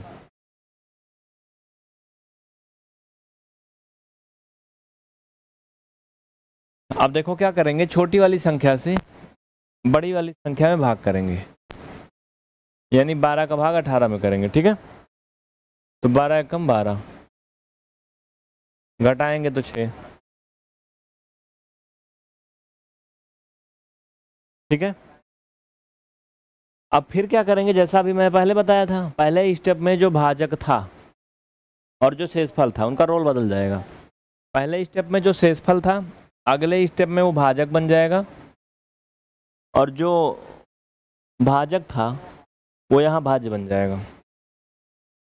तो छः दूना बारह।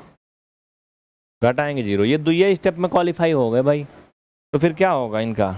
H C F equal twelve last में जिस संख्या से भाग करने पर ज़ीरो आया था, वही आंसर होता है। यह है भाग विधि से एच सी एफ़ करना। अच्छा अगर चार संख्या या पाँच संख्या हो, तब कैसे होगा? वो भी मैं बताऊँगा। ठीक है? चार पाँच संख्या हो तो कैसे होता है? वो भी मैं बताऊँगा। बिल्कुल टेंशन नहीं लेने का, दादा। चलो, आगे बढ़े। लेकिन, बात क्या है ना? बात क्या है? या अपना फीडबैक ज़रूर कमेंट करना। आपके मन में जो भी है दिल में, बताना ज़रूर। देखिए कॉन्सेप्ट सिर्फ़ सीखो बस। बहुत बड़ी क्लास तो मैं चला नहीं पाता हूँ इसको, क्योंकि बहुत बड़ी क्लास से कुछ होता नहीं है। संख्या अठारह व बाईस का एच सी एफ़ संख्या पच्चीस व सत्ताईस का एच सी एफ़ हाँ इसको लिखने के पहले आज का सवाल कर लो, नहीं तो भूल जाता है। शायद कल की क्लास का छूटा था। आज का प्रश्न। पार्ट चौदह के लिए। क्योंकि पार्ट चौदह का प्रश्न छूटा था, इसको लिख लो, तब फिर हम आगे बढ़ते हैं, ठीक है? क्वेश्चन मेरा ये है। क्या है? पाँच अंकों की बड़ी से बड़ी संख्या।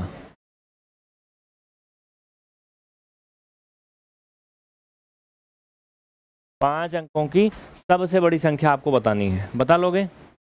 ये पार्ट चौदह का सवाल है, क्योंकि इनाम वाला प्रश्न है ना, डेली पूछते हैं। तो मुझे कमेंट करना क्वेश्चन नंबर डाल के, कि इसका आंसर ये होगा।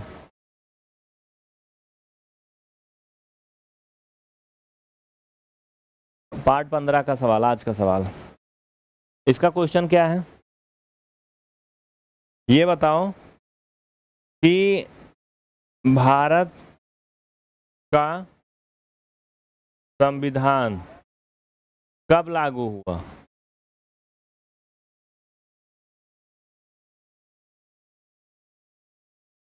भारत का संविधान कब लागू हुआ था? हमने कहा था इनाम वाले सवाल आते हैं, सवाल कहीं से भी आ सकते हैं। ठीक है? तो ये सवाल हो गए। चलो, आगे, पीछे बढ़ो। होमवर्क वाले सवाल लो फटाफट। हम्म बढ़िया। तो पाँच नंबर।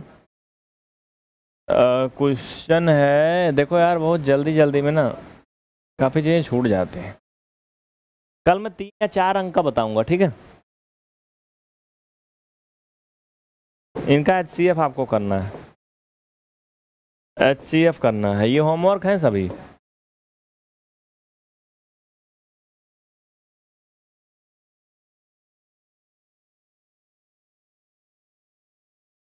इनका सबका एच सी एफ़ करोगे, ठीक है? चलो भाई, आज का टॉपिक क्या है? एच सी एफ़ टॉपिक क्या है?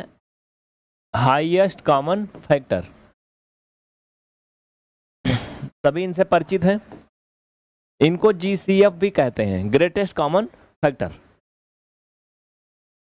मेथड इसमें जो होगा, वो होगा भाग विधि डिवीज़न मेथड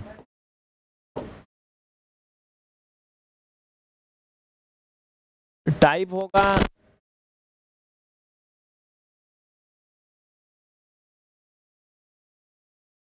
तीन या उससे अधिक।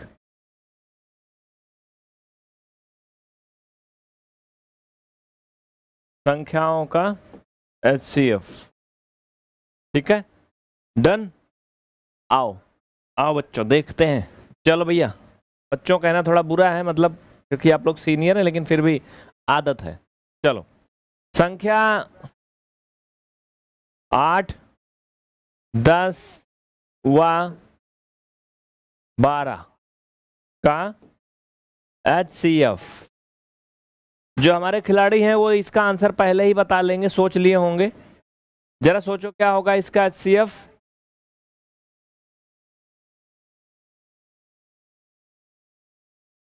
नहीं सोच पाए तो मैं जस्ट बता रहा हूँ, बस। कुछ सेकंड का इंतज़ार।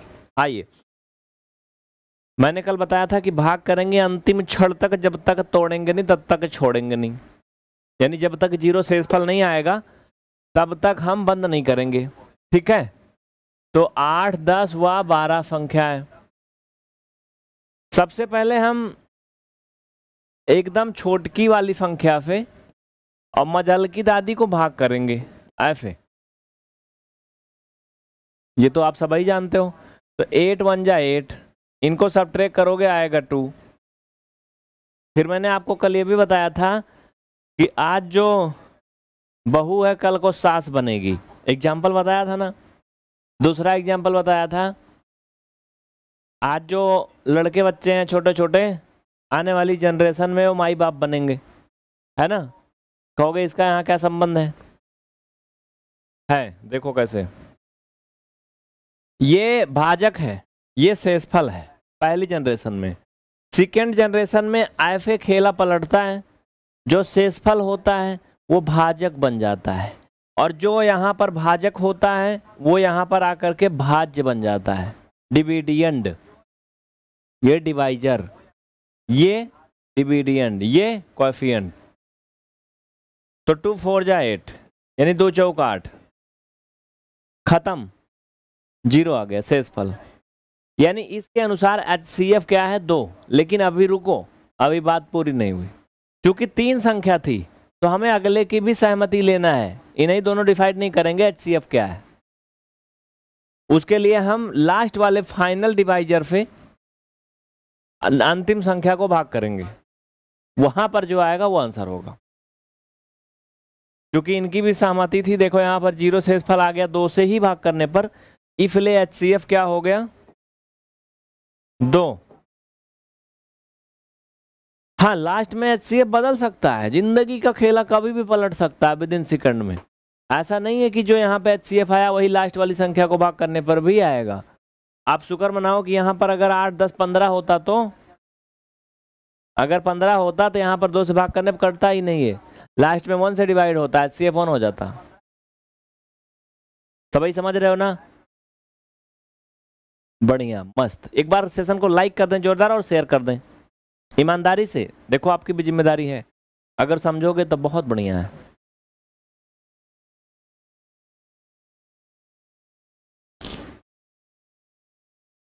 समझ गए ना सभी लोग? पक्का? चलो।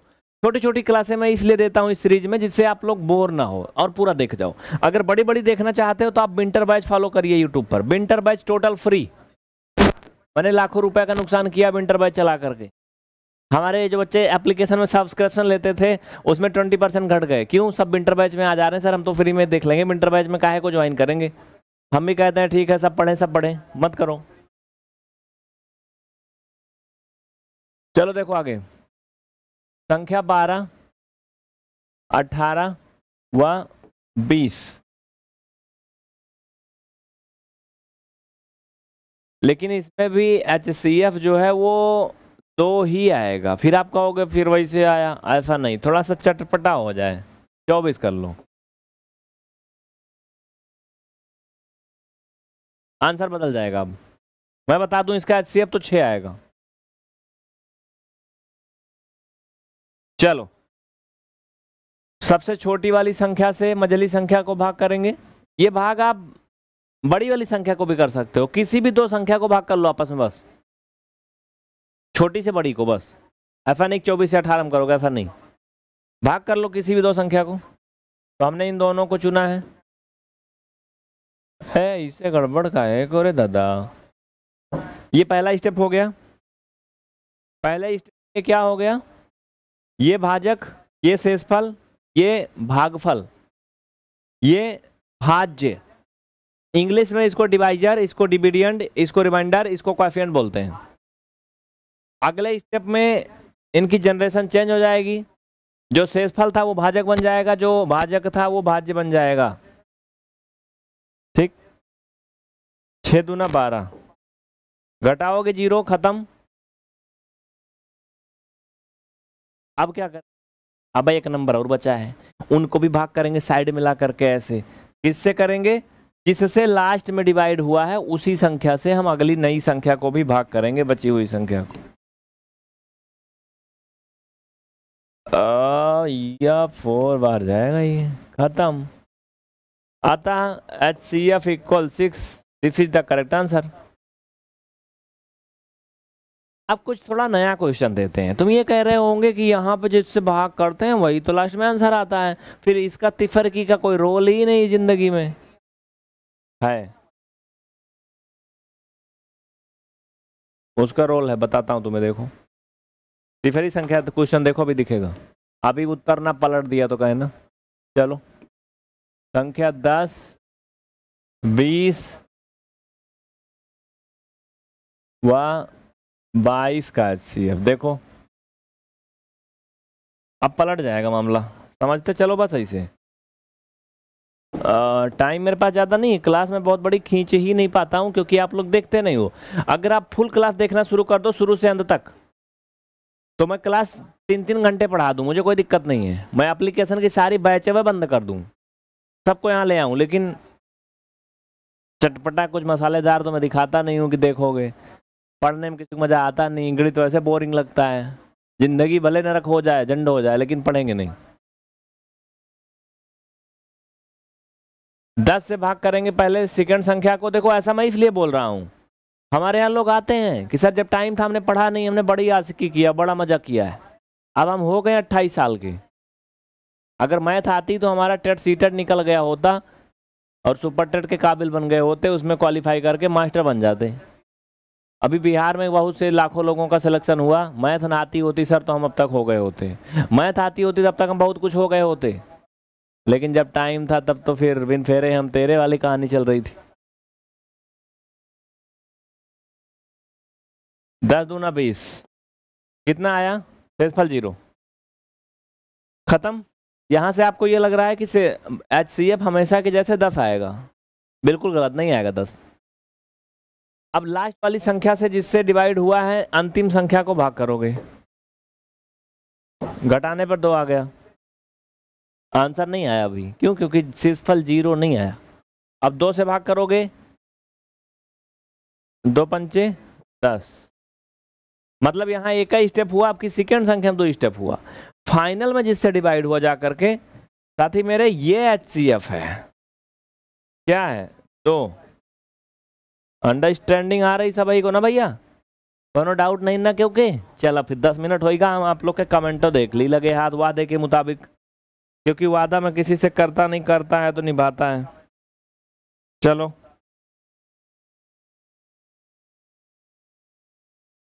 ठीक है, सभी को समझ में आया? एक बार जोरदार सभी कमेंट करें, समझ में आया? पक्का झूठ नहीं बोलना, दिल की बात बताना, ईमानदारी के साथ। ठीक है? बढ़िया? बहुत अच्छा भाई। विथ मी, इनका नाम है ये, अंजलि गुप्ता, रंजना कुमारी, प्रीत, राकेश और विकास। मिस्टर मंजीत, शिवम, कुणाल, अनुपम अग्रहरी, सुधांशु, मोहित, बबीता कुमारी, प्रांजल, अंकुश कुमार, गरिमा त्रिपाठी, सभी का कमेंट आ रहा है। बहुत बहुत शुक्रगुजार हूँ मैं कि आप जाग गए हो। आज मैंने अपने साथियों को ना ज़बरदस्ती जगाया है। उनको शाम को बोला कि, बच्चा, उठ, सो जाओ।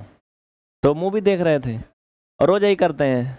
दिन भर सो लेंगे, खा पी के, आराम से मस्त सोएँगे चार घंटा। कहेंगे, खोपड़िया दर्द करा था इसलिए सोई जाई थी। और फिर दिन में तो सोएँगे ही। रात में मोबाइल में टाइम पास करेंगे, देर रात तक, तीन बजे तक, दो बजे तक, फिर सोएँगे सुबह नौ बजे तक। क्या ज़िंदगी है भाई भाई? ऐसे ही छोटी सी ज़िंदगी मिल रही है आजकल पचास, साठ साल की। और तुम उसमें बारह घंटा सो रहे हो। बारह घंटा सोने का मतलब जान रहे हो? कि तुम्हें पचास साल जीना है तो तुम पच्चीस साल सो रहे हो। तो क्या करने के लिए जी रहे हो? मर जाओ ना। जानते हो अगर साठ साल की उम्र है, आप आठ घंटा डेली सोते हो। तो समझ रहे हो? अपनी ज़िंदगी का एक तिहाई आप सो रहे हो। बीस घंटे निकलेगा, बीस साल निकलेगा ना? जहाँ तक मैं जोड़ पा रहा हूँ, यही होगा ना? आठ तरीक चौबीस। छः चौक चौबीस। इसलिए छः घंटे सोओगे तो ये समझ लो कि आप साठ साल में पंद्रह साल सोए हो तो पैंतालीस साल जिए हो ठीक है? लेकिन जो लोग बारह घंटे सो रहे हैं, उनका तो आधी उम्र सोने में निकल जा रही। और बाकी इधर उधर में निकल जाती है, चाक चवलिया में। तो बात समझो, मैं नहीं कहता मत सो, लेकिन ओवर नहीं। हाँ तो भैया उन लोग को उठा दिए चार बजे मैंने। कहे क्या करें? हमने कहा, तुम कमेंट रिप्लाई करो, तुम जाओ टहल वहल के आओ पहले, तुम मंजन वंजन करके आओ, उसके बाद मैं बताता हूँ क्या करना है। रात में बताया था, सो जाओ, लेकिन तुम सोए नहीं। चलें, बढ़िया है। इसमें इनाम भी मिलेगा, इनाम वाला क्वेश्चन पूछ लेता हूँ पहले, चलो। सरप्राइज़ वाला क्वेश्चन ना। बताया था ना इस सीरीज़ में, सोलह नंबर लिखो। आज का प्रश्न। आज का प्रश्न।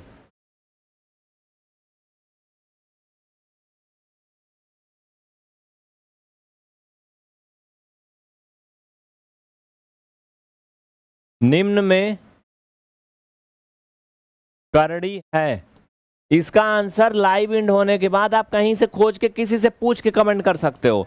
ये आंसर का सिर्फ़ एक रिकॉर्ड होगा कि आप डेली क्लास में आए थे बस। और जो डेली क्लास में आया था, उसे लास्ट में फाइव थाउज़ेंड रुपए मिलेगा। मैं हर क्लास में कहता हूँ। मुझे पता नहीं आएँगे डेली ना। देखो, पहला सवाल ये है, under root thirty six, thirty seven one four four and last में ज़ीरो। इसमें कौन करड़ी है? सर्ड्स। इंग्लिश में करड़ी को सर्ड्स बोलते हैं। और ये एक खास बात है कि जिस दिन ये लाइव सेशन हुआ था कमेंट उसी दिन होना चाहिए। हा? अगर आपने उस दिन नहीं किया तो फिर आप निकल गए लाइन से बाहर। चलो। बढ़िया। आज का सवाल खत्म होता है यक्ष प्रश्न वाला। और इसी के साथ मुझे लगता है टाइम भी ओवर हो चुका है। और हाँ कुछ होमवर्क मैं दूँगा। कुछ होमवर्क मैं दूँगा, अगर आप चाहते हो बड़ी बड़ी क्लास तो आप भैया विंटर बैच देखो यूट्यूब पर। विंटर बैच में भी मैं ऐसे ही पढ़ाया हूँ, मैं ही पढ़ाया हूँ, कोई दूसरा नहीं।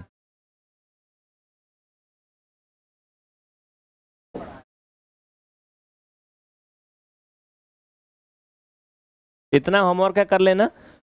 और दूसरा, अगर आप चाहते हो बिल्कुल वीआईपी वाली सुविधा, कोई खींच खांच नहीं तो आप पीवीआर स्टडी ऐप में क्रांति बैच ज्वाइन करिए। क्रांति बैच ज्वाइन करिए, अभी 28 अप्रैल से शुरू हुआ है। गूगल प्ले स्टोर से ऐप डाउनलोड करिए। और बाकी ऐसे मस्त पढ़ना चाहते हो फ्री पढ़ना चाहते हो तो ऐसे देखते रहो। याद रखना, जो आग एक बार लगी है दिल में ना, बिना उसको हासिल किए बुझनी नहीं चाहिए। मैं ये देखता हूँ, बच्चे सब्सक्रिप्शन भी ले लेते हैं। उसमें से अफसोस की बात है, साठ परसेंट कैंडिडेट कोर्स पूरा नहीं करते हैं। क्या करेंगे? कोर्स हमने दिया, लाइव में डेली पढ़ा रहा हूँ, सुबह चार बजे मैं उठ जा रहा हूँ, चाहे मैं दो बजे सो रहा हूँ तो क्या तुमको पकड़ के गिर्रा गिर्रा क्लाक पढ़ाऊँगा क्या? बच्चे भी तो नहीं हो ना कि दो ठी लगा के कान के इधर उधर पढ़ाया जाए। आज का टॉपिक है फ्रैक्शन यानी भिन्न। भिन्न, यानी फ्रैक्शन इनको अगर हम थोड़ा सा आपको दिखाएँ तो यहाँ पर आप देखिए ये क्या है? कलरफुल एक इमेज अलग अलग कलर आपको दिख रहा है। अगर मैं आपसे पूछूँ कि लाल कलर की भिन्न को भिन्न रूप में सॉरी लाल कलर का जो रंग है या स्पेस है, उसको भिन्न के रूप में लिखें तो कैसे बांटेंगे? बांट लोगे? थोड़ा सा आपको अजीब सा लगेगा। लेकिन अगर मैं आपसे कहूँ, आप सभी लोग ने ज़मीन जायदाद के संबंध में बातें सुना होगा।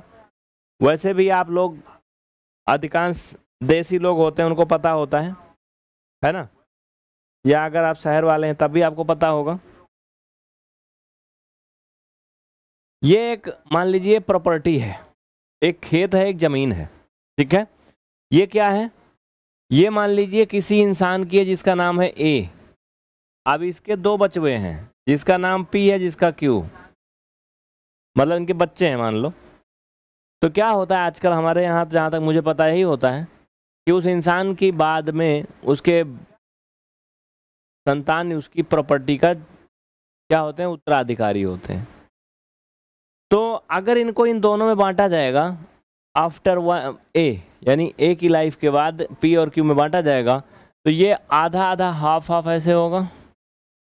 है ना? तो पी क्या कहेगा? कि भैया हमारा टोटल में कितना हिस्सा है? एक बटा दो। हम्म? क्या कहेगा? कि हमारा हिस्सा क्या है? एक बटा दो है। एक बटा दो क्या है, भिन्न है? समझ गए? तो मैंने क्या कहा? यहाँ पर परिभाषा लिखी है कि नहीं लिखी है? शायद नहीं लिखी है, मैं कह देता हूँ। कि भिन्न भिन्न, यानी फ्रैक्शन एक ऐसी संख्या है, कह सकते हैं, जो किसी वस्तु या किसी संख्या के किसी निश्चित भाग को दिखाती है। ठीक है? भिन्न एक ऐसी संख्या है, जो किसी संख्या या किसी वस्तु के किसी निश्चित भाग को दिखाती है। संख्या, वस्तु, प्रॉपर्टी आप ऐसे बोल सकते हो। ठीक है? जैसे अगर इस पे हम ऐसे लकीर ना लगाते या एक बटा दो में ऐसे बंटवारा ना करते, ऐसे हम कहते कि भाई पी का हिस्सा इसमें एक बटा दो है। तो भिन्न, यानी एक बटा दो जो आपके मुँह से निकल रहा है, वो ये डिनोट करता है, ये संकेत देता है कि इसका आधा हिस्सा एक बटा दो का है। खुद ही बिना बनाए। बताओ, कुछ समझ में आएगा नहीं? नहीं? आएगा भी। आएगा। जैसे अगर मैं एक बात और बोलूँ। पहले वस्तु वाला समझो, सब मिल्क्स नहीं। मान लीजिए कि इन्होंने थोड़ा और प्रोग्रेस किया होता और एक बच्चा और पैदा कर लिया होता भैया। चलो। अब इनके तीन बच्चे हो गए पी क्यू आर अब अगर हम कहें कि पी का हिस्सा कितना है इस संपत्ति में तो क्या होगा? बताओ। कितना होगा? एक बटा तीन होगा? बोलो, होगा कि नहीं? तो एक बटा तीन क्या डिनोट कर रहा है? एक बटा तीन ये दर्शाता है कि ये जो संपत्ति है प्रॉपर्टी है, इसके तीन पार्ट होंगे बराबर बराबर। होंगे कि नहीं? तो जो आपके मुँह से एक बटा तीन निकल रहा है, वो इस भिन्न को क्या कर रहा है? मतलब इस प्रॉपर्टी को। तीन भाग में बांट रहा है। यानी इसमें एक हिस्सा पी का, एक हिस्सा क्यू का और एक हिस्सा आर का हो जाएगा। अगर हम कहें कि आर का हिस्सा कितना होगा तो आप कहोगे वन अपान थ्री इसका कितना होगा वन अपान थ्री इसका कितना वन अपान थ्री समझ में आया ना सभी को? एक बार कमेंट कर दें फटाफट। मंजेश कुमार जी गुड मॉर्निंग पंकज, लौकुश, पूनम, स्वाति सिंह, अंजलि कुमारी, अनामिका, बबलू कुमार, चंदन सिंह, एकाग्रता शर्मा जी, सबके कमेंट्स आ रहे हैं।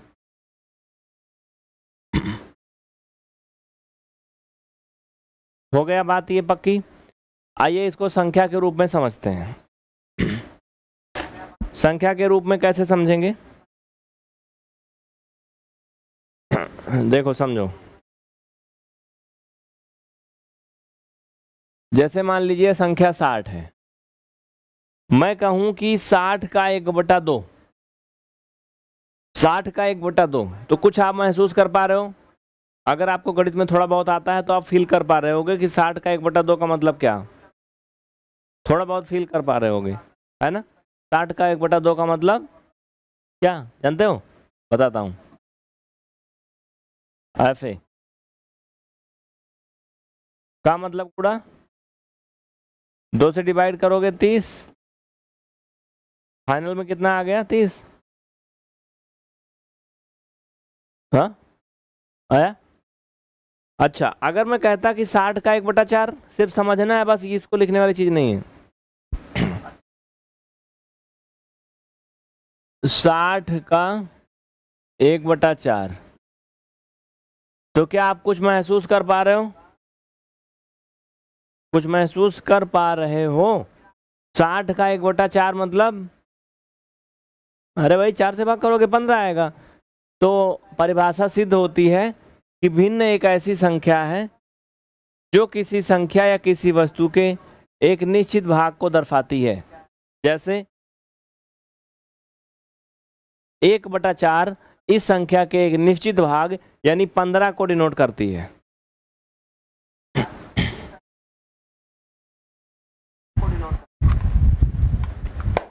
चलें, आगे बढ़ें, कोई दिक्कत ना किसी को, कोई परेशानी नहीं, बढ़िया। चलो ठीक है तो समझ गए भिन्न क्या है? चल भैया। आइए तो इसमें अगर हम बात करें कि लाल कलर वाला जल्दी कमेंट करके बताओ, भिन्न रूप में। टोटल चार पार्ट हैं, लाल कलर वाला सिर्फ़ एक भाग है सो आंसर इज़ बी। अब हम करेंगे भिन्न का जोड़ना। बहुत ही आसान है, बहुत इजी है वेरी इजी है। कैसे करोगे बच्चा? देखो, बहुत ही आसान है। जब हर बराबर हो तो आपको अंश अंश को वैसे लिख देना है, बिना कोई बदलाव किए। तीन बीच, ब्रेक, बीच में प्लस है तो प्लस, बड़ी फिलाइन खींच के साथ इनको जोड़ेंगे सेवन वो सॉरी, फाइव, थ्री, एट और नीचे सेवन। हो गया आंसर। ऐसे इसको भी कर लेंगे।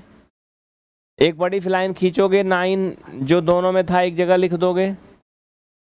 ऊपर दोनों नंबर जैसे थे, वैसे लिख के जोड़ देंगे। तो ये भी हो जाएगा सात बटा नौ। इसी तरीके से नीचे वाला भी कर लोगे सभी लोग ना। तेरह नीचे लिख दोगे, इक्कीस और दोनों जोड़ दो, चालीस। अगला कर लेना। ये भी भिन्न का जोड़ना है, जब हर असमान हो। इसमें क्या करते हैं बच्चा? क्रॉस मल्टीपल करते हैं। मेरे बाबू देखो यहाँ पे कैसे। ऐसे फोर का थ्री में तो फोर थ्री जा ट्वेल्व फिर बीच में प्लस था तो प्लस ठीक है? सेवन का इधर फाइव में तो सेवन फाइव जा, यानी सात पच्चे पैंतीस। फिर ऐसे बड़ी फिलाइन फिर क्या करते हैं? इधर का इधर में ऐसे। तो सात चौक, अट्ठाईस। नहीं दिखा का?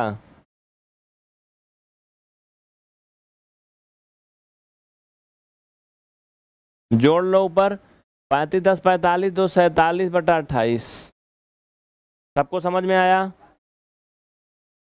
बिल्कुल आया, ज़रूर आया। आओ, इधर आ जाओ। इनका क्रॉस मल्टीपल करो छः का एक में। तो छः का एक में क्या करोगे? छः कम छः बीच में प्लस है तो प्लस। सात का पाँच में सात पच्चीस पैंतीस। सात का छः में सात छंग बयालीस। ऐसे करना है। जोड़ दो, हो गया आंसर। अगला क्वेश्चन आपके लिए। कर लोगे भैया? तो ये था भिन्न का जोड़ना जब उनके हर असमान हो। ठीक है? क्रॉस मल्टीपल मेथड मैंने बताया। अब अगला एलसीएम मेथड है। लेकिन ये क्लास तो मैं आपको टेन मिनट देता हूँ। इसके अगले पार्ट में मैं एलसीएम मेथड बताऊँगा। बड़ी बड़ी भिन्न बताऊँगा। आज आपने सीखा भिन्न क्या होता है। भिन्न का जोड़ना जब हर समान हो, पहले समान, फिर भिन्न का जोड़ना जब हर असमान हो, और क्रॉस मल्टीपल मेथड। तो आज के लिए इतना ही। मैंने आपसे प्रॉमिस किया था कि 10-10 मिनट की ये वीडियोज़ लाइव सेशन आपको हम देंगे। ठीक है? तो गुड मॉर्निंग सभी को एक बार फिर से। जो भी छात्र जुड़ गए हैं, उठ गए हैं। एक या दो। हाँ लास्ट में आपका ही कमेंट आया है। ठीक है? थैंक यू ठीक है? जब हर असमान हो। एक और आज बता देता हूँ, इसी में। जैसे मान लीजिए कि आठ बटा पाँच है, और ये है एक बटा तीन। इनको कैसे जोड़ेंगे? क्रॉस मल्टीपल में जला एक बार और देखना। क्लियर हो जाए? ऐसे तिरछा गुड़ा करेंगे। तो आठ का तीन में तो तीन अठे चौबीस, यानी थ्री एट जा, या एट थ्री जा ट्वेंटी फोर दूसरा स्टेप में इसको क्रॉस करेंगे इसमें। बीच में प्लस का साइन था तो प्लस तो फाइव वन जा फाइव फिर एक बड़ी लाइन खींचेंगे। अब उसके बाद क्या करेंगे बच्चा पार्टी उसके बाद इनको ऐसे क्रॉस करेंगे। तो पाँच तिया पंद्रह। जोड़ेंगे चौबीस, पाँच, उनतीस बटा पंद्रह। दिस इज़ द आंसर है ना कितना आसान? आसान है ना? अगर आपने पिछली क्लास देखा होगा तो बड़ा आसान लगेगा, मज़ेदार भी लगेगा। और नहीं देखा होगा तो फिर आप जाने आपकी मर्ज़ी। इसको कर लेना खुद से, ठीक है? अभी मैं तीन पद वाला नहीं बता रहा हूँ, ये मैं बताऊँगा आगे। तीन या पाँच पद, आठ पद ऐसे, कुछ भी। अगला तरीका है साथी मेरे, इसमें लीस्ट कॉमन मल्टीपल मेथड यानी एलसीएम मेथड इसमें आपको गुड़ा उड़ा नहीं करना होता। थोड़ा सा ज़्यादा प्रोफेशनल तरीका है। दी गई दोनों संख्याओं के हर का एलसीएम लेते हैं। पाँच और सात का एलसीएम लोगे तो पैंतीस आएगा। इसके लिए आपको एलसीएम निकालना मैं पहले से सिखा चुका हूँ। है ना?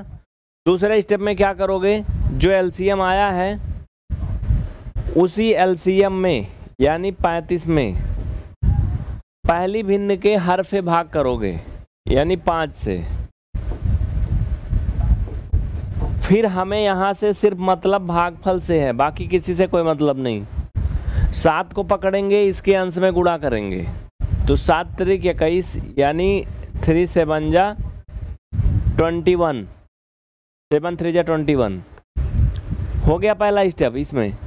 पहली भिन्न की हो गई जो होनी थी, दूसरे में आ जाओ। इसमें भी क्या करेंगे?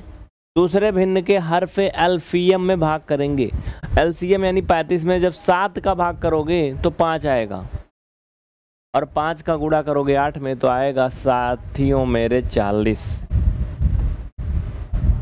बस हो गया आपका पूरा स्टेप क्लास इनको जो लोगे भैया, चालीस, बीस, साठ होता है, एक और ज़्यादा है तो इकसठ बटा पैंतीस।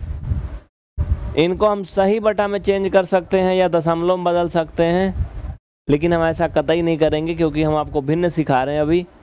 और ये आपकी इम प्रॉपर फ्रैक्शन है, अनुचित भिन्न है ये। लेकिन ये भिन्न अनुचित है या उचित है या प्रॉपर इम्प्रॉपर या इक्वलियंट वगैरह वगैरह, किस टाइप की फ्रैक्शन है, ये देखेंगे आगे।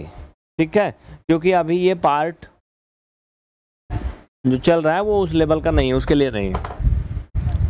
आगे की क्लास में देखेंगे, ठीक है? इसको कर लेंगे। इसको होमवर्क कर लेना एक और बता देता हूँ अगले पेज पे। चलो क्वेश्चन नंबर इलेवन ए आप मान लो।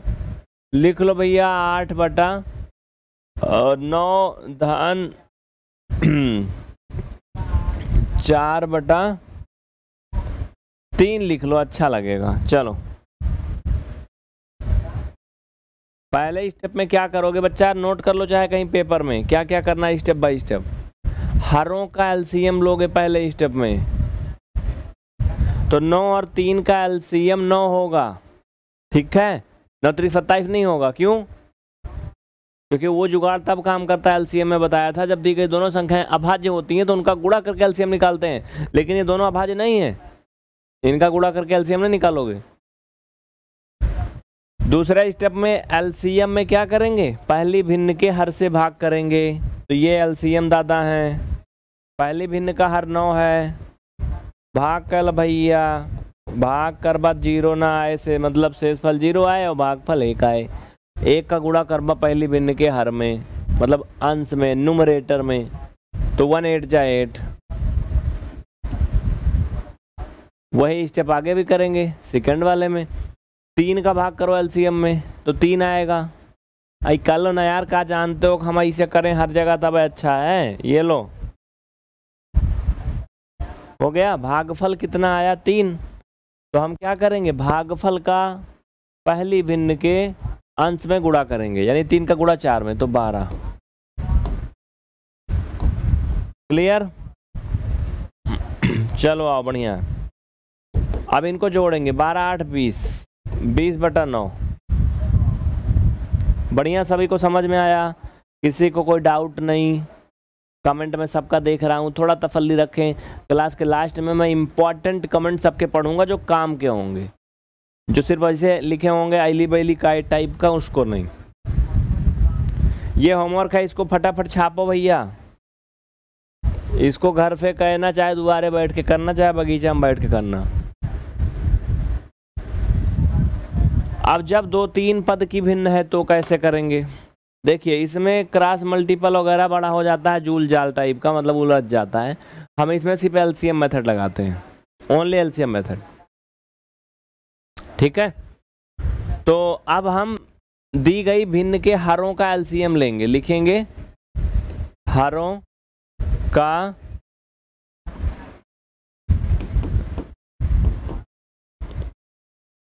एलसीएम। कितना होगा? सात पचे पैंतीस दूना सत्तर। कितना होगा भैया? सत्तर होगा। लिख दिया तो अच्छा लगता है। अब एक बड़ी लाइन खींचोगे और लिख दोगे नीचे सत्तर। दूसरे स्टेप में वही तरीका फिर से। पहली भिन्न के हर से एलसीएम में भाग करोगे, जो आएगा भाग, भागफल, उसको अंश में गुणा करोगे। फिर दूसरे वाली भिन्न के हर से भी एलसीएम में गुणा, भाग करोगे प्राप्त क्वेश्चन का मल्टीपल करोगे इसके न्यूमरेटर में। थर्ड में भी वही सेम प्रोसेस आओ चलो। सात का भाग सत्तर में करेंगे, दस आएगा, और दस का तीन में गुणा करेंगे, तीस आएगा। पाँच का भाग सत्तर में करोगे, प्यारे मेरे तो देखो क्या होगा। पाँच का भाग सत्तर में करोगे, चौदह आएगा, और चौदह एक कम चौदह। दो का भाग सत्तर में करोगे, पैंतीस आएगा, पैंतीस का आठ में गुणा करोगे तो बड़ा हो जाएगा। मतलब बड़ी गिनती हो जाएगी। कैसे? कर लो भैया। पैंतीस का आठ में गुड़ा करो, एक बार आँख बंद करके चिंतन करो। आठ पंचे चालीस, हाफिल चार, आठ त्रिक चौबीस, चार अट्ठाईस। आईफे करे हैं भैया आईफे करे रहे हैं आईफे। कह लो, पाँच अट्ठे चालीस, का ज़ीरो, हाफिल चार पाँच त्याई ना ना ना ना, आठ पंचे चालीस, का ज़ीरो, हाफिल चार, आठ त्रिक चौबीस, चार अट्ठाईस। ठीक? जोड़ डालो इनको सबको, काम खत्म। चलो। हम काम करते हैं। इनको जुगाड़ से जोड़ते हैं। कैसे? दो सौ अस्सी है 30 है। हम अगर 280 में 20 और मिला दें तो तीस, तीन सौ हो जाएगा। 300 हो गया 10 में और बचा था 310 310 ना? और 14 तो 10 में 14 जोड़ लो 24 यानी 324 दिमाग का प्रयोग नहीं करना है, बस उत्तर लिख देना है 324 बटा सत्तर। इसके आगे हल नहीं करना है इसको। बिल्कुल खबरदार। क्योंकि अभी इसके आगे नहीं बताने वाला हूँ। ठीक है? जब प्रकार पढ़ाऊँगा, भिन्न का तो ये बता दूँगा। तो भिन्न पढ़ रहे थे फ्रैक्शन? फ्रैक्शन क्या होता है ये हमने सीख लिया। फ्रैक्शन कैसे जोड़ते हैं, ये भी सीख लिया। जैसा कि आपको पता है कि हम ज़ीरो से सिखाते हैं, है ना? ये बिली बड़ी विशेषता है। तो आज क्या सीखेंगे? भिन्न का घटाना, है ना? कल तीन पदों वाली भिन्न का जोड़ना भी सीख लिया था। तो उसके बाद अब क्रम आता है आपका भिन्न का घटाना, यानी सब्सट्रैक्शन ऑफ़ फ्रैक्शन ठीक है? सब्सट्रैक्शन ऑफ़ फ्रैक्शन जो कि क्लास ये बहुत छोटी होती है, जिससे आपको पूरा समझ में आए और आप पूरी क्लास देखें, मेरा ये कोशिश है।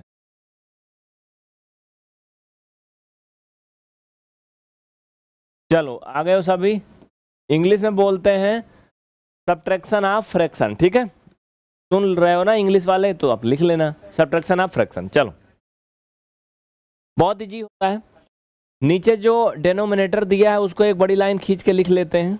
ऊपर का जो न्यूमरेटर है, जैसे हैं, उनको वैसे लिख लेते हैं। बीच में जो चिन्ह है, वो चिन्ह लगा देते हैं, बस। ठीक है? क्लियर बढ़िया? कोई डाउट कोई दिक्कत, कोई परेशानी नहीं ना? नाइन से जब आप फाइव सब्ट्रैक्ट करोगे फोर आएगा। नीचे सेवन था सेवन हो गया आंसर बस, खत्म। वैसे इसमें भी हो जाएगा। एक बड़ी लाइन खींचोगे थर्टीन ऊपर ट्वेंटी वन है एटीन है। ऐसे लिख लेंगे। इसमें से घटाएँगे, तीन आएगा। नीचे थर्टीन था, बस हो गया आंसर बहुत इजी एकदम स्टार्टिंग है ना ये? ठीक है।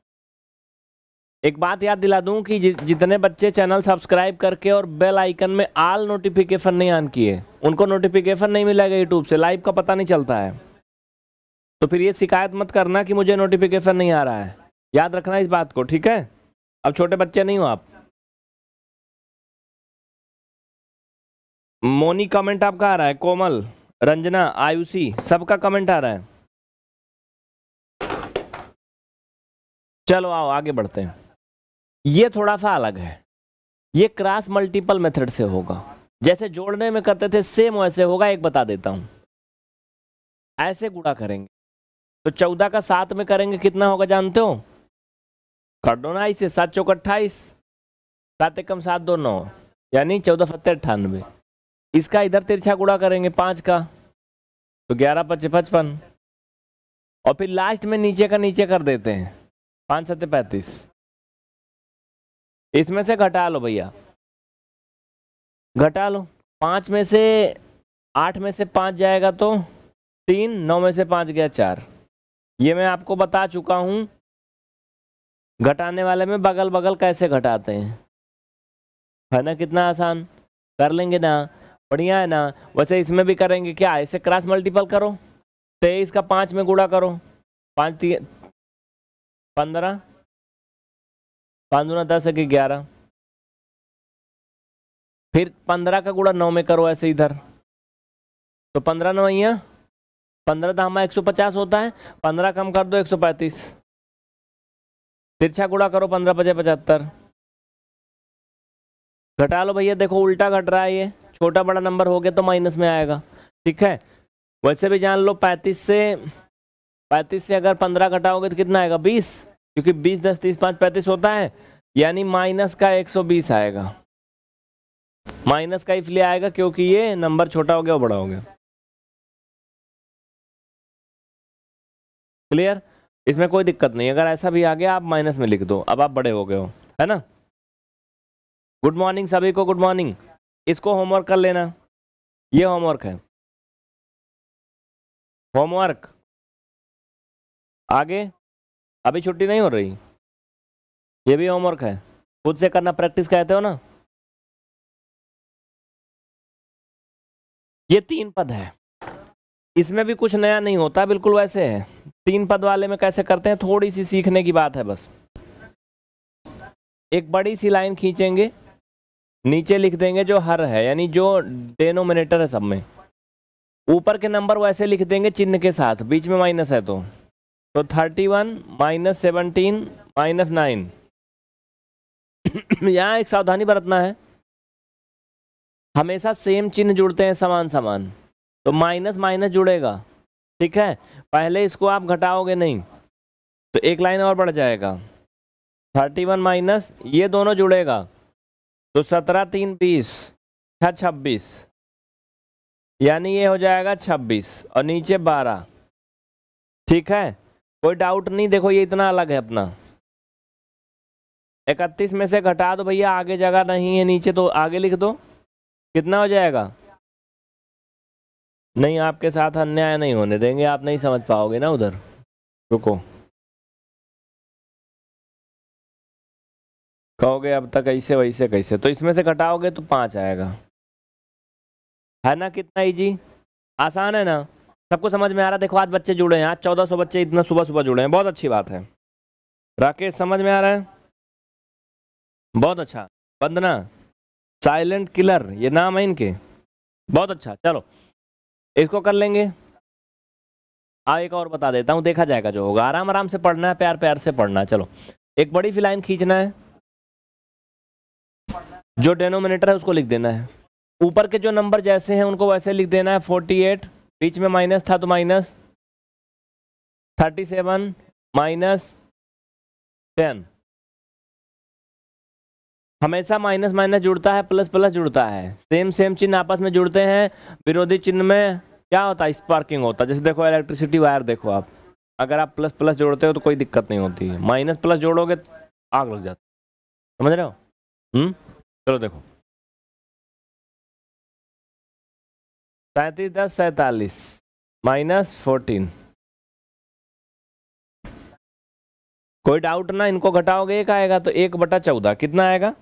One upon fourteen no doubt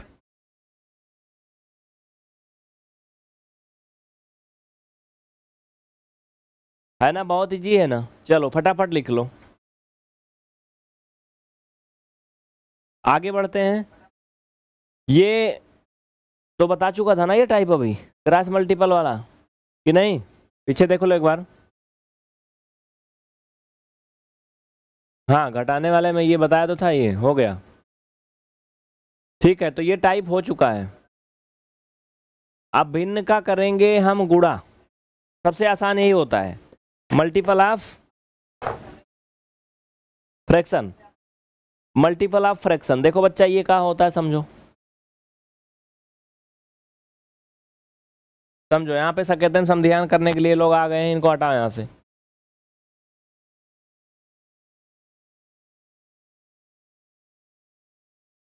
चलो, इसी कर लेता हूँ, बाद में डिस्टर्ब नहीं करने का। देखो, इनमें ऊपर का ऊपर गुड़ा होता है, नीचे का नीचे। बाकी कोई लफड़ा नहीं सीधा सीधा सारा काम सीधा सीधा अभी सिर्फ़ हम आपको यही बताएँगे, बाकी इसमें एक चीज़ और होता है। ये अगर क्रास डिवाइड हो रहे हैं तो डिवाइड भी कर लेते हैं, लेकिन वो चीज़ अभी नहीं बताऊँगा। तो ऊपर का ऊपर गुड़ा कर लो छः चौक चौबीस। ये नौ, सात, तिरसठ। बस खत्म। यही आपको छोड़ देना है।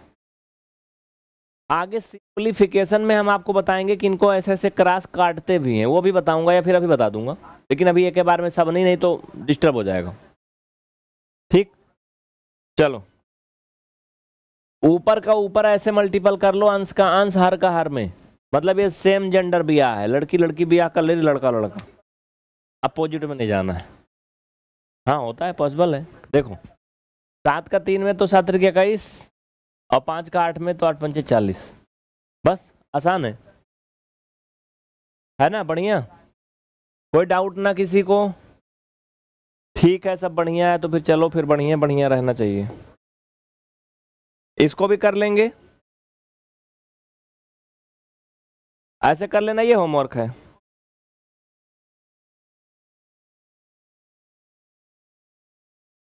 आगे बढ़िए, आइए। इसमें भी ऐसे ही करना है, लेकिन मुझे मजबूरी में आपको डिवाइड करना, बताना पड़ेगा, नहीं तो बहुत बड़े बड़े नंबर हो जाएँगे। फिर गुड़ा करने में काफ़ी मेहनत करनी पड़ेगी। तो आओ, मैं पहले आपको मल्टीपल करना, उनको डिवाइड करना बता देता हूँ। जैसे देखो, सरलीकरण आना चाहिए, नहीं तो गड़बड़ा जाएगा। मामला आगे फिर लंबा मेहनत करनी पड़ेगी। देखो कैसे। जैसे मान लो पहला है, अड़तालीस, यहाँ पे लिखा है सत्रह। यहाँ पे लिखा है फिफ्टी वन यहाँ पर लिखा है कितना? नाइन्टी सिक्स अगर अब इन दोनों को हम गुड़ा करेंगे, इनको करेंगे तो ये लंबा लंबा मटेरियल बन जाएँगे। मेहनत करनी पड़ेगी। हम क्या करेंगे पता है? खोजेंगे। किसी से कट जाए। किसी से क्या करते हैं ना, देखो आपके अड़ोसी पड़ोसी होते हैं जो आपके विरोधी। आपको लड़ा देते हैं कहीं ना कहीं, उलझा देते हैं। तो किसी से उलझ जाए तो इनका मान, इनका वैल्यू छोटा हो जाएगा। देखो, उलझेंगे कहाँ ये? आपस में ही उलझते हैं। आपस में ही उलझते हैं जो अपनी कैटेगरी के होते हैं। कभी दूसरे में नहीं। आप देखो, अधिकांश दुख जो आपके लाइफ में है, आपके रिश्तेदारों से ही हैं। चाहे आपके सबसे पहले जो इस एज में गर्लफ्रेंड से हो, चाहे आपकी बीवी से हो, चाहे आपके किसी रिलेशन वालों से हो। समझ रहे हो? और सबसे बड़ा धोखा भी वहीं से मिलता है। अनजानों से नहीं मिलता है। देखो यहाँ पे, आओ चलो आगे बढ़ते हैं। तो आपस में इनको उलझाना है, कैसे? सत्रह। सत्रह के टेबल में जो जो आते हैं नंबर, क्या इसमें कहीं मिल रहे हैं? आपको ऊपर खोजना है बस। पहले यहाँ खोजना है, फिर यहाँ खोजना है। अंश में होना चाहिए बस वो। इन्हीं की प्रॉपर्टी है। इधर से मतलब नहीं है, ठीक है? मतलब ऊपर मिले बस, कहीं भी। तो आप देखो, सत्रह के टेबल में आपको ये नंबर इक्यावन तो नहीं मिलेगा। लेकिन यार बड़ा हो जा रहा ना ये। और छोटा। तुम लोग वहाँ तक पहुँच ही नहीं पा रहे होगे, सोच रहे होगे, हमें पहाड़ा वड़ा आता नहीं है, फालतू काट अकेल रहे हो। चलो देखो इधर। और छोटा कर, चलो। अब मान लो मैंने आठ लिख दिया, यहाँ पर मैंने लिख दिया तीन, यहाँ पर मैंने लिख दिया नौ, यहाँ पर लिख दिया चार, अब तो तुम्हें दिख रहा होगा। अब तो तुम चलो। अब देखो तीन के टेबल में क्या आठ आता है? नहीं आता, हमें केवल अंश में चेक करना है। तीन के टेबल में नौ आता है? हाँ आता है। आता है तो बस हो गया काम। नौ को पकड़ो और तीन को पकड़ो। इनको लाख डिवाइड करो, तीन एक कम तीन तीन त्रिका नौ यानी हम तीन को काट के एक लिख सकते हैं, नौ को काट के तीन लिख सकते हैं। लिख सकते हैं? यहाँ ऐसे कर लो। ठीक? हो गया? ऐसे इनका भी भैया लगा दो जोड़ी, क्योंकि चार के टेबल में आठ आता है। तो चार एक कम चार चार दूना आठ। अब नया नया नंबर ऊपर दो बचा है। इसमें नीचे एक बचा है। ऊपर तीन बचा है, नीचे एक बचा है। इनको गुड़ा कर लो। तो दो तिहाई छः और एक, ये आंसर हो गया। अगर हम ऐसा ना करते, इनका डायरेक्ट गुड़ा करते तो पता है तुम्हें क्या आता? बताता हूँ। डायरेक्ट गुड़ा करने पर आठ, नवाई, बहत्तर और तीन चौक बारह, ये इतना बड़ा आता। अब बताओ कहाँ बहत्तर बहत्तर हम लिखते इतना बड़ा, फालतू को मेहनत लगता है, इतना छोटा आ गया। है ना बात समझ में आई? किसी को कोई डाउट नहीं। तो ये से बोलते हैं सरलीकरण एक प्रकार से, जो कि छोटा मोटा आपको आना चाहिए, बाकी चीज़ें आगे होती जाएँगी। चलो एक और ले लो फिर। जैसे मान लीजिए मैंने एक लिख दिया, बहुत ही छोटा सा ही बताऊँगा मैं अभी, बारह। और यहाँ पर मैंने लिख दिया दस, ठीक है? यहाँ पर मैंने पंद्रह लिख दिया, यहाँ पर मैंने लिख दिया पच्चीस। अब ये आपस में क्रॉस किसी से भी डिवाइड हो सकते हैं। ये इससे कोई रिलेशन है तो डिवाइड कर दो। इनका इससे है तो कर दो। लेकिन यहाँ इनके दोनों हाथ में लड्डू है। इनको चाहे इससे डिवाइड करो, चाहे इससे दोनों में हो रहे हैं। तो पहले आपस में कर दो जो इनके ज़्यादा नज़दीक हैं। एक ही नंबर से डिवाइड करोगे याद रहे, नंबर अलग अलग नहीं करना बस। तो दो से अगर भाग करेंगे, दस में तो पाँच आएगा। दो से बारह में भाग करोगे तो छः आएगा। सेम नंबर से भाग करना दोनों को, बराबर। धोखा नहीं। चलो। इनको दोनों को पाँच से भाग कर सकते हैं। पाँच या पंद्रह पचम पच्चीस। नया नंबर ऊपर बचेगा छः नीचे बचेगा पाँच। ऊपर बचेगा तीन, नीचे बचेगा पाँच। अब इनको नहीं काट सकते हो। हर हर है। नीचे नीचे के नंबर कभी आपस में नहीं कटेंगे। ऊपर ऊपर के नंबर कभी आपस में नहीं कटेंगे। बिल्कुल वैसे। जैसे हमारे देश की राजनीति में नेता नेता, मंत्री मंत्री, विधायक विधायक कभी आपस में मार नहीं करते हैं। बहुत ही रेयर केस में होगा। लेकिन कार्यकर्ता जो उनके चाटने वाले आगे पीछे होते हैं, एक दूसरे का मर्डर भी कर देते हैं। सच्चाई है ना? जिनको आज घर आते हैं, कल उनकी पार्टी में शामिल हो जाते हैं, जिसके लिए उनके कार्यकर्ता, अगले पार्टी कार्यकर्ता को पीट पीट के अधमरा कर दिए होते हैं, वो कल को उन्हीं की पार्टी में छोड़ चले जाते हैं। समझ रहे हो ना? तो नीचे नीचे नेता नेता है, समझ लो तुम। सीखो। तो इनका मल्टीपल कर लो बस। क्षेत्रीय का अठारह और पचम पच्चीस। ये हो गया आंसर तो आज टाइम ओवर होता है, बहुत ज़्यादा बड़ी क्लास नहीं हो सकती, जैसा कि मैं आपको बताया था। तो बहुत बहुत धन्यवाद। और हाँ चैनल को सब्सक्राइब करके सेशन को लाइक ज़रूर किया करें, जिससे आपको अगला पार्ट भी मिले। और वो भी टोटल फ्री मिलेगा ये सीरीज़ सुबह पाँच बजे से इसका आता है पूरा पार्ट और हाँ आज का यक्ष प्रश्न तो मैंने पूछा ही नहीं। आज का यक्ष प्रश्न ये है, संख्या वन है, क्या है?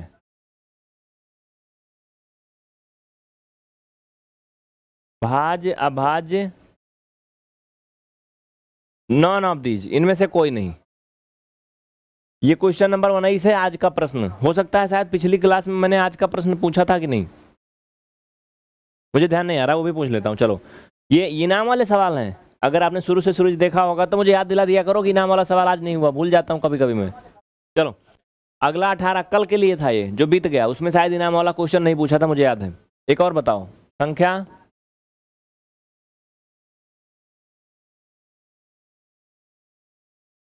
अंडर रूट उनतालीस। करड़ी है? हाँ। बी है नहीं।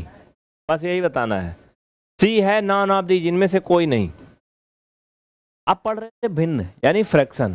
पिछली क्लास में आपने पढ़ लिया था कि भिन्न क्या होती है है ना? भिन्न का जोड़ना, घटाना गुड़ा यहाँ तक पहुँचे थे कुछ हद तक। और आज उसके आगे बढ़ेंगे, जो नहीं पूरा हुआ था कल, वो आज हो जाएगा। ठीक है? बढ़िया? तो ये सारी चीज़ें पढ़ना है चलिए। मुझे लगता है कल ये हो गया था ना। आपने सीख लिया था, आज इसमें एक स्टेप आगे बताऊँगा। क्या? कि जहाँ पर आप नीचे लाके फ्रैक्शन को छोड़ देते थे, वहाँ छोड़ना नहीं है। उसको पकड़ के रखना है। जैसे अगर मैं इन सवालों को तो कल किया था, इसलिए आज इनको करूँ कि ना चलो कर देता हूँ, मैं आपको बताता हूँ अगला स्टेप क्या था। समझना है यहाँ से? सबसे पहले तो इनको हम छोटा से छोटा कर लेंगे, ठीक है? जैसे देखो नाइन है। अब नाइन जिन जिन संख्याओं से डिवाइड है, उससे हम अंश वाली संख्या में ट्राई करेंगे, अगर कोई भी संख्या डिवाइड है, यानी इनमें कोई कॉमन फैक्टर है तो उनको आपस में डिवाइड कर लेंगे। जैसे तीन से देखो, ये डिवाइड होगा तीन त्रिक्का नौ, और तीन से ये भी होगा तीन दुना छ किसी भी अंश वाली संख्या से कोई भी हर वाली संख्या अगर डिवाइड हो रही, चाहे इधर हो, चाहे इधर कहीं भी तो उसको कर लेंगे। अब ऊपर दो है और चार है। तो दो और चार इन दोनों में कोई ऐसा कॉमन फैक्टर जो भी है, वो तीन और सात में नहीं है। तो इनका आपस में गुड़ा करेंगे। आठ और ये तीन सतह इक्कीस। अब ये ऑलरेडी हर एक बड़ी संख्या है अंश से। तो इसमें कुछ भी पॉसिबल नहीं है, ये आंसर है। ये उचित भिन्न है प्रॉपर फ्रैक्शन है। ठीक है? चलें। उधर साइड में अगर देख लो, इसमें अगर आप देखो तो कुछ भी डिवाइड नहीं होगा, कॉमन फैक्टर नहीं है। सात और तीन के जो भी फैक्टर हैं, वो ना तो आठ में है, ना पाँच में है। वन को छोड़ दो, वन से कोई मतलब नहीं। है ना? तो क्या करोगे फिर भैया? इनको डायरेक्ट मल्टीपल कर लो। सेवन, थ्री जा, twenty one and eight, five जा, फोर, ज़ीरो, फोर्टी। तो ये तो मैं आपको कल बताया था। अभी आगे बढ़ेंगे। तो और चीज़ें होंगी यहाँ पे देखो। अंश वाली किसी भी संख्या से हर वाली कोई भी संख्या अगर डिवाइड हो रही, उनमें कॉमन फैक्टर है तो उनको पहले सिंप्लीफिकेशन कर लेंगे, फिर गुड़ा करेंगे। ये स्टेप कल मैंने ज़्यादा ज़ोर देके नहीं बताया था, आज ये फोकस में रहेगा। जैसे देखो यहाँ पैंतीस है। अब पैंतीस के जो भी फैक्टर हैं, वो बारह, सात या छः किसी में अगर हैं तो उनको डिवाइड कर लेंगे। तो देखो भैया, पैंतीस के जो फैक्टर हैं, वो पाँच भी हैं, सात भी हैं, मुख्यतः पैंतीस भी हैं। ये पैंतीस के फैक्टर हैं। और ऊपर ऑलरेडी सात दिख रहा है तो ये डिवाइड हो जाएगा। सेवन वन जा सेवन सेवन फाइव जा थर्टी फाइव जितना भी डिवाइड हो सकता, पहले कर लेंगे, फिर आगे बढ़ेंगे। अभी और भी हो सकता है। क्या? देखो ट्वेल्व से हो जाएगा। ट्वेल्व वन जा ट्वेल्व एंड ट्वेल्व फोर जा बोलो, हो जाएगा ना? मैंने कहा, एक संख्या ऊपर की होनी चाहिए, दूसरी संख्या नीचे की होनी चाहिए, बाकी वो कहीं भी रहे, इससे लोकेशन से नहीं मतलब है। ये नहीं ज़रूरी कि उसके नीचे ही रहे। जैसे मैंने आपको एग्जांपल बताया था कि अगर तुमको ब्याह करना है, शादी तो वो लड़की से करना है। लड़के हो तो। वो लड़का कहीं का भी होना चाहिए। ऐसा थोड़ी का आपके गाँव मोहल्ले का ही होगा। हाँ? समझ रहे हो नहीं? अगर आप लड़की हो तो लड़के पे लागू होती, उल्टा होता है। तो? लेकिन हाँ होना चाहिए अपोजिट। यानी लड़का हो तो लड़की लड़की हो अगर आप तो लड़का होना चाहिए। सेम नहीं होना चाहिए। वैसे सेम कंडीशन यहाँ है कि ये अंश है ना, वो हर में होना चाहिए, कहीं भी हो। अंश में नहीं होना चाहिए। नहीं तो कहो कि बारह से हम सात या छः को काट दें छः कम छः छः दुनी बारह, ऐसा नहीं। ये तो फिर वही हो गया कि आपकी सेम जेंडर में मैरिज हो गई। होती भी आजकल वो, लेकिन आप वाद है, हम उसकी बात नहीं करेंगे। समझ गया ना? चलो तो वो अलग होना चाहिए बस, उससे, नीचे वाले में। अब इसमें कोई कॉमन फैक्टर देखो, ये नौ है, ये छः है। दोनों अपोजिट हैं। एक अंश में, एक हर में। ये भी डिवाइड होगा। तीन दूना छ और तीन तरीक का नौ। अभी कहीं कुछ बचा है क्या? अगर बचा है तो उसको भी काट पीट दो भैया। हाँ बचा है। अभी तो यही दोनों बचे हैं, आपस में। गाँव गाँव में। दो एक कम दो दो दूना चार। अब कुछ नहीं बचा। ऊपर वन, नीचे फाइव इंटू ऊपर वन, नीचे थ्री ऊपर वन, नीचे टू सब मल्टीपल कर लो वन अपान ये फाइव थ्री जा फिफ्टीन टू जा थर्टी यानी पाँच दूना दस तिया तीस। ये हो गया आंसर खत्म। यही चीज़ मेन फोकस करके आज सीखना था कि आप इनको कैसे डिवाइड करके आगे बढ़ेंगे, है ना? क्लियर है? कोई डाउट ना किसी को? बढ़िया है तो एक बार सभी कमेंट कर दें जोरदार और लाइक शेयर ज़रूर करें। जैसे ये सीरीज़ हम जल्दी जल्दी आगे बढ़ा सकें। नहीं तो फिर ये रुक जाती है, फिर थोड़ा लंबा टाइम पे आती है यूट्यूब पे, याद रखना। अगर आप लोग ऐसा नहीं करते हो तो भैया। हम्म? क्योंकि मुझे भी एडजस्ट करना पड़ता है। गुड मॉर्निंग सभी को गुड मॉर्निंग कमेंट्स आपके दिख रहे हैं। Saurabh, Neelu, Pankaj, Mohit, Bharti Verma, silent boy, Ranjana, Moni, attitude girl Lavkush Agrahari सुबह सुबह चौदह सौ बच्चे अगर जुड़ जाएँ पाँच बजे तो बहुत अच्छी बात है। कम थोड़े हैं। चलो। वैसे भी हमारे एक कैंडिडेट सौ के बराबर हैं। सवा शेर है ना?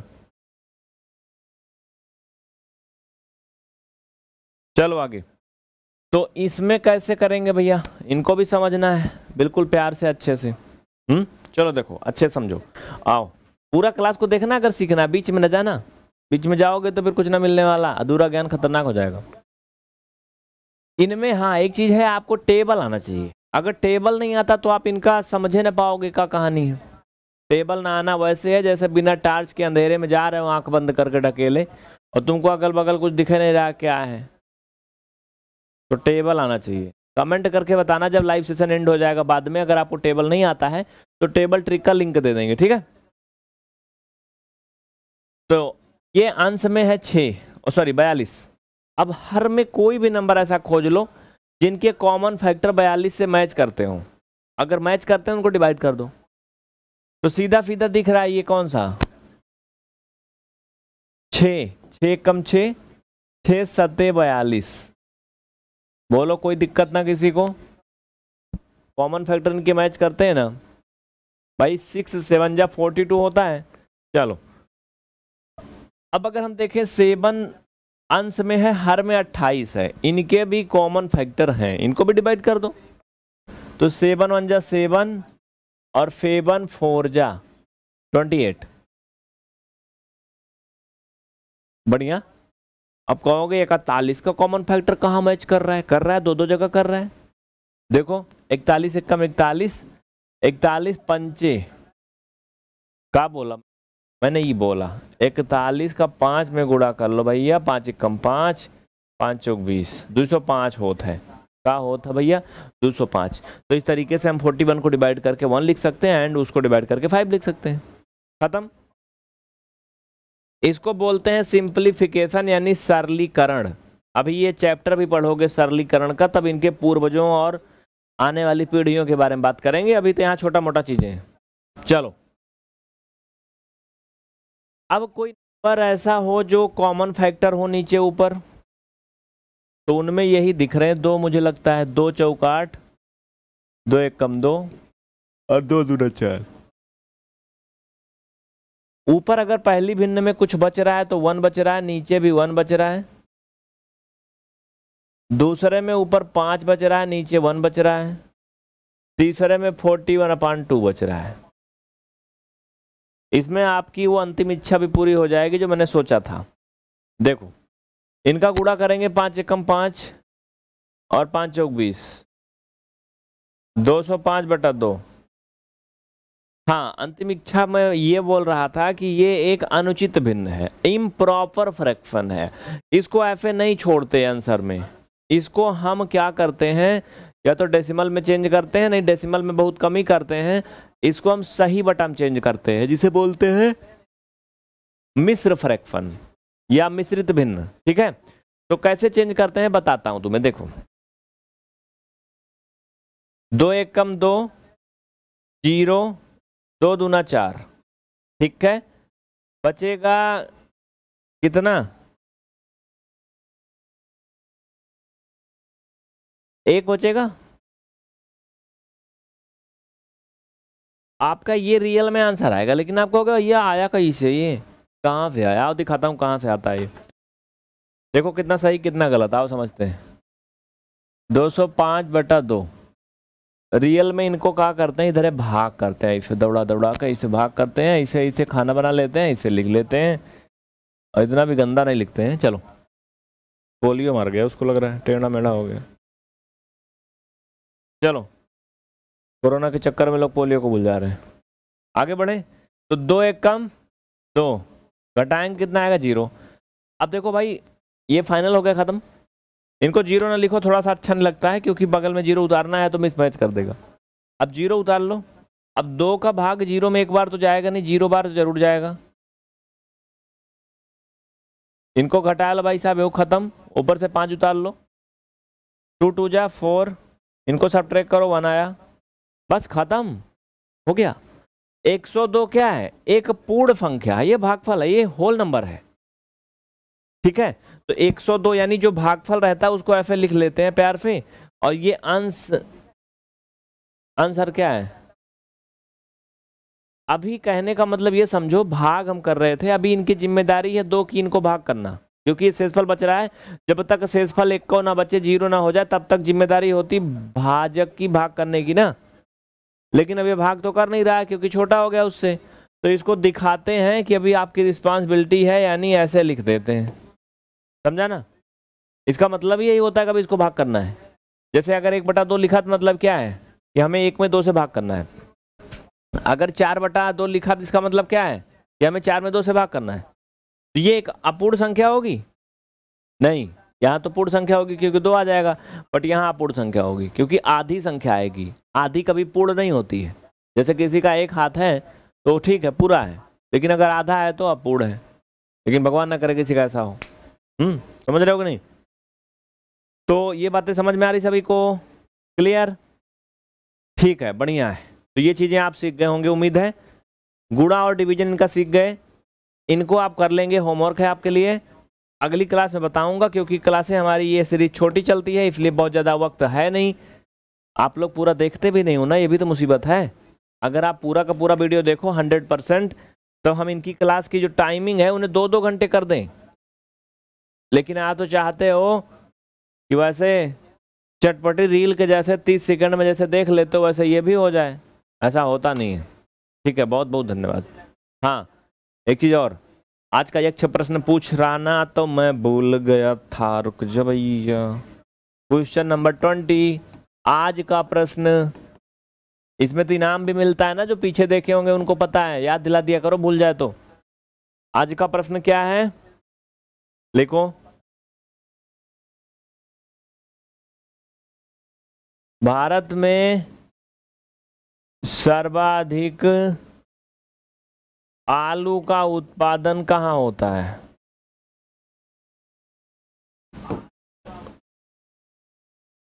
बता भैया, आलू एक ऐसी सब्ज़ी है जो सबके साथ सेटिंग कर लेती बताना इसको कमेंट कर तो उसी क्रम में आज पढ़ेंगे भिन्न का भाग करना। क्या डिवीज़न ऑफ़ फ्रैक्शन ठीक है? सभी को good morning very very good morning अगले पाँच मिनट में सबके नाम बोलूँगा मैं जो जुड़े हैं, क्योंकि सुबह सुबह आप बहुत मेहनत करते हैं उठने में, है ना? बाकी गदहा लोग तो उठवे नहीं करते हैं।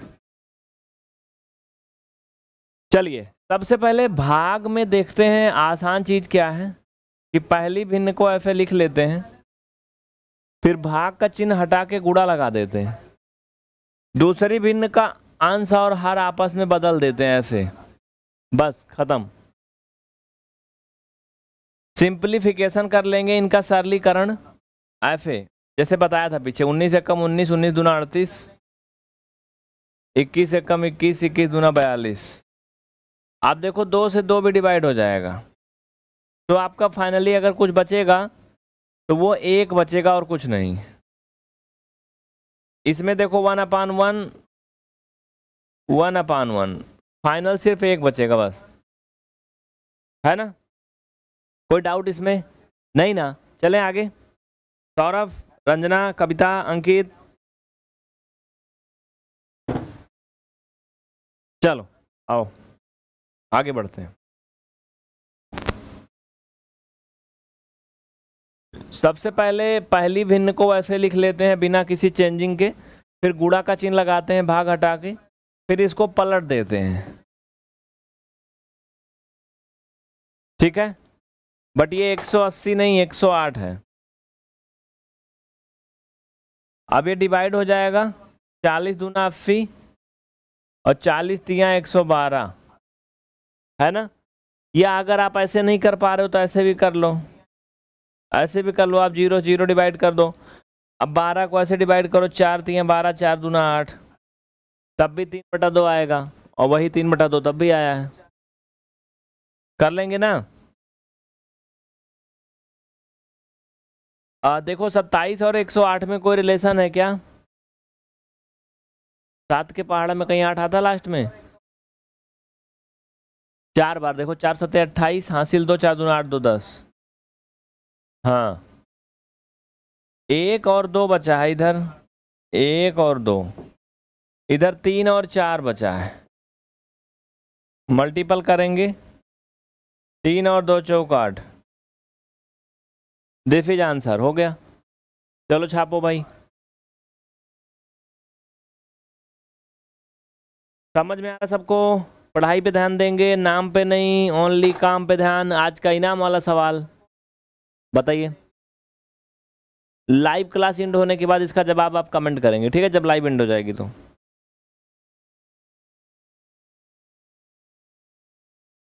चलिए। इनाम वाले सवाल के बारे में बहुत जानते होंगे, अगर शुरू से देख रहे हैं तो क्या है वो? पाँच हज़ार का इनाम मिलता है ना, इसे सवालों पे लास्ट में मिलेगा।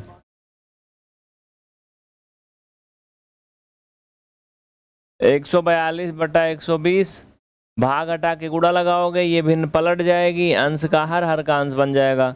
इसका फाइनल आंसर क्या आएगा, एक बार बता दो सभी।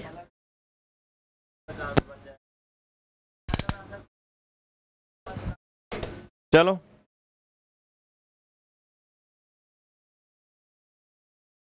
देखो ये डिवाइड हो जाएँगे आपस में, साठ एकम साठ साठ दूना एक सौ बीस।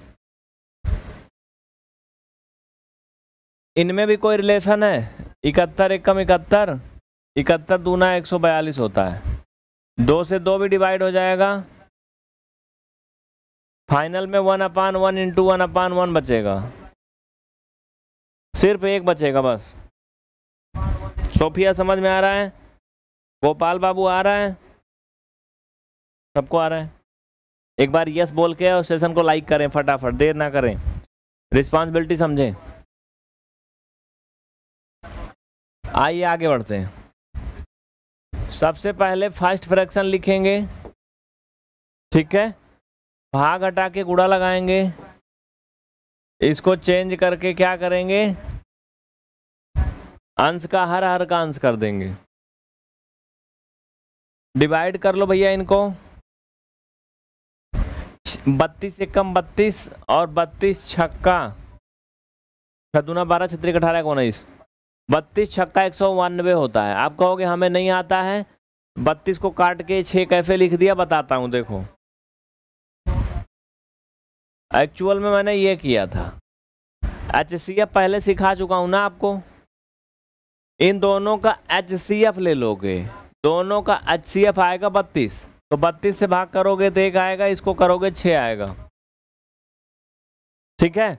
या दूसरा तरीका ये है बच्चा कि आप इनको ऐसे लिखो, आप इनको दो दो से भाग करो। अगर हम दो से भाग करें बत्तीस को तो सोलह आएगा, जानते हो? सोलह आएगा तो दो से भाग करें सोलह आया। वैसे दो से इसको भाग करोगे, एक सौ बानबे को छियानवे आएगा, ठीक है? फिर से सोलह को दो से भाग करो, आठ आएगा। फिर से इसको दो से भाग करो, अड़तालीस आएगा। फिर इनको देखो, चार से भी काट सकते हैं। चार दूना आठ, बारह आया। फिर इनको दो से डिवाइड कर सकते हो।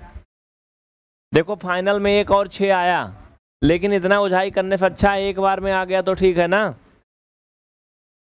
बताओ, ये तो एक ही बार में आया था ना?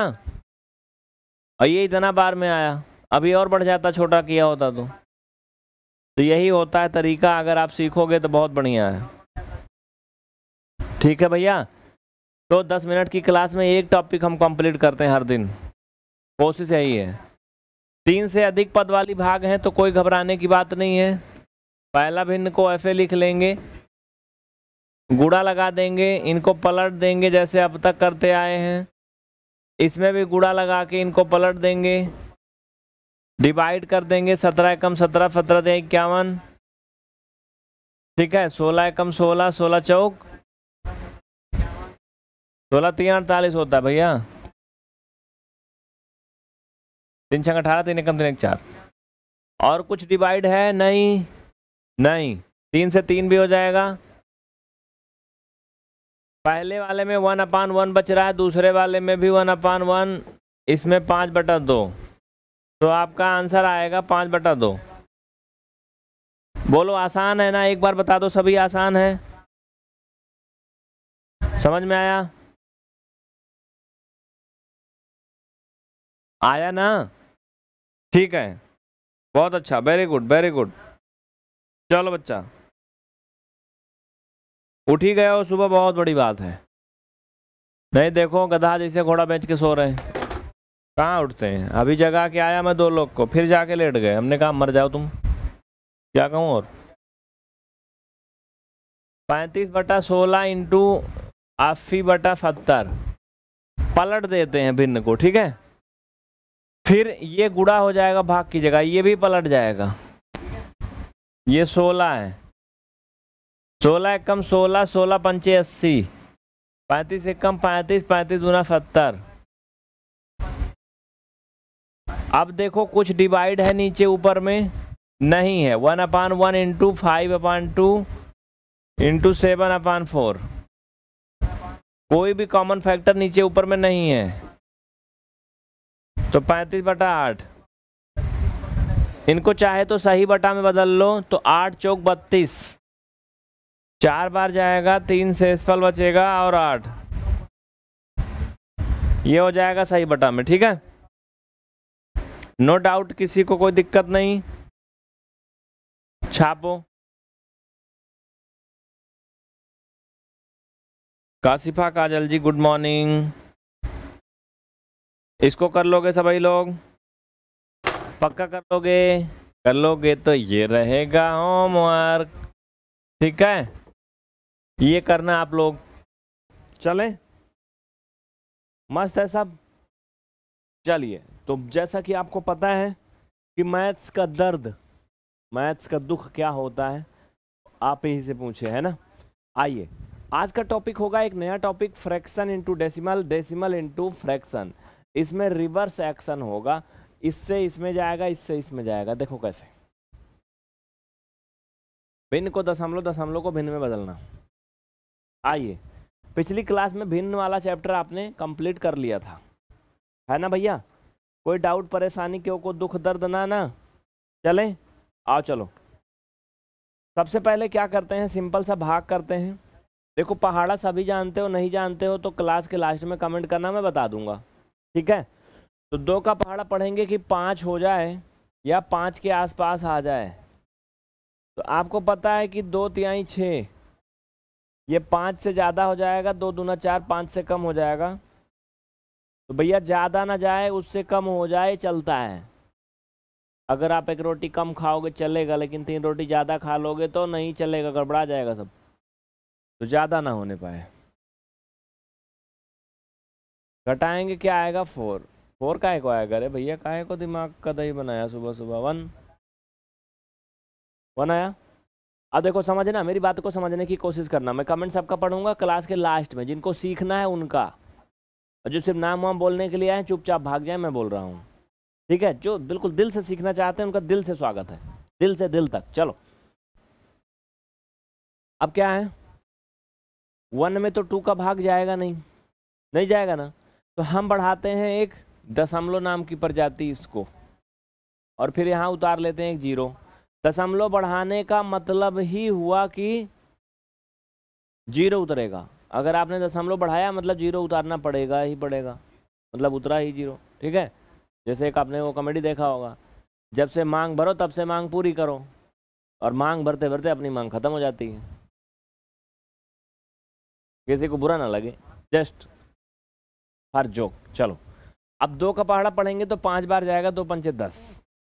घटाएँगे, कितना आएगा? ज़ीरो। देखो ये हो गया ख़त्म। यानी हम कह सकते हैं यहाँ से हमें जो मिला है जो हासिल हुआ है वो क्या है? आ, दो बटा पाँच। ए भैया दो बटा पाँच नहीं था। ये पाँच बटा दो था। इक्वल दो टू पॉइंट फाइव। अगर मैं सीधा सीधा कहूँ तो पाँच का आधा क्या होता है? ढाई। दो से भाग करने का मतलब ही होता है आधा करना। ठीक है? पाँच का एक बटा दो निकला है ढाई। इसको कितने लोग कर लेंगे? ईमानदारी से बताओ, कितने लोग कर लेंगे इसको? बहुत अच्छी बात है। सुबह सुबह इतनी, सुबह सुबह अगर चौदह सौ, पंद्रह सौ लोग जुड़ जाते हैं, उसी की बात है कि हाँ आप पढ़ रहे हो, जाग रहे हो, है ना? चलो चलो। इसमें कितनी बार जाएगा भाई? देखो भैया, देखो देखो देखो। सेवन का टेबल पढ़ो कि ट्वेंटी फाइव से ज़्यादा ना हो। उससे कम रहे, चलेगा। सात दूना चौदह। आपको पता है सात तरीके इक्कीस सात चौका अट्ठाईस। अट्ठाईस पच्चीस से ज़्यादा हो जा रहा है। इसका मतलब चार बार ना जाएगा, सिर्फ़ तीन बार जाएगा। तो सात तरीके इक्कीस घटाएँगे कितना आएगा? घटाएँगे चार आएगा।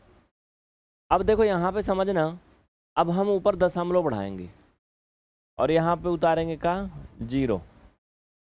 सात का पहाड़ा पढ़ो भैया कि चालीस के आसपास आ जाए। सभी को पढ़ा है? पढ़ा नहीं मतलब पता है?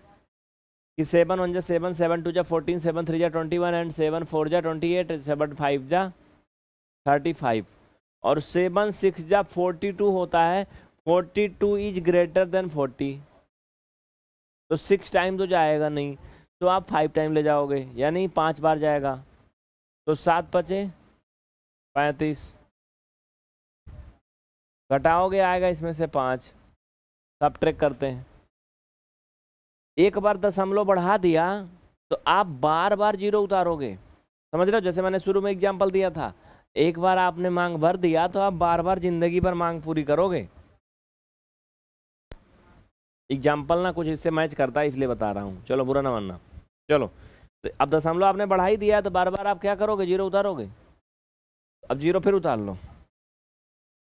सात सता उनचास। घटाओगे तो कितना आएगा एक?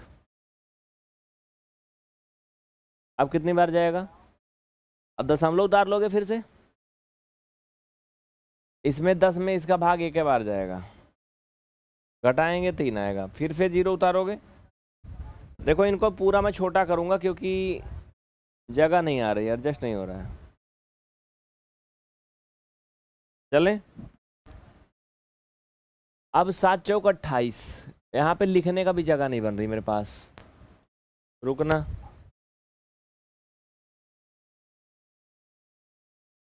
दिख रहा है यहाँ पे? ठीक है।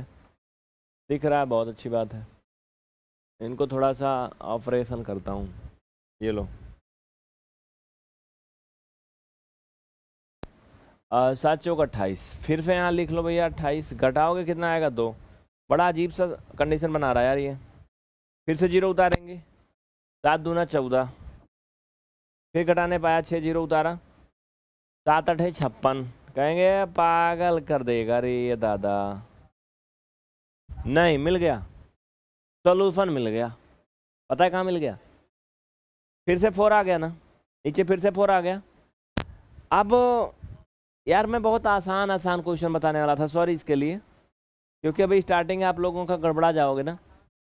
कहोगे तो मीठी गोली खिला के जहर पिला दिया। तो ये भाग आप इग्नोर कर सकते हो। फ़िलहाल अभी आपके लेवल का नहीं, आगे मैं बताऊँगा इस तरीके का। इसमें नीचे फोर आ गया, फिर से फोर ज़ीरो फोर्टी आ जाएगा। यहाँ पे आप देखो सेकेंड टाइम में फाइव बार भाग गया था ना? गया था? इसका मतलब ये इतने लेटर आप बार बार रिपीट होंगे इतने। इन पे बार लग जाएगा। ठीक है? क्योंकि अब फिर से ये सात पच्चीस पैंतीस जाएगा, फिर वही सब आएगा। ये अभी के लिए फ़िलहाल नहीं था। इसको छोड़ जाने दो। चलो। बट भाग वैसा लिख दिया था मैंने तो कर दिया, ये ना हो कि यहाँ लिखे थे, लगाए नहीं। चलें आगे बढ़े। बढ़िया। कोई डाउट ना किसी को। ये है आपका भाग मस्त वाला अच्छा वाला, सुंदर वाला। चलें इस पे आगे बढ़े। चलो देखो बच्चा। चार का भाग छः बार जाएगा। चार छंग चौबीस, घटाओगे, एक आएगा। ऊपर दशमलव बढ़ाओगे, ज़ीरो उतारोगे। है ना? एक बार दशमलव बढ़ा लोगे तो बार बार ज़ीरो उतारोगे। तो चार दुना आठ। घटाओगे, कितना आएगा? दो। अब फिर से आप ज़ीरो उतारोगे। फोर, फाइव या ट्वेंटी। तो आपका ये हो गया डन, ख़त्म। समझ में आया? फट से छापों में हट गया हूँ, चलो। सौरभ, समझ में आ रहा है? रानी आदित्य चौहान आया समझ में? जय विक्रांता, राकेश, विनोद, सबको आ रहा है समझ में? देखो, बहुत से बच्चे जुड़े हुए हैं, सबका नाम पॉसिबल नहीं है। बट हाँ जो बच्चे आंसर देते हैं फटाफट, उनका पॉसिबल हो जाता है। तो चलो बच्चा पार्टी आगे बढ़ता हूँ। फटाफट। आठ का भाग इसमें कितनी बार जाएगा? देखो, दस में ले जाएँगे, पूरा पूरा सौ में ना ले जाएँगे। तो आठ एक कम आठ। घटाओगे दो आएगा। ऊपर से ज़ीरो उतार लो, बिना दस हम लोग बढ़ाए अभी। आठ दुना सोलह।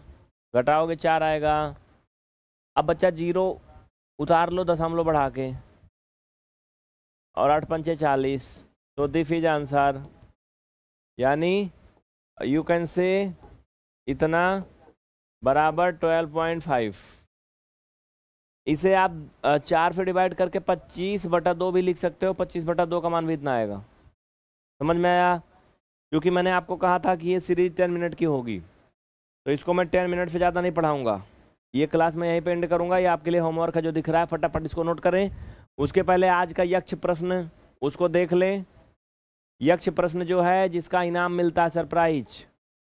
बताओ।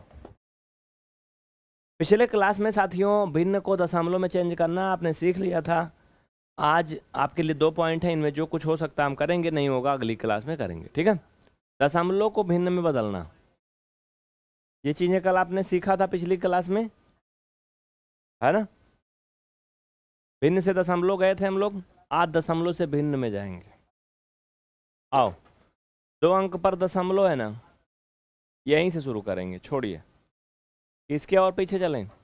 थोड़ा और पीछे हो जाए, रुको। एक अंक और पीछे। चलो, मान लो कि लिखा है ज़ीरो पॉइंट पाँच। इसको हमें भिन्न में बदलना है। यहाँ पर देखना, प्यारे बच्चा, एक अंक पर दशमलव है। इधर दाहिनी तरफ़ से गिना जाता है, एक अंक फिर दशमलव अगर एक अंक पर दशमलव है तो ऐसी दशा में हम इसे वन लिखने के बाद एक ज़ीरो लगा के गुणा करेंगे। मान पर कोई फ़र्क ना पड़े, इसलिए उतने से ही भाग भी करेंगे। अगर दो अंक पर दशमलव होता तो एक के बाद दो ज़ीरो लगा के गुणा करते। तीन अंक पर दशमलव होता तो यहाँ पर एक के बाद तीन ज़ीरो लगा के गुणा करते। अभी सब बताऊँगा। दस का पाँच में गुणा करोगे पचास। दशमलव एक अंक पर था, इसलिए यहाँ एक अंक पर लगा दिया। नीचे दस है तो दस। ठीक है? दशमलव के बाद ज़ीरो का कोई मतलब नहीं होता है तो इसे हम पाँच बटा दस लिख सकते हैं। इसे हम फिर से भाग करेंगे, फिर वही आ जाएगा। तो ये था दशमलव से भिन्न में बदलना। ठीक है? बढ़िया, मस्त चल रहा है सब बिंदास। नंबर एक, ठीक है। कमेंट सभी के आ रहे हैं, मैं देखूँगा, बस आधा मिनट तफल्ली करेंगे, ठीक है? अगला सवाल। जैसे ज़ीरो पॉइंट तीन टू, इसको बदलो भाई जल्दी से, फट से आधा मिनट में।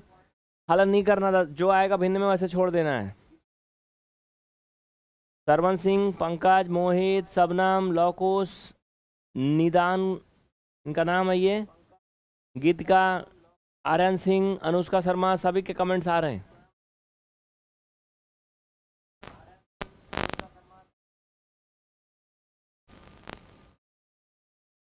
क्या हुआ? आवाज़ में कुछ शोरगुल है क्या?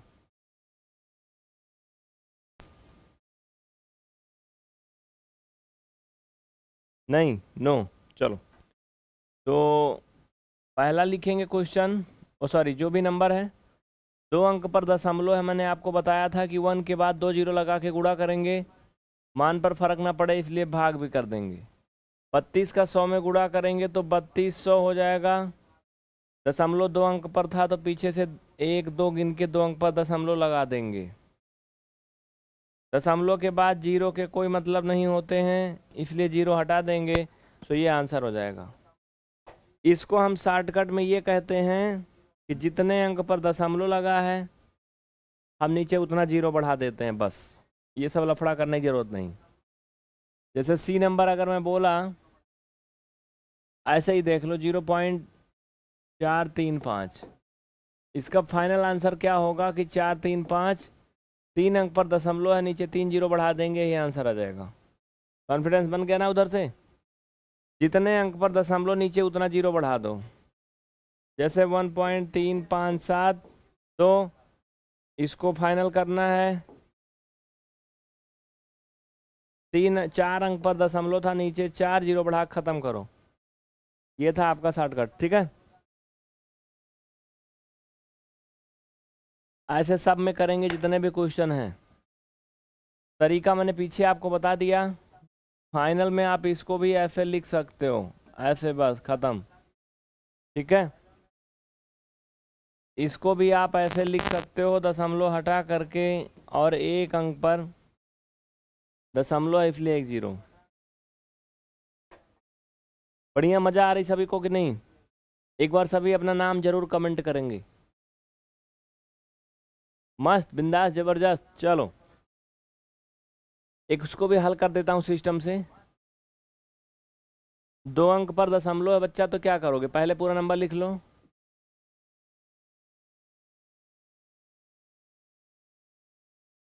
टू डिजिट पर डेसिमल है, इसलिए वन के बाद टू ज़ीरो लगा के गुड़ा करेंगे, मान पे फ़र्क ना पड़े, इसलिए उसी संख्या से भाग भी करेंगे। इसमें सौ से गुड़ा करेंगे दो ज़ीरो बढ़ेगा। दो अंक पर दशमलव था तो यहाँ दशमलव लग जाएगा, नीचे सौ तो सौ। फाइनल में पाँच सौ बत्तीस बटा सौ दिस इज़ आंसर। है ना, मस्त है? चलो, बहुत बढ़िया। ये क्या था बच्चा? ये था आपका दशमलव से भिन्न में चेंज करना। आसान है ना? ऐसे आप कर लोगे इन सबको, इन्हें हम हल नहीं करेंगे, किसी को भी सरल नहीं करेंगे। सिर्फ़ यही सीखेंगे, सरल करना हम आपको सरलीकरण में बताएँगे, नहीं तो बीच में सब डब्बर डोल हो जाएगा। मिक्स हो जाएगा, गड़बड़ा जाएगा, नहीं समझ पाओगे।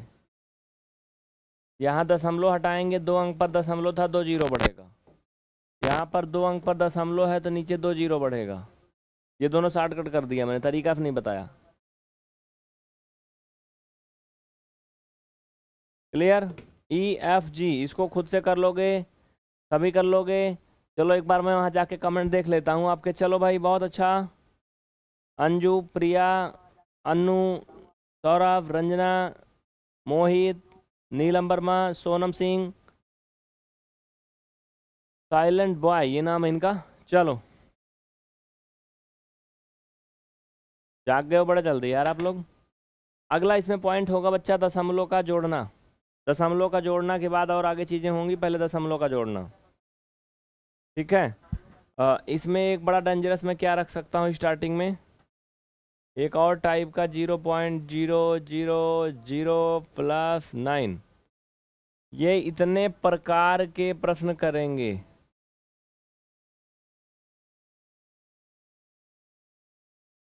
देख लो कितना प्रकार है सात आठ प्रकार है नहीं आठ प्रकार के क्वेश्चन करेंगे। जोड़ेंगे। पहला प्रकार ये है कि जब एक साधारण सी संख्या में एक अंक की दशमलव संख्या जोड़ें, उसके पहले आज का इनाम वाला सवाल जिस पे मिलेंगे आपको पाँच हज़ार रुपये का इनाम इस सीरीज़ के सारे सवाल देने पर। बताइए, भारत की सबसे बड़ी नदी का नाम गंगा, यमुना, ब्रह्मपुत्र या फिर इनमें से कोई नहीं? ये जवाब आप लाइव इंड होने के बाद भी एक बार देंगे क्योंकि लाइव में जो दे रहे हैं वो रिकॉर्ड में नहीं जाएगा अभी। एक बार लाइव में कमेंट कर दें, अच्छी बात है, बाद में भी एक बार कमेंट करेंगे, ठीक है बच्चा? आइए, फिर उस तरीके के सवाल पे आगे बढ़ते हैं। एक साधारण सी संख्या है जिसमें एक अंक की कोई दशमलव वाली संख्या जोड़नी है। कहते हैं ना, गदहा के साथ गदहा बनना पड़ता है। जो लोग गाँव देहात से संबंध रखते हैं, उनके बहुत अच्छे से पता है कि अगर भैंस चराने जा रहे हो तो तुमको भैंस बनना पड़ता है। समझ रहे हो कि नहीं? मेरी बात समझ रहे हो? चाहे आप मेल हो फीमेल हो, कुछ भी हो, लेकिन आपको भैंस बनना पड़ता है। इसका मतलब ये है कि अगर वो कीचड़ में बैठेगी, गड्ढे में बैठेगी, उसमें से निकलेगी, और दो चार हैं, अगर उनको आप आगे पीछे लगे हो तो जितना कीचा उनके लगा रहेगा, उतना तुम्हारे भी लगेगा। समझ रहे हो नहीं? तो क्या है, इसका तात्पर्य यहाँ से ये है कि हमें इनको इसमें जोड़ना है। तो इनके जैसे संगत बनानी पड़ेगी। कैसे बनानी पड़ेगी? इसमें दशमलव नहीं है तो इसमें भी दशमलव हम लगा लेंगे ऐसे, दिखावे के लिए। फिर इनको जोड़ेंगे ऐसे। अब ये भी दशमलव में हो गए। हाँ किसी भी नंबर में, कोई भी नंबर लिखा है, उसमें लास्ट में दशमलव लगा के हम ऐसे कितना भी ज़ीरो बढ़ा सकते हैं, मान पर कोई फ़र्क नहीं पड़ता। आपने बैंक में देखा होगा, अगर किसी के अकाउंट में चार हज़ार दो सौ रुपये है तो बैंक वाले ऐसे दशमलव लगा के ऐसे ऐसे ऐसे लगाए रहते हैं। इसका मतलब ये नहीं कि उसके अकाउंट में बयालीस लाख रुपया है। ये बयालीस लाख नहीं ओनली बयालीस सौ है। ठीक है? ये बड़ी बातें हैं जो आप छोटी छोटी क्लास में सीख रहे हो। इनको जोड़ने के लिए बच्चा आसान तरीका बता रहा हूँ। पहले इनको लिखोगे, फिर दशमलव के जस्ट नीचे दशमलव लगाओगे। इधर राइट साइड में देखो, इसके दशमलव के दो है। इधर लेफ़्ट साइड में ज़ीरो है। प्लस का चिन्ह लगाओ। दो, दशमलव तीन का तीन। ख़त्म बात। है ना? इस पर विस्तार से चर्चा अगली क्लास में करेंगे, क्योंकि ये क्लास होती है ओनली फॉर टेन मिनट है ना? कैसा लगा बताना हाँ? और हाँ ये जो सीरीज़ आप देख रहे हो, बड़ी स्पेशल सीरीज़ है बच्चा। इसमें आपको हंड्रेड वीडियो मिलेंगे, अगर आप सारा फॉलो करोगे, आगे बढ़ेंगे। रुकना थोड़ा सा।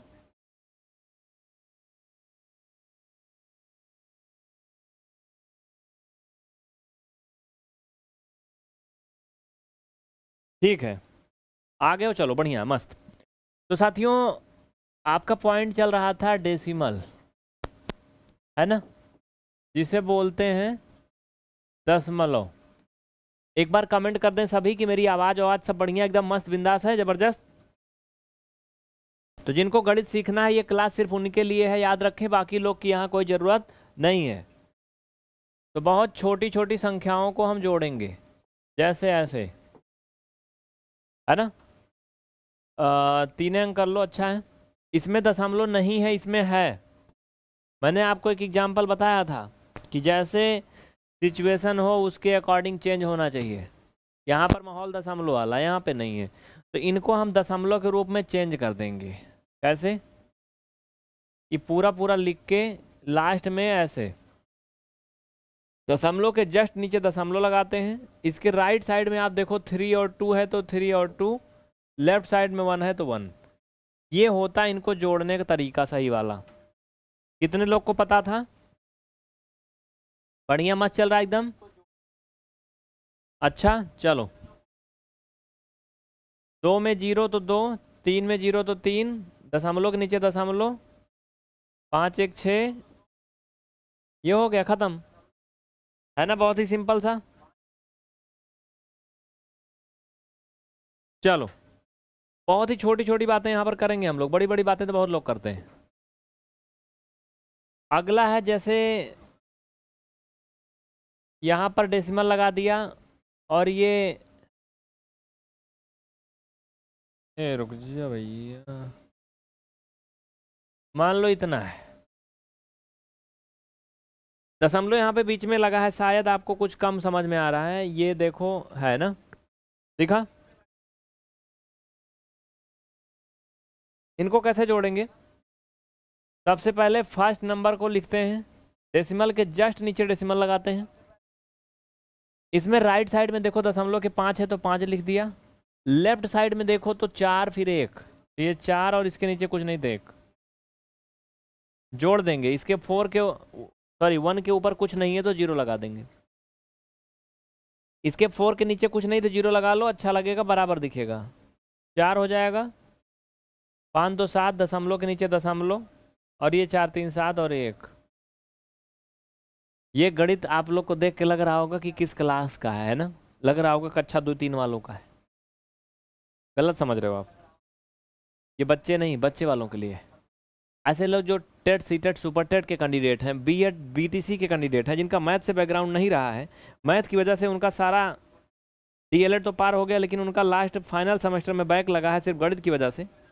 ऐसे लोगों का दुख और दर्द कोई समझता नहीं है। उम्र के ऐसे पड़ाव पे हैं कि ऑफलाइन जाके भी नहीं पढ़ सकते हैं सब क्या करें? तो उनको हम ज़ीरो सिखाते हैं। यही मेरी पहचान। आगे बढ़े, चलिए।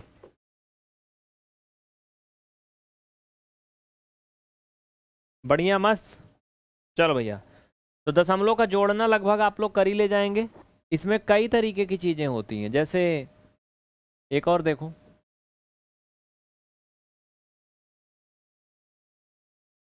मान लीजिए कि इसमें हमें दो जोड़ना है। कैसे होगा, पता है? हम्म?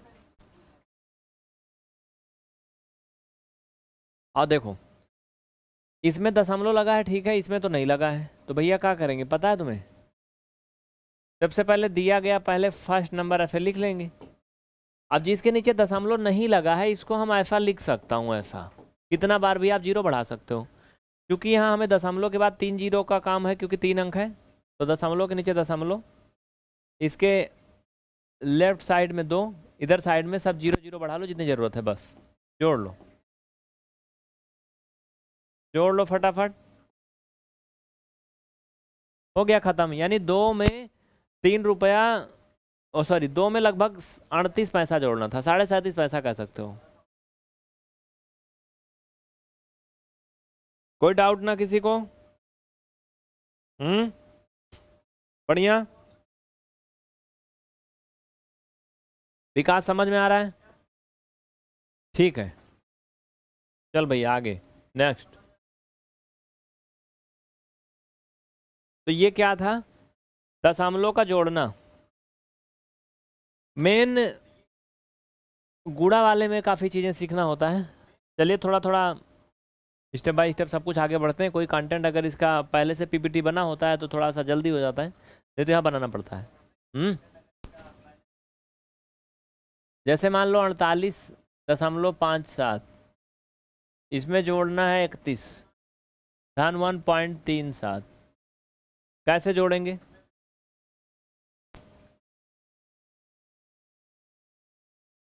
सबसे पहले दिया गया नंबर लिखेंगे forty eight point five seven. इनको एक है जैसे लिखो तो ज़्यादा अच्छा लगता है, नहीं तो अलग अलग तरीके से हो जा रहा, नहीं सही है। ये इकतीस है तो इकतीस को हम लिख सकते हैं, क्या पता आपको? ऐसे इकतीस दशमलव ज़ीरो ज़ीरो ज़ीरो। तो ये इकतीस दशमलव नीचे दशमलव इधर साइड में देखो, सब ज़ीरो ज़ीरो है तो? ज़ीरो, क्योंकि इसके आगे कुछ था ही नहीं दशमलव के बाद तो वो सब ज़ीरो ही रहेगा। अब ये वन पॉइंट तीन सेवन तो दशमलव के नीचे दशमलव, इसके लेफ़्ट साइड में वन, राइट साइड में थ्री और सेवन। ठीक है, इधर देखिए, जिसके नीचे कुछ नहीं, ज़ीरो बढ़ा देंगे बराबर। सब बराबर लग रहा है। सेवन में सेवन जुड़ जाएगा, fourteen. Five three eight one nine decimal के नीचे डेसिमल एट टू टेन हासिल है एक, चार तीन सात एक आठ। तो ये हो गया फाइनल आंसर कोई डाउट ना किसी को, बढ़िया, मस्त। क्या हुआ? आवाज़ नहीं आ रही क्या? या कोई और इशू है? बताओ भैया। कुछ दिक्कत नहीं ना? सब बढ़िया चल रहा है ना? एकदम मस्त।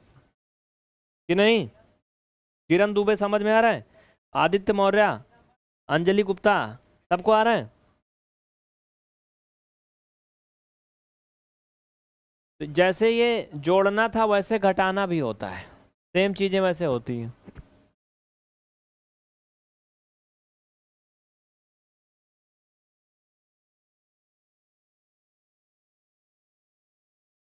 दशमलव का घटाना। जैसे पहला है मान लीजिए कि हमें फोर एट फाइव से सब्ट्रैक्ट करना है तीन दशमलव तीन नौ।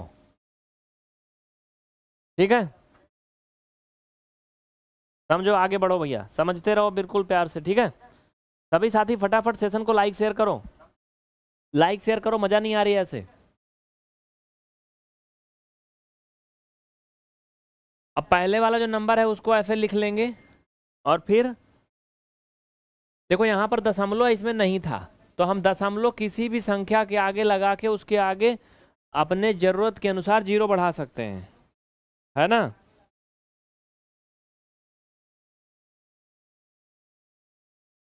देखो कैसे। ये हो गया। अब दशमलव के जस्ट नीचे दशमलव तीन, नौ। इधर देखो तीन। इनको घटाना है। तो दस में से नौ गया एक।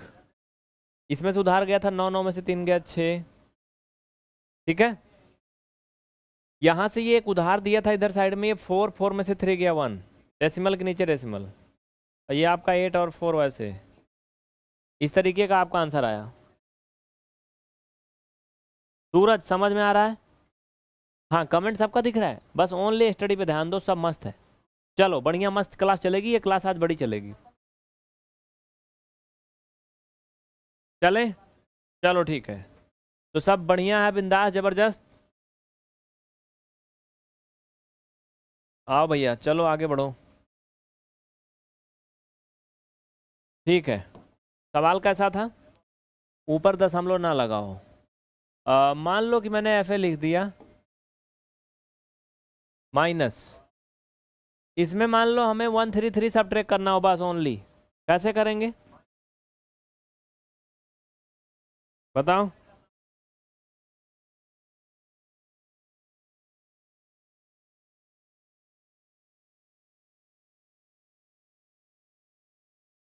आओ देखें। सबसे पहले दिया गया नंबर ऐसे लिखते हैं।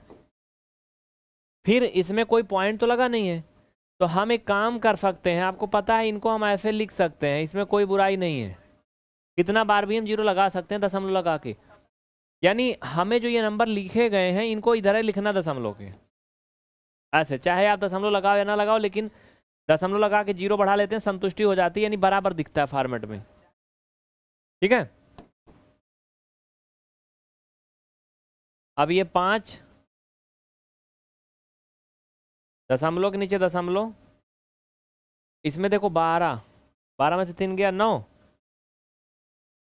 ये बचा होगा आठ, क्योंकि उधार दिया इसको। आप एक घटाना जानते हो ना उधार उधार वाला? आठ में से तीन गया पाँच। ठीक है भैया? एक में से एक गया ज़ीरो, ख़त्म। उनसठ पॉइंट फाइव। किसी को कोई डाउट, कोई दिक्कत तो मुझे बता दो। नहीं ना? इनका नाम है जिगर। जिगर क्या कह रहे हैं कि आपकी ज़ीरो से मैथ वाली प्लेलिस्ट से पढ़ लूँ। तो सही रहेगा, ना सिर्फ़ इंग्लिश जीएस तो बहुत अच्छी है, पर मैथ वीक है। जी बिल्कुल, ऐसे रोगी जिनको मैथ्स की बड़ी बीमारी है, उनका यहाँ संपूर्ण इलाज किया जाता है। मेरी बात को बुरा ना मानना। मतलब जिनकी तकलीफ़ सिर्फ़ गणित है, उनका ही समाधान करने के लिए हम यहाँ हैं। और आप सभी छः लाख से अधिक छात्रों का विश्वास है कि हम आपको सिखा पाते हैं। और बिल्कुल ज़ीरो से सिखाते हैं लोगों के, ताने लोगों की बुरी बुरी बातें सुन करके, क्योंकि कोई नहीं चाहता कि हम बिल्कुल ज़ीरो से सिखाएँ, क्योंकि इसमें फ़ायदा कम होता है, कमाई कम होती है, नाम कम होता है फेम कम होता है ना? लेकिन उनका दर्द किनका जिनकी उम्र हो चुकी है पैंतीस साल और गणित में कुछ नहीं आता है, उसे कोई नहीं समझता है। इसीलिए ये चलता है। ठीक है? चलो आओ, आगे बढ़ते हैं। तो ये कई तरीके के होते हैं घटाने वाले। जैसे उनतीस दशमलव तीन नौ सात दो। अब अगर इसमें से घटाना है ज़ीरो पॉइंट ज़ीरो ज़ीरो तीन सात।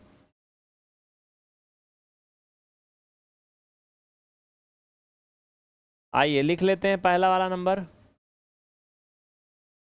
नौ सात दो। माइनस करेंगे। पॉइंट के नीचे पॉइंट इसके राइट साइड में देखो ज़ीरो ज़ीरो थ्री सेवन है। लेफ़्ट साइड में देखो ओनली ज़ीरो है। घटा लेंगे। बारह में से सात गया पाँच। इसमें से एक उधार गया था, ये बचा है छः छः में से तीन गया तीन। नौ में से ज़ीरो गया नौ। तीन में से ज़ीरो गया तीन। दशमलव के नीचे दशमलव। नौ में से ज़ीरो गया नौ। दो का दो। बस ऐसे करते हैं, बहुत ही छोटी छोटी बातें हैं, कोई इसमें बहुत बड़ा तो है नहीं। है ना?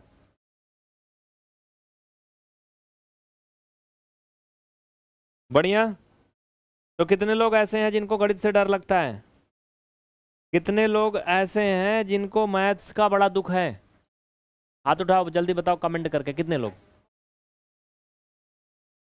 कह दो आपके शकल देखे आए हैं? हम सबका तकलीफ़ है तबे तो आए हैं मैथ, ढूँढने ढूँढने।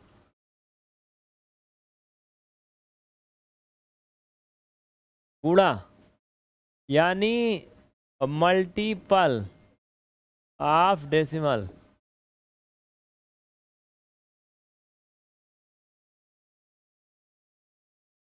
दशमलव का गुड़ा ठीक है? क्या बच्चा? दशमलव का गुड़ा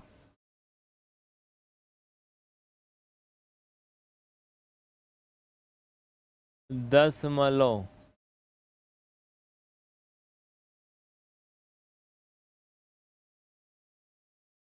ए में क्या होता है, देखो। जैसे मान लो सात का गुड़ा करना है दो दशमलव तीन में तो आप पहले इनका गुड़ा ऐसे करोगे, मानोगे कि दशमलव नहीं लगा है।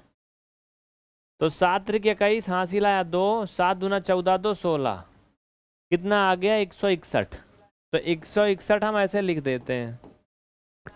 अब एक अंक पर पॉइंट था तो पीछे से एक अंक पर पॉइंट ऐसे चिपका देते हैं। ये हो गया आंसर, बात खत्म, कुछ नहीं है।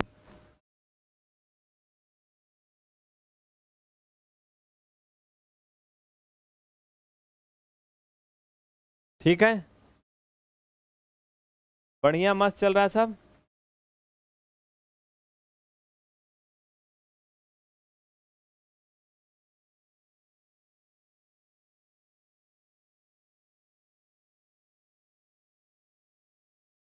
चलो भैया बी वाला देखो। Nine into one point seven two इनको कैसे करेंगे? वन पॉइंट सेवन मान लो, आप टू हटा दो। मान लीजिए कि अगर हमें सत्रह का नौ में गुड़ा करना हो, हमें पता है कि सत्रह दहामा एक सौ सत्तर होता है। सत्रह नवैया एक सौ तिरपन होता है। हम्म? होता है तिरपन, सात, साठ, दस, सत्तर, ना? तो ये एक सौ तिरपन होगा। अब ये फाइनल में हो जाएगा वन फाइव थ्री बट इसमें डेसिमल वन डिजिट पे था तो पीछे से वन डिजिट डेसिमल हो जाएगा, खत्म। लेकिन ये यहीं पर ख़त्म तो नहीं हो रहा है। अभी इसमें बहुत कुछ है, उसको भी देखते चलो। जैसे ज़ीरो पॉइंट तीन इंटू ज़ीरो पॉइंट एक रुक जाइए ज़ीरो ज़ीरो दो। बहुत आसान है ना। अच्छे अच्छे गड़बड़ा जाते हैं इसमें लेकिन। यही है दशमलव का कॉन्सेप्ट इसमें सिंपल सा हमें सिर्फ़ और सिर्फ़ गिनती देखनी है झाल वाल नहीं देखना है। इसमें इतना जंगल है, जो ना मतलब? यानी जो दशमलव लगा है, ज़ीरो ज़ीरो है, इन सबको छोड़ देना, सिर्फ़ गिनती देखना, तुम्हें साफ़ साफ़ एकदम। ये, दो और तीन। तो दो तिहाई कितना होगा? छः बस यही आंसर और कुछ नहीं करना है। यहाँ पर एक, दो, तीन। एक। यहाँ तीन, यहाँ एक। चार अंक पर दशमलव है। तो इसे चार अंक पे दशमलव लगाना है तो तीन ज़ीरो बढ़ाना है। यहाँ पर दशमलव। बस हो गया। शुरू में एक ज़ीरो बढ़ा लेते हैं वैसे। अच्छा लगेगा। ओके। तो कितने लोग ऐसे हैं जो 25 प्लस हो चुके हैं? मीन्स 25 एज के ऊपर हो चुके हैं। ईमानदारी से बताना, झूठ मत बोलना, यहाँ पे किसी का बियाह नहीं करवा रहे हैं। झूठ बोलने से कोई फ़ायदा नहीं है। और कितने लोग ऐसे हैं तो जो 30 प्लस हो चुके हैं? मुझे पूरा उम्मीद है, हमारी क्लास में 50 परसेंट होंगे जो 25 प्लस हैं और कम से कम 30 परसेंट हैं जो 30 प्लस होंगे। और कम से कम 10 से 15 परसेंट ऐसे हैं जो 35 साल के ऊपर होते हैं। तुम्हें क्या लगता है इसको हम कक्षा पाँच वाले थोड़ी पढ़ा रहे हैं? समझ रहे हो नहीं?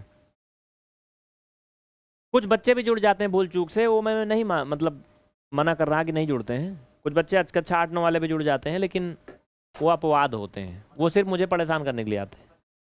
मैं उनका उद्देश्य से पढ़ाता नहीं हूँ। हाँ काम का उनके है, लेकिन वो परेशान बहुत करते हैं। आगे बढ़े। चलो, आगे देखते हैं। अब डेसिमल की ही हम बात कर रहे थे, ये डी वाला नंबर, अगला देखना। जैसे one point two three into zero point zero zero zero one इनका गुड़ा करना है विद इन सेकेंड में। कैसे? देखो, इधर एक है, सिर्फ़ एक है। तो इसको पूरे में गुड़ा करेंगे तो जो भी आपकी गिनती दिख रही है, एक, दो, तीन, वही आएगा, कुछ बदलेगा नहीं। लेकिन दशमलव का स्थान बदल जाएगा। यहाँ पर देखो, एक, दो, तीन, चार अंक पर दशमलव है, यहाँ पर दो अंक पर है। तो फाइनल में छः अंक पर दशमलव होगा। तीन अंक पहले से है, तीन और बना लेंगे। यहाँ पे दशमलव। और शुरू में ज़ीरो बढ़ा लेते हैं ऐसे। ये ज़ीरो कैसे आता है? क्यों आता है? पता है आपको? आप कहोगे दशमलव तो लगा दिया छः अंक पर ठीक है, लेकिन ये ज़ीरो कहाँ से आ गया? शुरू वाला। बताता हूँ इसका क्या मतलब है। समझो, बता रहा हूँ। रुको, थोड़ा सा बताता हूँ, एक मिनट।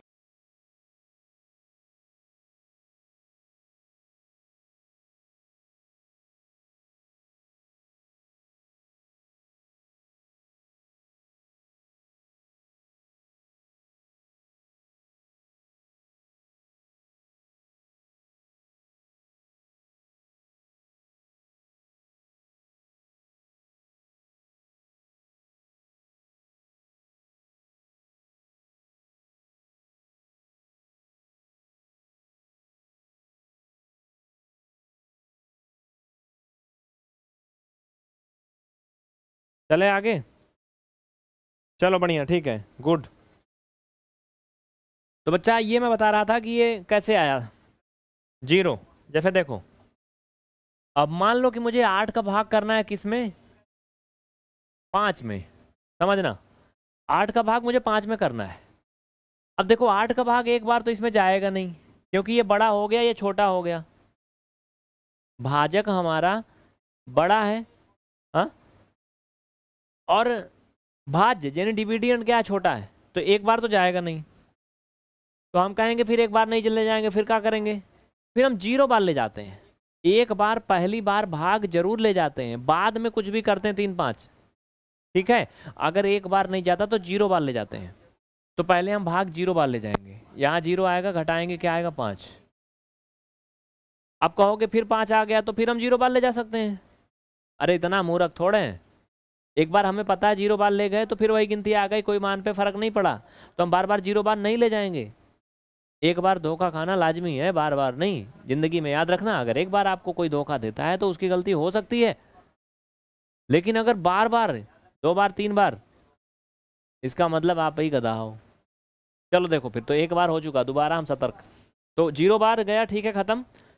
अब हम एक बार ले जाएँगे तो फिर ज़्यादा हो जा रहा है तो फिर क्या करेंगे भैया? ज़ीरो बार तो ऑलरेडी ले गए, कुछ नहीं हो रहा है। तो हम यहाँ पे दशामलो बढ़ाते हैं और यहाँ पे ज़ीरो उतारते हैं। ठीक है? अब आठ छंग अड़तालीस। घटाएँगे आएगा दो। दशमलव बढ़ाएँ, ज़ीरो उतार लेंगे। आठ दूना सोलह। घटाने पाया चार। दशमलव बढ़ाया था, फिर ज़ीरो उतार लेंगे, आठ पंचे चालीस। देखो, मेरा बताने का ये उद्देश्य था कि ये वाला ज़ीरो कहाँ से आता है? है ना? यही बताना चाहता था बस मैं कि ये वाला ज़ीरो कहाँ से आता है बस। समझ में आया ना सभी को? मस्त। क्लियर हुआ ना? तो आप समझ गए ये वाला ज़ीरो कहाँ से आता है? तो इसी तरीके से यहाँ भी आप समझ गए होंगे ये वाला ज़ीरो, ये वाला ज़ीरो कैसे मिल गया मुफ़्त में। क्लियर? बढ़िया, चलो। आइए। तो एक नंबर और भी लिख लो, कुछ भी एनीथिंग लिख लो भैया, चौबीस। चौबीस। इंटू। गुड़ा करो कितना आएगा, जल्दी से सभी लोग करो फटाफट, चलो। जल्दी करो। 2.5 point five into zero point zero zero five. जल्दी करो फास्ट एक लाइन का क्वेश्चन है। बहुत सिंपल है, एकदम कंसेप्ट क्लियर देखो 24 का तीन में गुड़ा करेंगे सीधा सीधा होता है बहत्तर। सबको पता है? यहाँ पर एक, दो, तीन अंक पर डेसिमल है। दो अंक पर डेसिमल है। फाइनल में पाँच अंक पर डेसिमल बनेगा। ये दो अंक ऑलरेडी है तो तीन ज़ीरो इसको चाहिए। तीन ज़ीरो बढ़ाएँगे। यहाँ दशमलव लगा देंगे, हो गया आंसर लेकिन, याद रखना, तीन ज़ीरो हम इधर नहीं बढ़ा सकते, नहीं तो सब सत्यानाश हो जाएगा। कहाँ ये बहत्तर था, कहाँ ये बहत्तर हज़ार हो गया तो दस, एक हज़ार गुना मान बढ़ जाएगा। तो अगर कहीं भी हमें संख्या बढ़ानी है दशमलव लगाने के लिए तो ज़ीरो हमेशा दी गई संख्या के बाएँ तरफ़ बढ़ाते हैं, दाहिनी तरफ़ नहीं। ठीक है? बढ़िया, मस्त चल रहा है। रवि बाबू खूब बतिया रहे हो, देख रहा हूँ मैं तुम्हें। ठीक है? और कौन बतला रहा है? इनको ब्लॉक करो भाई। ब्लॉक करो, इनको भगाओ यहाँ से। और एनीवन कोई?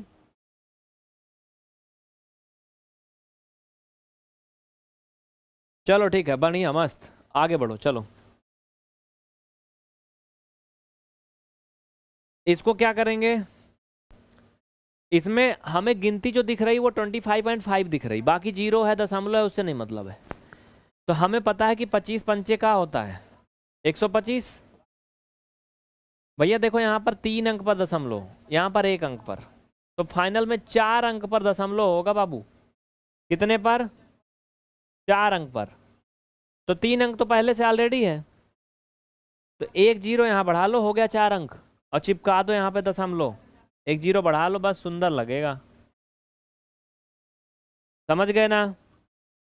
नो डाउट किसी को कोई दिक्कत, कोई तकलीफ़, कोई दुख दर्द इसमें? नहीं?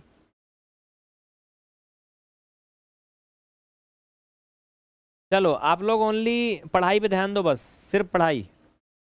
ओनली स्टडी फोकस करो कमेंट छोड़ दो। इनको जो करने करने दो।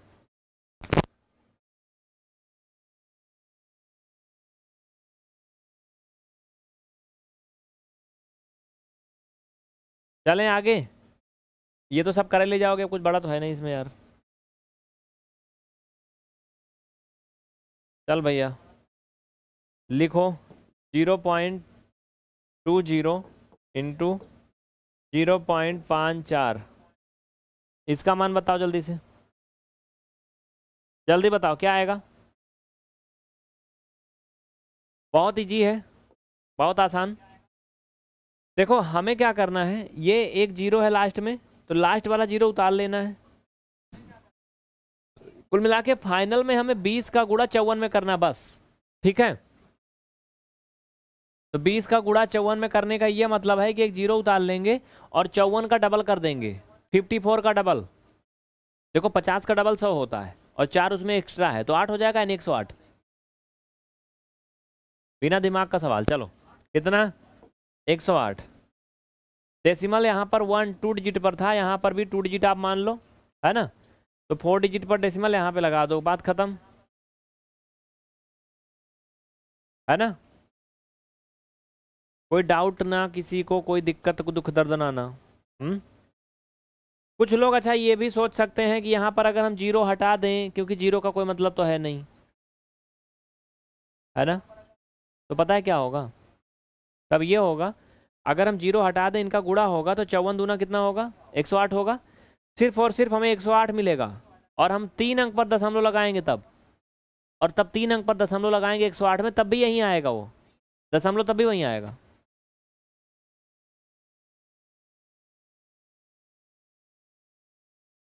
आइए, दशमलव का भाग करना थोड़ा सा सिखा दूँ क्या इसमें? जैसे अगर आप देखो 6.25 इंटू टू फाइव दशमलव का भाग। कैसे?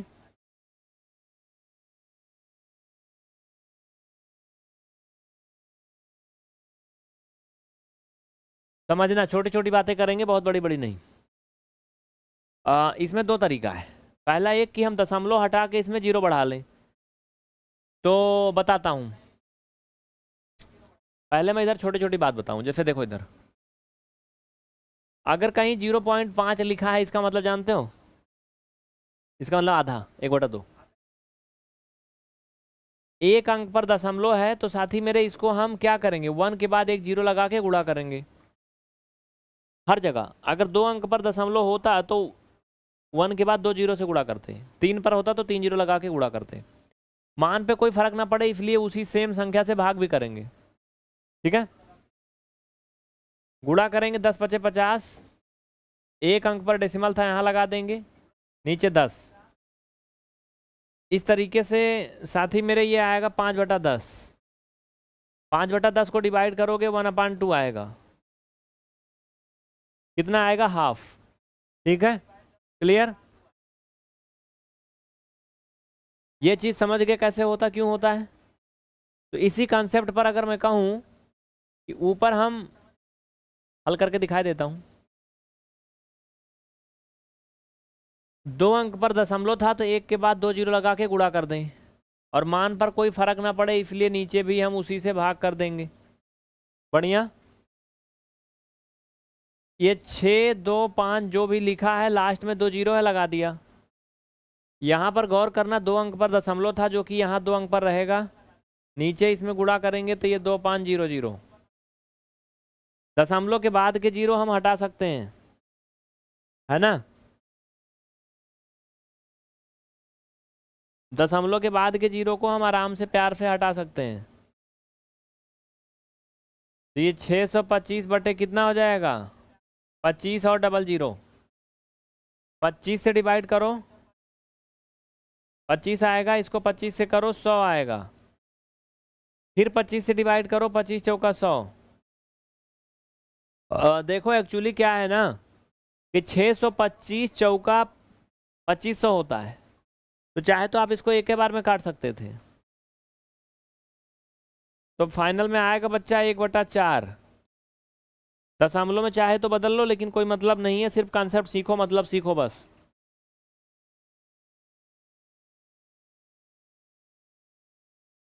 सबको समझ में आ रहा है?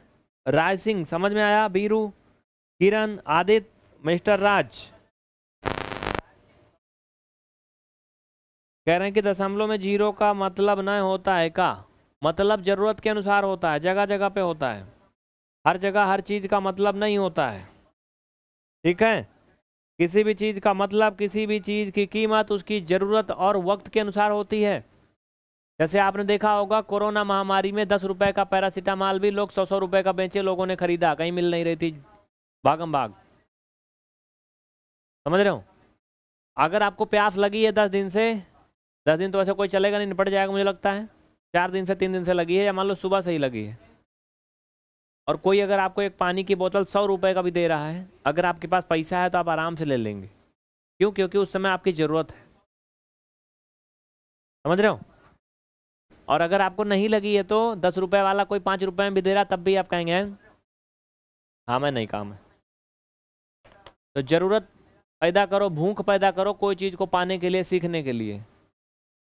तो किसी भी कीमत पे आप उसे पा सकते हो। अगर भूख है तो ज़रूरत है तो। तो वैसे गणित भी है। लेकिन मैं इसको बताया क्यों? हाँ मैं इसको इसलिए बता रहा था कि दशमलव का मतलब कहाँ क्या है। आओ देखते हैं थोड़ा सा। वक्त और समय के अकॉर्डिंग। जैसे ज़ीरो पॉइंट पाँच लिखा है, या ज़ीरो पॉइंट पाँच ज़ीरो लिखा है। या।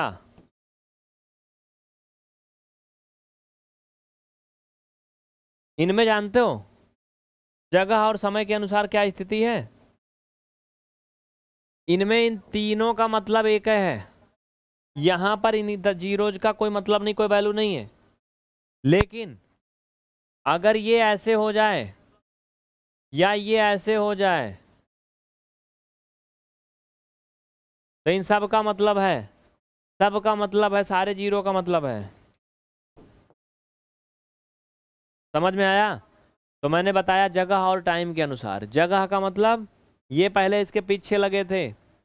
पीछे पीछे लगे थे। तो ये इसको कोई भाव नहीं दे रहा था। जो ज़ीरो है क्या है? संख्या पाँच के पीछे लगे हैं ना? तो पाँच इसको कोई भाव नहीं दे रहा है। यानी इसका कोई मतलब नहीं इसके पीछे लगे होने का। लेकिन जब ये इसके पीछे हो गया, इसके आगे आ गए तो इसकी वैल्यू बढ़ गई। समझ रहे हो ना? ऐसे ज़िंदगी में भी होता है। तुम जिसके पीछे पड़े रहते हो ना, उसकी ज़िंदगी में तुम्हारी कोई वैल्यू नहीं होती है। लेकिन जहाँ वो तुम्हारे आगे आ गया, फिर उसकी वैल्यू बढ़ गई तुम्हारे लिए। क्यों? बहुत सारी चीज़ें हैं, बहुत जगह लागू होती हैं। आप क्लास में देख लो नॉर्मली छोटे छोटे बच्चे पढ़ते हैं, मान लो हाई स्कूल इंटर में, या फिर आप ग्रेजुएशन वाले हो, कुछ भी कर रहे हो, जो भी एक छात्र होगा, जो तेज होगा सबसे, यानी सबसे आगे होगा, उसकी वैल्यू सबकी नज़र में ज़्यादा होगी, है ना? बड़ी इज़्ज़त होगी।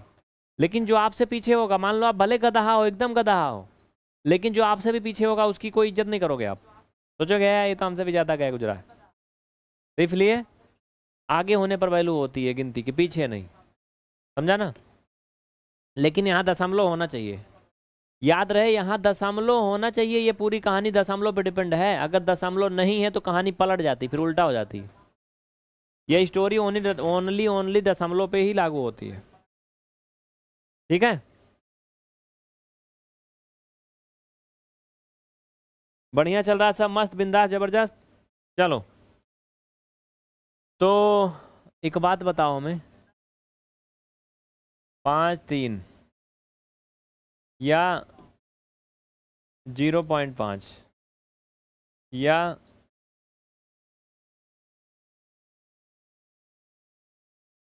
अच्छा इन तीनों में कौन बड़ा है? इन तीनों में कौन बड़ा है? अभी थोड़ा कम मज़ा आएगा, रुको रुको रुको। भैया, रुक जाओ रुक जाओ, लो। रुको रुको रुको, और रुको। और रुको और रुको और रुको और रुको और रुको और रुको। तो अब सही है? हम्म तो इन तीनों में कौन बड़ा है? चलो यही बता दो, जाने दो, यही बन रहा है, ठीक है। कौन बड़ा है?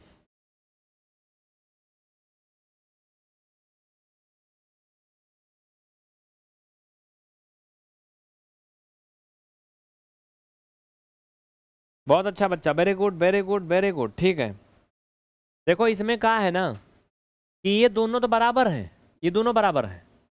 और ये तो बहुत छोटा है ये तो बचवा है अभी इन लोग के सामने, ये इसके दादा हैं। ये पचास है, पचास पचास पैसा, ये पंद्रह पैसा है। ठीक है? समझा ना? जिनको लग रहा है कि ये बड़ा है, ऐसा नहीं है, ये दोनों बराबर हैं। ठीक है? अब थोड़ा सा प्रैक्टिस कर लेते हैं ये टॉपिक चेंज करके। बाकी चीज़ें इस टॉपिक में आएँगे तो सीखते रहेंगे। मुझे ये बताओ कि सबसे हाँ आज का यक्ष प्रश्न तो मैंने पूछा ही नहीं। इसमें प्रश्न भी पूछते हैं इनाम वाला। ओहो, ये जो बैच है, इसमें इनाम वाला प्रश्न होता है। क्वेश्चन नंबर ट्वेंटी फोर बच्चा, बता दो भैया। चलो चलो चलो। संख्या ज़ीरो। क्या है? भाज्य संख्या अभाज्य संख्या सह अभाज्य संख्या ना तो भाज्य, ना अभाज्य। इनाम वाला प्रश्न है गुरु ये। इसी पर तो इनाम मिलेगा, सरप्राइज़ वाला है, ये पाँच हज़ार रुपए जीतने वाला। बताओ। जल्दी करो भैया। बता लिया सब भाई? चलो, गुड, बढ़िया, मस्त। बढ़िया, गुड, ज़बरदस्त। चलो तो ये इनाम वाला सवाल ख़त्म होता है। और मुझे लगता है काफ़ी टाइम भी हो गया, नहीं तो मैं आपसे कुछ और भी सवाल करूँ। एक चीज़ और बता दूँ कि ये जो सीरीज़ आप देख रहे हो, ये सुबह पाँच बजे लाइव होती डेली। आज स्पेशली सिर्फ़ ये क्लास नंबर चौबीस रात नौ बजे चल रही बस। उसका कारण था काफ़ी चीज़ें डिस्टर्ब थी, पीपीटी बना नहीं था, नहीं तो यूपी पुलिस की क्लास होती है आज नौ बजे। ठीक है? बढ़िया ना? तो ठीक है। उसका आंसर होगा, नहीं बताऊँगा, क्लास के बाद में कमेंट करना आप लोग, उसका सरप्राइज़ वाला है वो। ठीक है? अब ये नॉर्मल प्रश्न। नॉर्मल से प्रश्न ये है, बच्चा, कि ये बताओ मुझे फोर्टीन का स्क्वायर क्या होगा? थर्टीन का क्यूब क्या होगा? जल्दी फटाफट बताओ एक एक सेकंड में, चलो। अंडर रूट पाँच सौ चौबीस। पाँच सौ छिहत्तर का वर्गमूल क्या होगा? जल्दी बताओ। तेरह सौ इकतीस का घनमूल क्या होगा? ये सब मेरे मुँह से सवाल निकला, आपके मुँह से उत्तर निकलना चाहिए झट से। नहीं निकल रहा तो मान लेना आपको बेसिक नहीं आता कैलकुलेशन नहीं कर पाओगे फिर। ये कुछ है थोड़ा यार, बिल्कुल एकदम छोटी क्लास वाला है। आपको ये बिल्कुल याद होना चाहिए रटा रटाया एकदम। पंद्रह का स्क्वायर क्या होगा? बीस का घन क्या होगा? इससे आसान कुछ हो ही नहीं सकता है। तब ही लोग कर लोगे ना? स्मृति कश्यप बहुत अच्छा। बहुत अच्छा बच्चा। वेरी गुड वेरी गुड चलो। मस्त, ज़बरदस्त, बिंदास। चलो, ठीक है। तो ये सब बहुत ही छोटी छोटी बातें हैं। एकदम नन्नी नन्नी सी प्यारी प्यारी सी बातें हैं। इसमें कुछ तो और है नहीं। मुझे ये बताओ कि ये एक समकोण त्रिभुज है ना? अगर ये भुजा तेरह सेंटीमीटर है, ये बारह सेंटीमीटर है तो मुझे ये बताओ बीसी का मान क्या होगा? क्या आप पाँच सेकेंड में बता लेते हो? अगर पाँच सेकेंड में बता लिए तो इसका मतलब आपको बेसिक आने लगा है, अब नहीं पढ़ना है। बताओ। जल्दी करो, फटाफट विद इन सेकेंड में। चलो, ये सब बेसिक गणित है ज़ीरो लेवल वाली। अच्छा एक और बता दो, फिर इसी में लगे हाथ।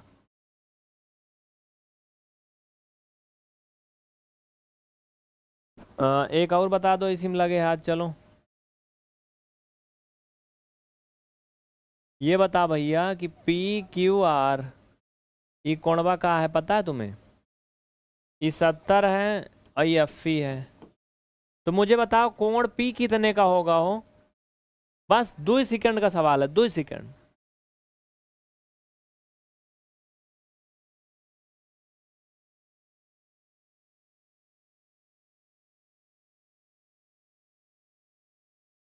प्ले लिस्ट में इसके सारे 24 पार्ट मिल जाएँगे, आज तक जो भी चले। नहीं देखे हैं तो एक तरफ़ से सीरियल से देखें, तभी कुछ होने वाला है। देखो, अधिकतर लोगों का ना गड़बड़ हो गया ना। बेसिक नहीं आता है। एक तरफ़ से देख लो बच्चा, बेसिक जब तक ना आएगा ज़िंदगी में किसी भी परीक्षा में, जहाँ भी गणित होगी, मामला गड़बड़ हो जाएगा। गणित ना ज़िंदगी कभी नहीं छोड़ती पीछा। जैसे जन्म होता डेट ऑफ़ बर्थ आजकल तो टाइम भी नोट होता है, कितना बज के कितना मिनट कितना सेकंड पे। और इसी तरीके से लोग आपका भविष्य निर्धारित कर देते हैं। मैं तो ना मानता कि इतना अच्छा कुछ होता है। क्या करोगे? फ़िलहाल चलिए उस पर बात नहीं करेंगे, आइए आगे बढ़ते हैं। और भविष्य निर्धारित करने वाले आजकल कौन सा भविष्य बताते हैं, पता है तुम्हें? तुम्हारी शादी कब होगी? तुम्हारा ब्याह कब होगा? तुम्हारी गर्लफ्रेंड तुमको छोड़ के कब गई?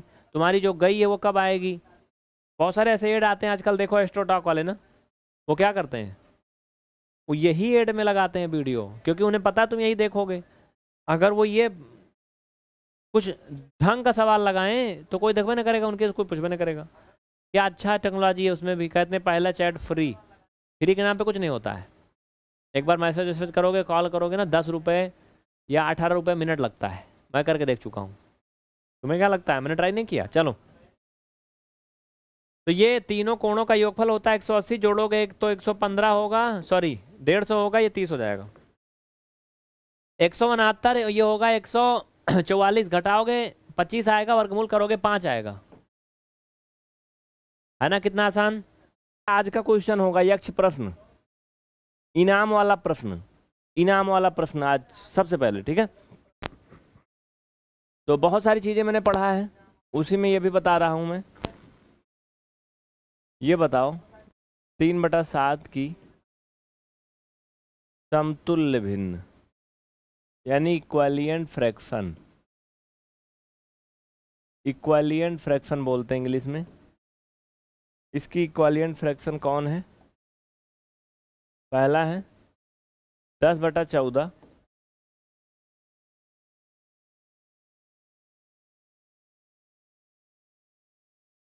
डी वाला है नॉन ऑफ़ दीज ये इनाम वाला सवाल है। अगर आप इस सीरीज़ को फॉलो कर रहे हैं तो आपको पता होगा इस क्वेश्चन का पूछने का क्या तात्पर्य है मेरा? ठीक है? लेकिन अगर आप पहली बार इसको देख रहे हैं तो पीछे के इसके 24 क्लास देखना, क्लियर हो जाएगा। इसको मैंने क्यों पूछा? ये इनाम वाला सवाल है। चलें? आइए, आगे बढ़ते हैं। इस सीरीज़ में मैं आपसे ऐसे ही एक क्वेश्चन डेली करता हूँ, और इनके सारे जवाब देने वालों को फाइनल में एक सरप्राइज़ मिलेगा।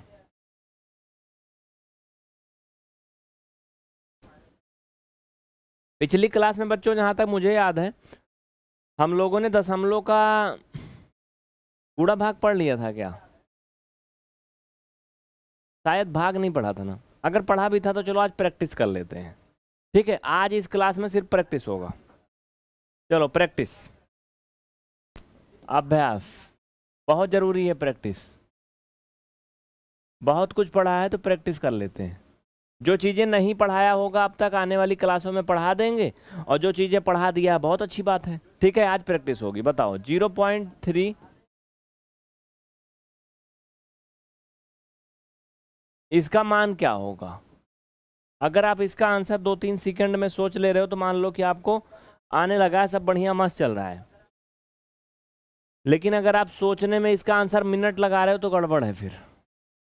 तब गड़बड़ है। तब गड़बड़ है रे बाबा।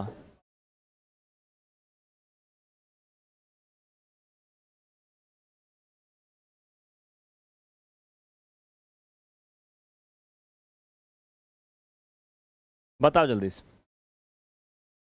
देखो, बहुत आसान है, बहुत ही सिंपल सा जवाब है इसका बच्चा, बहुत आसान है। तीन का पाँच में गुड़ा करना है थ्री फाइव या फिफ्टीन क्या होगा?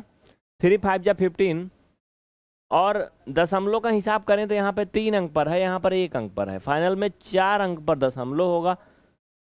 एक, दो, तीन अंक पे है, दो अंक पे है, चार अंक पे है। सी वाला सही। है ना? समझ में आया? बहुत अच्छा बच्चा पार्टी। चलो भाई, दूसरा सेकेंड सवाल आज के लिए। सेकेंड सवाल की तरफ़ हम लोग धीरे धीरे कदमों से आगे बढ़ते हुए। मुझे ये बताओ, एक बटा तीन की समतुल्य भिन्न। इक्वालियंट फ्रैक्शन है। ऐसे तो आप लोग वो वाला क्वेश्चन भी नकल कर लेंगे।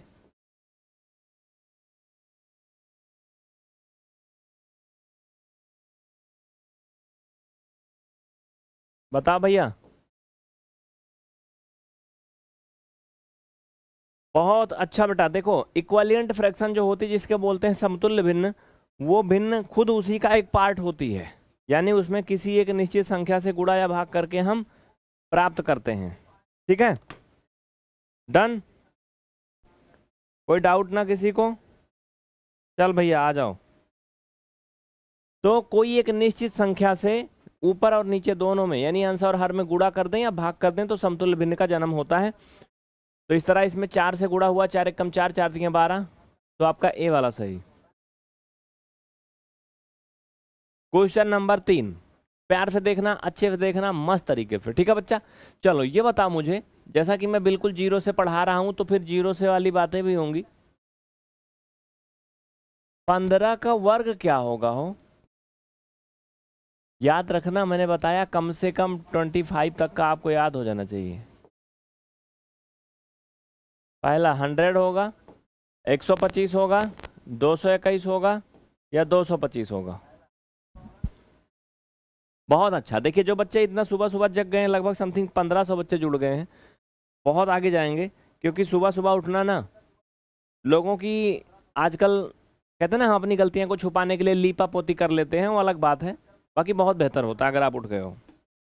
Ranjana ji good morning Kanta ji good morning और कैनात खातून, अभिषेक, अभिनंदन, लौकुश, अमित, सभी को गुड मॉर्निंग सुबह पाँच बजे डेली ये सीरीज़ आती है। जग जाओ लाइव आ जाओ फटाफट। चलो। फोर नंबर आ जाओ बच्चा पार्टी भाई। पंद्रह का स्क्वायर दो सौ पच्चीस होता है ना? हाँ। जानते हो ना? अच्छा जानते हो तो बहुत अच्छी बात है वेरी गुड चलो ये बताओ मुझे भैया कि चार की घात अगर यहाँ पे लिखा है पंद्रह का मान मतलब हम इसको तोड़ कैसे सकते हैं? पहला ऑप्शन है, इसको चार की घात दो, आठ लिख दें। इसको चार की घात चार, यहाँ तीन लिख दें।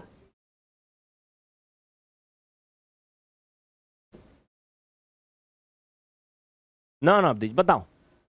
आपने पढ़ा होगा घातांक का नियम, पढ़ा है? कि जब खोपड़ी के ऊपर खोपड़ी हो मतलब कोई आपके खोपड़ी चढ़ा हो और उसके ऊपर भी कोई और चढ़ जाए खोपड़ी पे तो क्या होगा? दोनों का बैलेंस आपके खोपड़ी बराबर हो जाएगा। यानी घात के ऊपर घात होती है तो उनका गुड़ा हो जाता है। यानी उल्टा दिमाग लगाना है। यानी इस पंद्रह को तोड़ कैसे सकते हैं? एक्चुअली बात ये है। बताता हूँ तुम्हें, मैं देखो इधर। ये घातांक का नियम आपने पढ़ा होगा। इफ़ ए का power m into n then A का पावर यम इंटू यन ये घातांक का नियम है। समझ गए हो गए अब तो ना? दो अठे सोलह, जो कि ज़्यादा हो जा रहा है। चार तीन बारह, इससे कम हो जा रहा है। तीन पचे पंद्रह, बिल्कुल मस्त बैठ रहा है, एकदम सेटिंग है इसकी। चलो। फाइव नंबर क्वेश्चन फटाफट झटा झट आगे बढ़ते रहो बच्चा। बिल्कुल बेसिक से है, एकदम ज़ीरो से है। अगर जो भी टॉपिक मैं इसमें पूछ रहा हूँ, नहीं पढ़ाया हूँ तो आने वाली क्लासों में पढ़ाऊँगा। आज आप अपने आप को अजमा लो कि आप कितने पानी में हो, आपको कितना आता है। है ना? भ्रम दूर हो जाए। तो सब कुछ इसमें कवर करेंगे। हम सब कुछ जो जो भी चीज़ें मैथ में होती हैं। ये बताओ। एक समकोण त्रिभुज ए बी सी में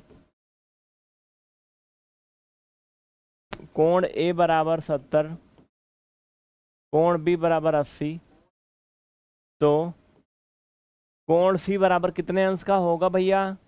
विद इन सेकेंड का सवाल है अच्छा चला हो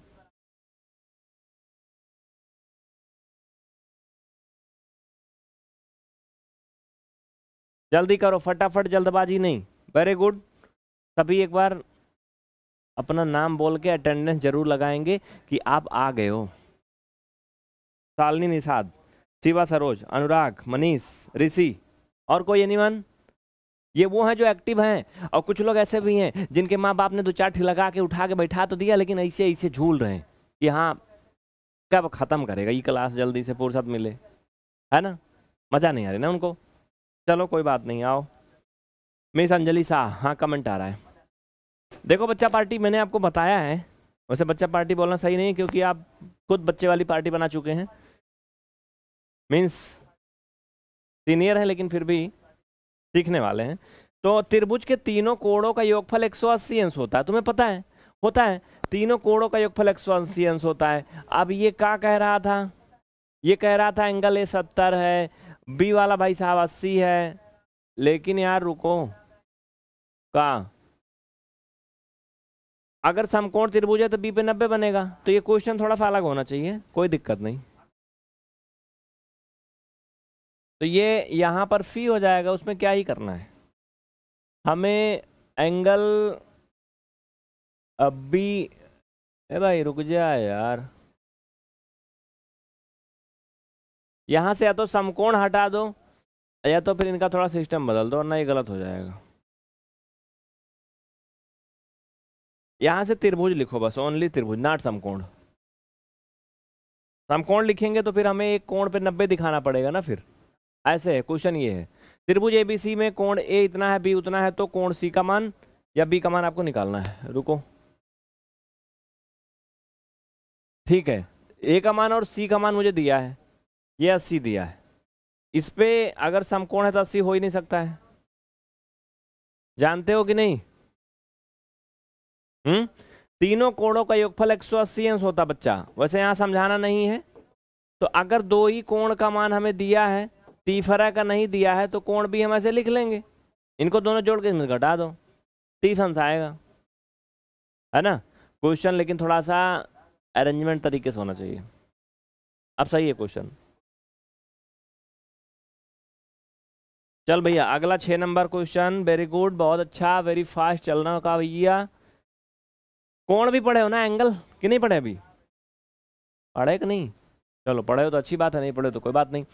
अब मुझे ये बताओ कि संपूर्ण कोण कितने अंश का होता है? It's called complete angle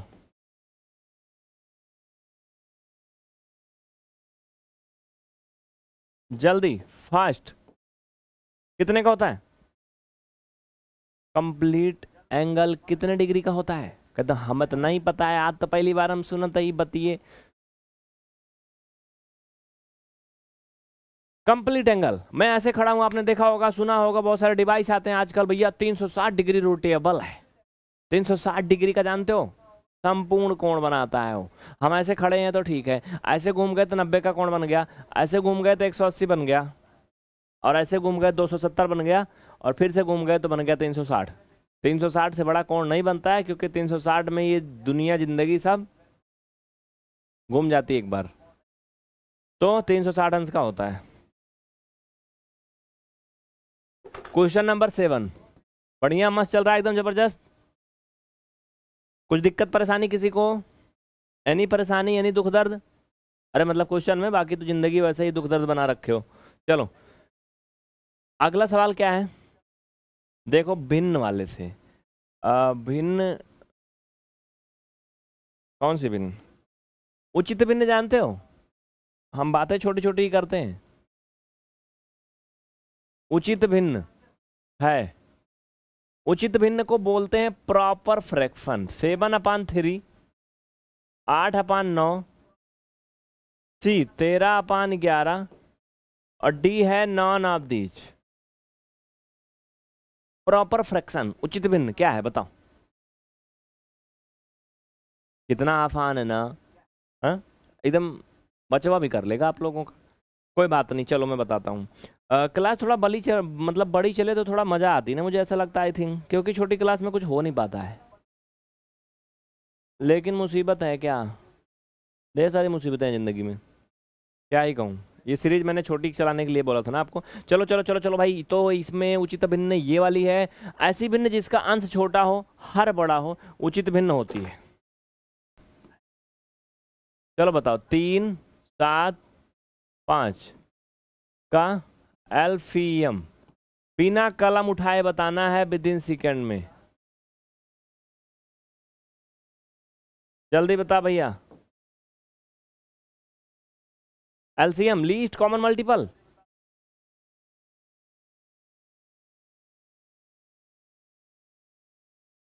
Very good. मैंने आपको बताया था कि अगर दी गई सभी संख्याएँ क्या हैं? आपस में कोई कॉमन फैक्टर नहीं रखती हैं। इनका दूर दूर से कोई रिश्ता नहीं आपस में। तो ऐसी संख्याओं का मल्टीपल ही हमेशा उनका क्या होता है? एलसीएम होता है। तो तीन सतह इक्कीस इक्कीस पंचे एक सौ पाँच सी बी ऑप्शन चल भैया। टेलीग्राम पे फॉलो कर लीजिएगा। अगर क्लास का लिंक वगैरह चाहिए तो ठीक है भैया? चलो क्वेश्चन नंबर आठ हो गया नौ नंबर में आ जाओ। आठ तक नौ।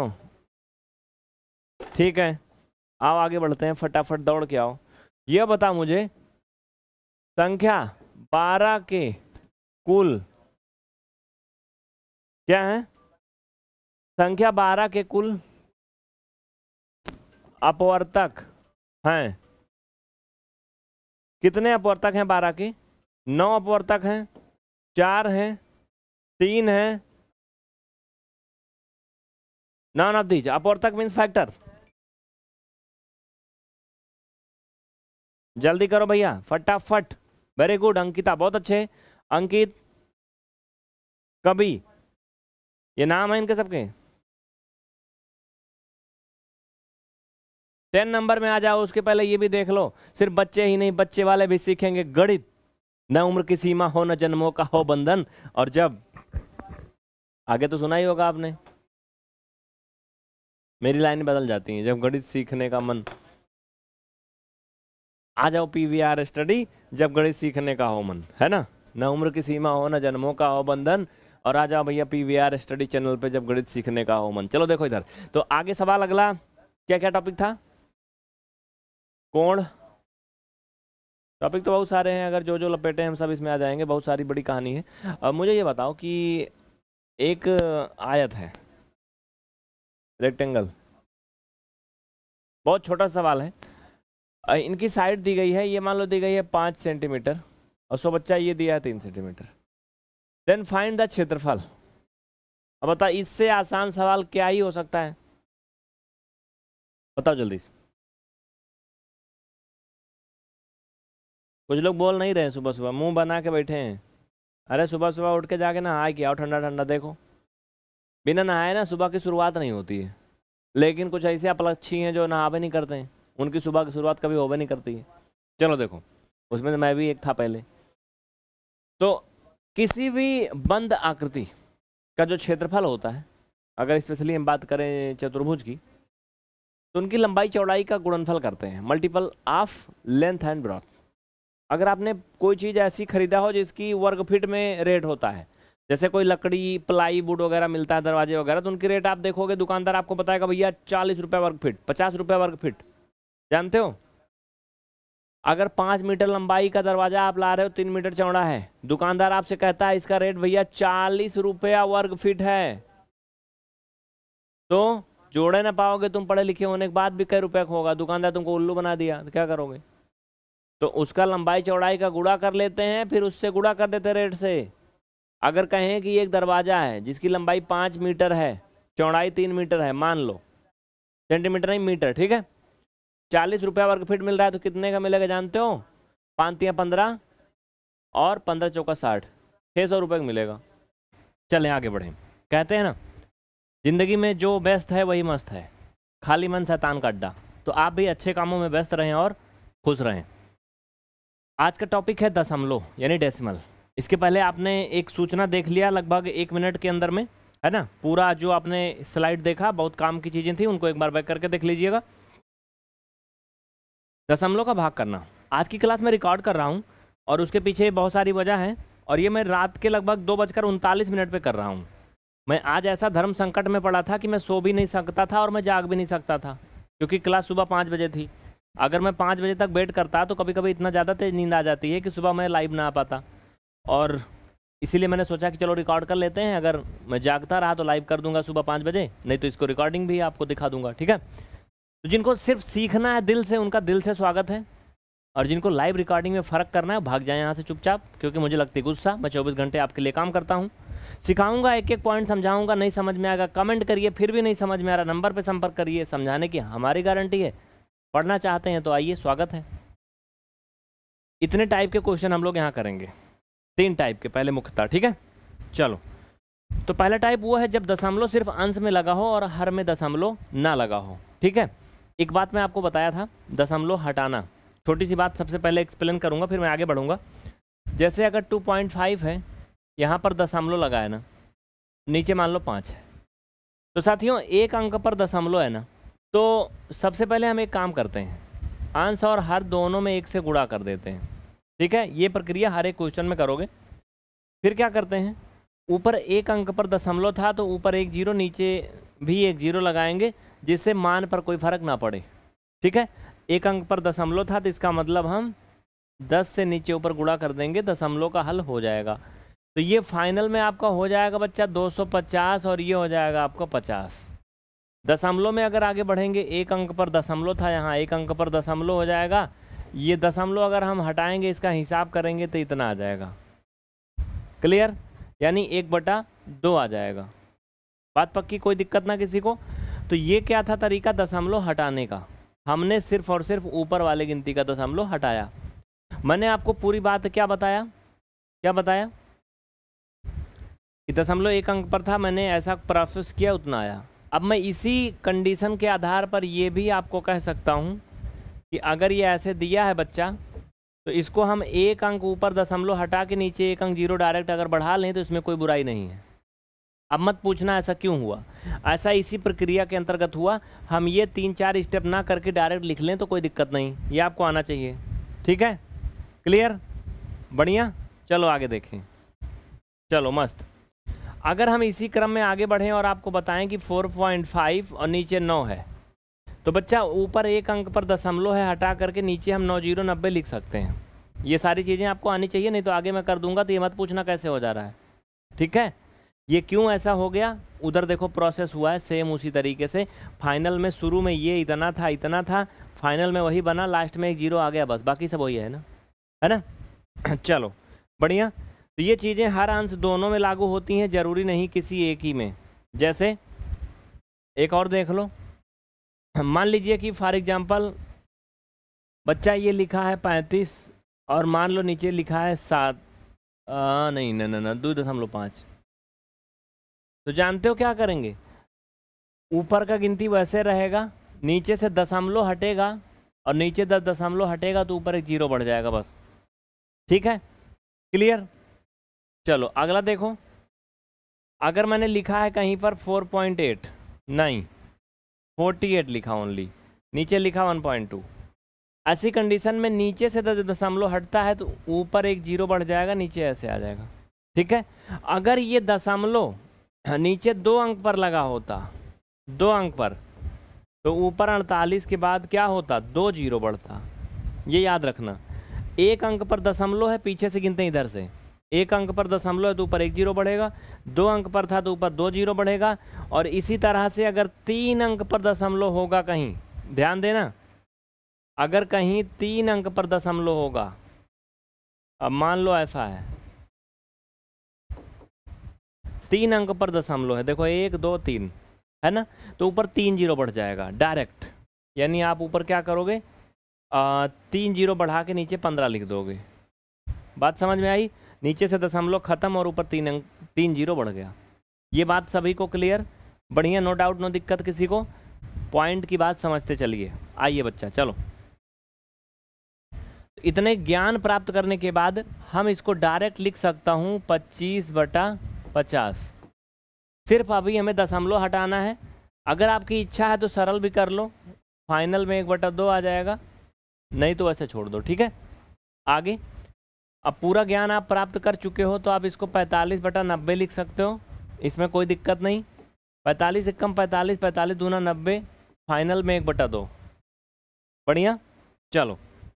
देखो यार रिकॉर्डिंग में बड़ा मज़ा आती मुझे। संतुष्टि मिलती है।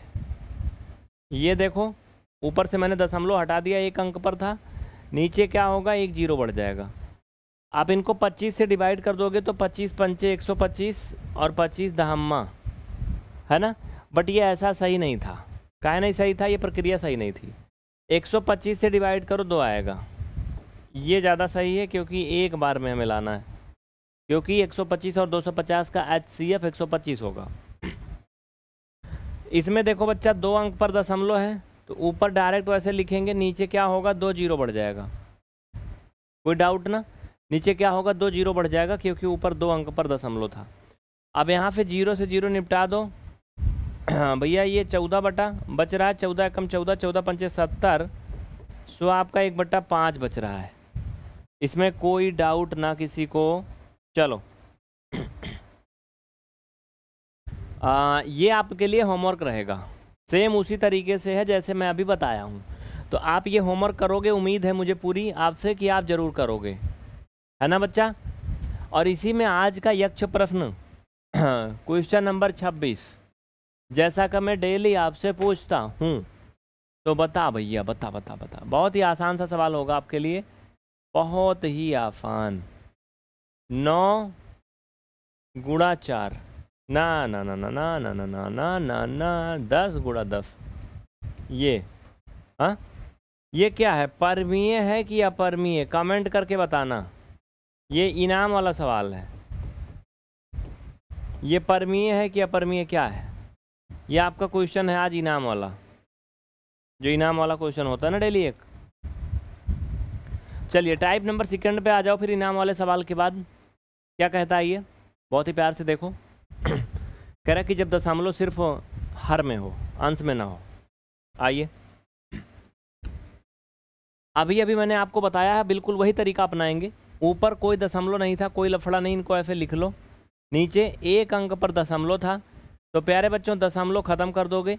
एक अंक पर था तो ऊपर एक ज़ीरो बढ़ा दो, बात खत्म। पचपन एकम पचपन पचपन दूना एक सौ दस होता है, और एक ज़ीरो। फाइनल में आएगा बीस। आगे बढ़ें।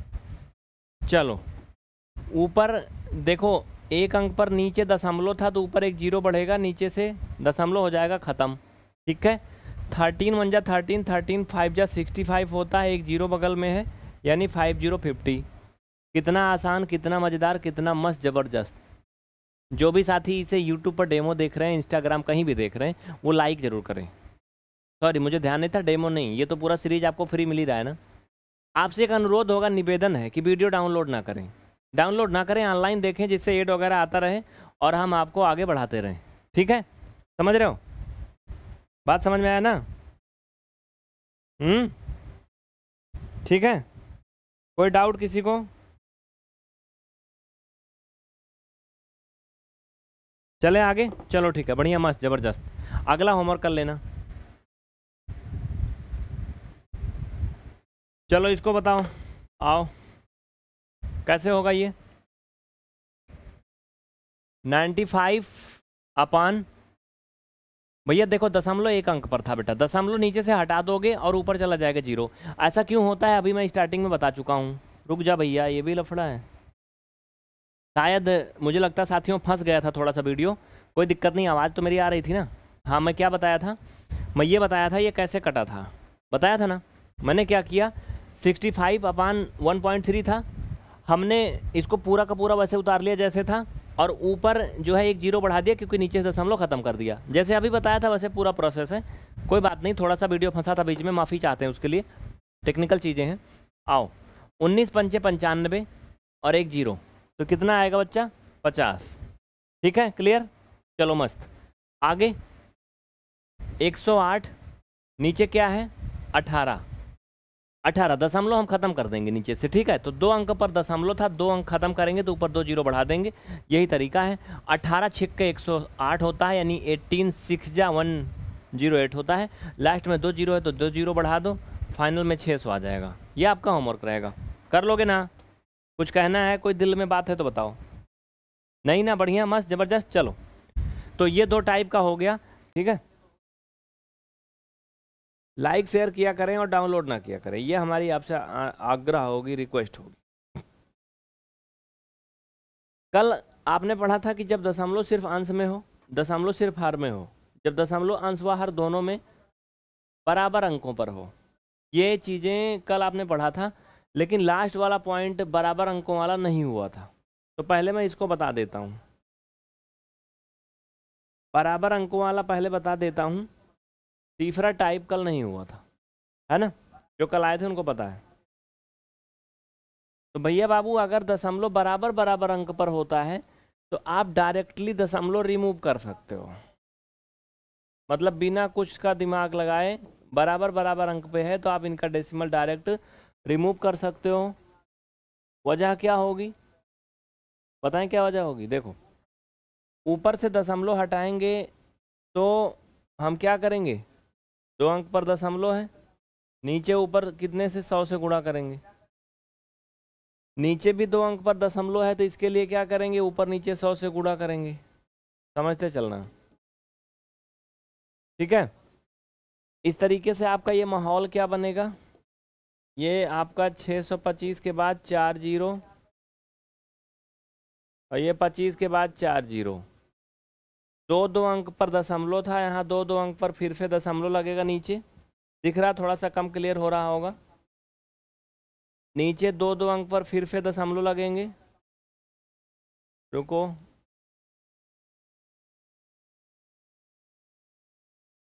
देखो, यहाँ पे दो दो अंक पर दशमलव लगेंगे। अब दशमलव के हो जाएँगे काम ख़त्म। तो ये आपका बचेगा बच्चा छः सौ पच्चीस डबल ज़ीरो। और ये पच्चीस के बाद डबल ज़ीरो हम दो ज़ीरो से दो ज़ीरो काट देंगे कैंसिल कर सकते हैं। लास्ट में फिर वही गिनती बच जाएगी, कोई फ़र्क नहीं पड़ा इतनी कुल प्रक्रिया करने का। तो मैं वही शुरू शुरू में बताया कि आप डायरेक्ट दशमलव हटा सकते हो बिना ये सब किच किच किए, कोई मतलब नहीं होता इनका। ठीक है?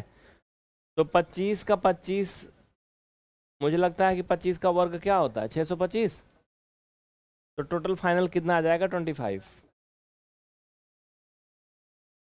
पच्चीस पंचे एक सौ पच्चीस, का पाँच हासिल आया कितना? बारह, पच्चीस दूना, पचास, बारह, बासठ, सही है। ट्वेंटी फाइव का स्क्वायर सिक्स टू फाइव होता है। ये क्लियर? इस अनुभव के आधार पर हम कह सकते हैं कि यहाँ पर बिना कोई वजह किए हम डायरेक्ट 120 बटा साठ लिख सकते हैं।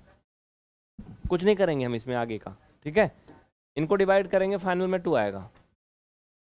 और अब इन दोनों अनुभवों के आधार पे जो हमें यहाँ पे एक्सपीरियंस मिला है, यहाँ पर भी हम डेसिमल रिमूव कर सकते हैं। क्योंकि डेसिमल के डिजिट सेम है वन वन डिजिट पे है। तो ये हो जाएगा आपका टू फाइनल में कितना आएगा? दो। ये तीसरा टाइप का था जब दशमलव सेम सेम अंक पर हो। क्या हो? सेम अंक पर हो। चौथा टाइप का क्या था? जब अंश में एक व हर में दो अंक पर दशमलव। कमेंट देखो सबके आ रहे हैं। लास्ट में पढ़ूँगा जो बिल्कुल पढ़ने वाले सीरियस बच्चे हैं। इतने सुबह सुबह जो जगह हैं और क्लास में आए हैं, लाइफ में उनको बहुत कुछ हासिल करना है। और जो अब गधा जैसे सो रहे हैं, वो सोते ही रहेंगे। ठीक है? बढ़िया, मस्त, ज़बरदस्त। चलिए, सब बढ़िया चल रहा है? Swati, Raju, Khatu, Shyam, math, class tenth, Lavkush, Pankaj, Shivam संस्कारी लड़का लड़की, मिस अंजलि शाह, और भी बहुत से बच्चे हैं।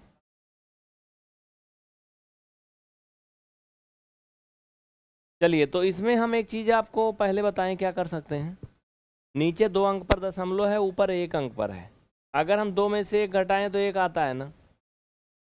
तो पहला तो हम ये कर लें कि नीचे एक अंक पर दशमलव लगा दें और ऊपर दशमलव हटा दें। एक तो ये कर सकते हैं बिना दिमाग के। तो एक बार इसको करके देखें। ऊपर दशमलव हटा दें, नीचे दशमलव हम एक अंक पर कर दें। ठीक है? अब क्या करेंगे? नीचे एक अंक पर दशमलव है तो पीछे अब तक सीखे गए अनुभवों के आधार पर हम नीचे से दशमलव परमानेंट हटा दें, ऊपर एक ज़ीरो बढ़ा दें। दो से इनको डिवाइड कर दें तो दो दूना चार, दो दूना चार, दो सौ चौदह, यानी बाईस सौ सत्तर आएगा फाइनल। है ना? ख़त्म। इतना कुछ और कुछ नहीं। आगे का देखना क्या है? कैसे है? ये तो एक चीज़ हो गया। अभी हम आपको उन बेसिक सिस्टम में लेके चलते हैं जो हमें रियल में करना है। ये तो दूसरा तरीका था। बेसिक सिस्टम में देखो भैया इनको देखो बगल वाली को। देखो। ऊपर एक अंक पर डेसिमल है ना? तो प्रोसेस करेंगे इसके लिए एक अंक पर डेसिमल है तो। नीचे और ऊपर दोनों में हम 10 से गुणा करेंगे। जानते हो ना यही तो होता है?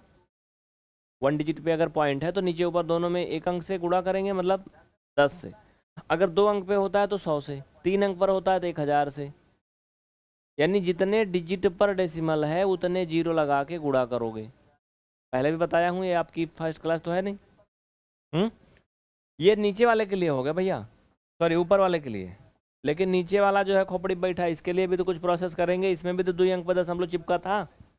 तो इसके दो अंक पर था तो इसके लिए हम सौ से गुड़ा करेंगे दोनों में। कितने से? सौ से। अब समझना आगे का क्या लफड़ा है भाई।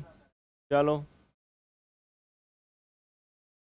देखते जाओ आगे आगे आगे आगे। चलो चलो चलो।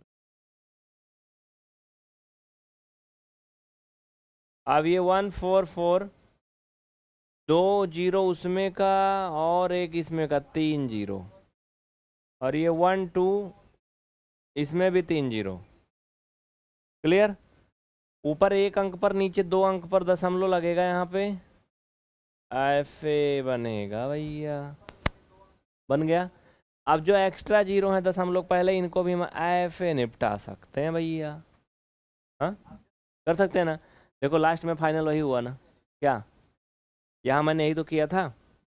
फाइनल में एक ज़ीरो ऊपर बढ़ा दिया था, नीचे फिर दशमलव ख़त्म कर दिया था लास्ट में ना। और इधर भी वही हुआ है। है ना? चलो ठीक है। डिवाइड करो, कितना आएगा ट्वेल्व ट्वेल्व लिखो, छापो, चलो। लिख लो भाई, रुको एक। आइटम लेके आता हूँ इनको मारने के लिए। ये लोग ना मुझे अति करके रख वो पता है क्या होता है? यहाँ पे कभी कभी जब आ जाते हैं ना ये जानवर, ये जहाँ जहाँ टच करते हैं, ये पैनल ऑटोमेटिक चलने लगता है। मेरी ज़रूरत नहीं पड़ती। फिर ये अपने मन से कहीं भी टच कर देते हैं। आके उस पर बैठ गए तो बंद हो गया, उस पर बैठ गए तो कोई दूसरा पेज खुल गया। चले आगे बढ़े। मस्त, इतना समझ में आया? अगला देखिए, इसको बताइए, कितने लोग कर लेंगे? क्लास लंबा टाइम हो गया क्या यार? तो ये आप लोग घर से कर लेंगे, होमवर्क है सेम टाइप का, ठीक है? जब नीचे दो अंक पर हो, ऊपर एक अंक पर हो। नीचे दो अंक, ऊपर एक अंक पर दस हम लोग। अगला टाइप का हम पढ़ेंगे अगली क्लास में? उसके साथ ये चीज़, आपका ऑफ़र इंड हो रहा है। इसे फटाफट इनरोल करें। जब आप ये वीडियो देख रहे हो, इसके अगले दो घंटे तक सीटें उपलब्ध हैं बस, ख़त्म। बिल्कुल ज़ीरो से सीखना है तो ज्वाइन कर लें भैया। एकदम शून्य से। हमारे डायरेक्ट कांटेक्ट में रह के आप पढ़ोगे, हम आपको गाइड करेंगे क्या पढ़ना है, क्या नहीं पढ़ना है, कैसे क्या करना है, सब बताएँगे। आप इसे ज़रूर इनरोल कर लो भैया। क्वेश्चन नंबर सत्ताईस। आज का सवाल है। छः व सात के बीच कितनी परमीय संख्याएँ होती हैं? इनाम वाला सवाल है। इनाम वाला सवाल है। ठीक है? ए, रख जा रे भैया। चलो बताओ।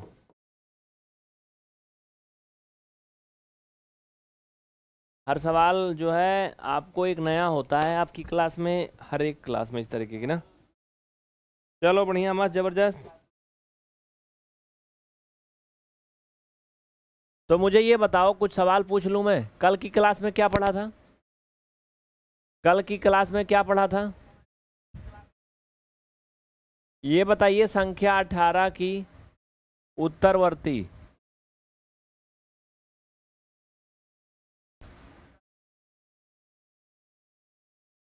उत्तरवर्ती संख्या बताओ अठारह की।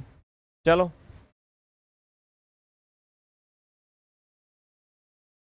अठारह की उत्तरवर्ती संख्या। बताओ भाई, पहला, सत्रह, उन्नीस, बीस, या नौ ऑफ़ दीज इनमें कोई नहीं। बहुत अच्छा वेरी गुड उत्तरवर्ती या अनुवर्ती संख्या का मतलब ये होता बच्चा, दी गई संख्या में वन एड करके नेक्स्ट संख्या होती है। प्रीति यादव, जी गुड मॉर्निंग हाँ नेक्स्ट यानी जो संख्या दी गई उसकी आने वाली संख्या। आइए सेकेंड क्वेश्चन वैसे मैं फिर से बता दूँ, आज पढ़ाई वाली क्लास नहीं है, आज हम लोगों ने कुछ इंपॉर्टेंट टॉपिक पर डिस्कस किया। लेकिन फिर भी थोड़ा बहुत अगर पढ़े ही हैं तो पूछ ही लेते हैं, क्या ही हर्ज है। ये बताओ, संख्या सेवन वन नाइन का एच सी एफ़ क्या होगा? इसमें बिल्कुल भी दिमाग नहीं लगाना है। सिर्फ़ आंसर देना है।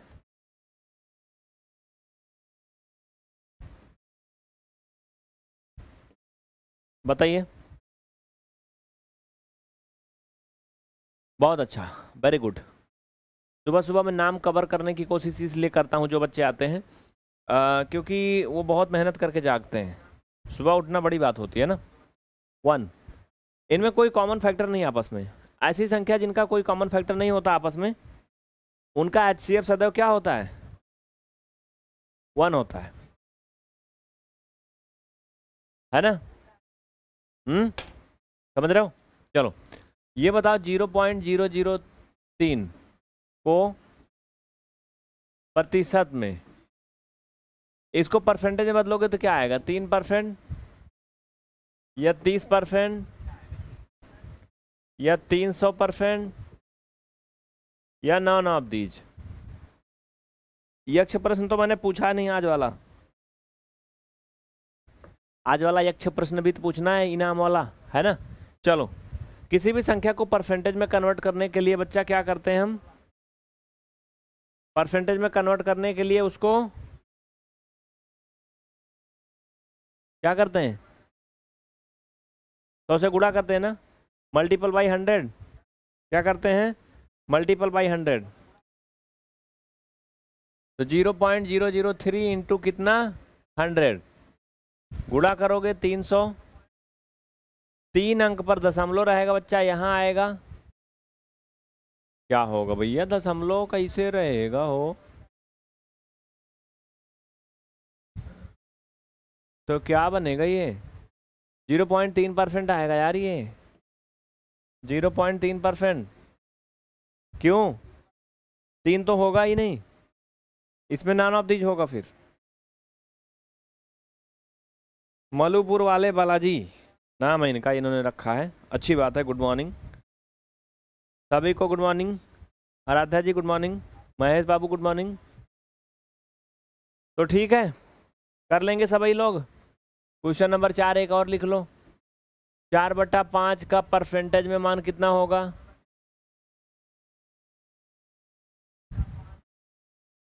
सोचो सोचो सोचो। दस परसेंट, बीस परसेंट, साठ परसेंट, अस्सी परसेंट। बहुत अच्छा अस्सी परसेंट। कैसे? दी गई संख्या को बेटा हमेशा परसेंटेज में कन्वर्ट करने के लिए सौ से मल्टीपल करते हैं। इसको हल करोगे कितना आएगा? अस्सी परसेंट। देखिए आंसर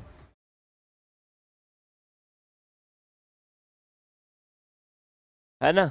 बढ़िया? मस्त, ज़बरदस्त। तो वैसे फ़िलहाल आज पढ़ाई वाला क्लास था नहीं, लेकिन मैं पाँच क्वेश्चन कर लिया, बट आज का सवाल। आज का प्रश्न,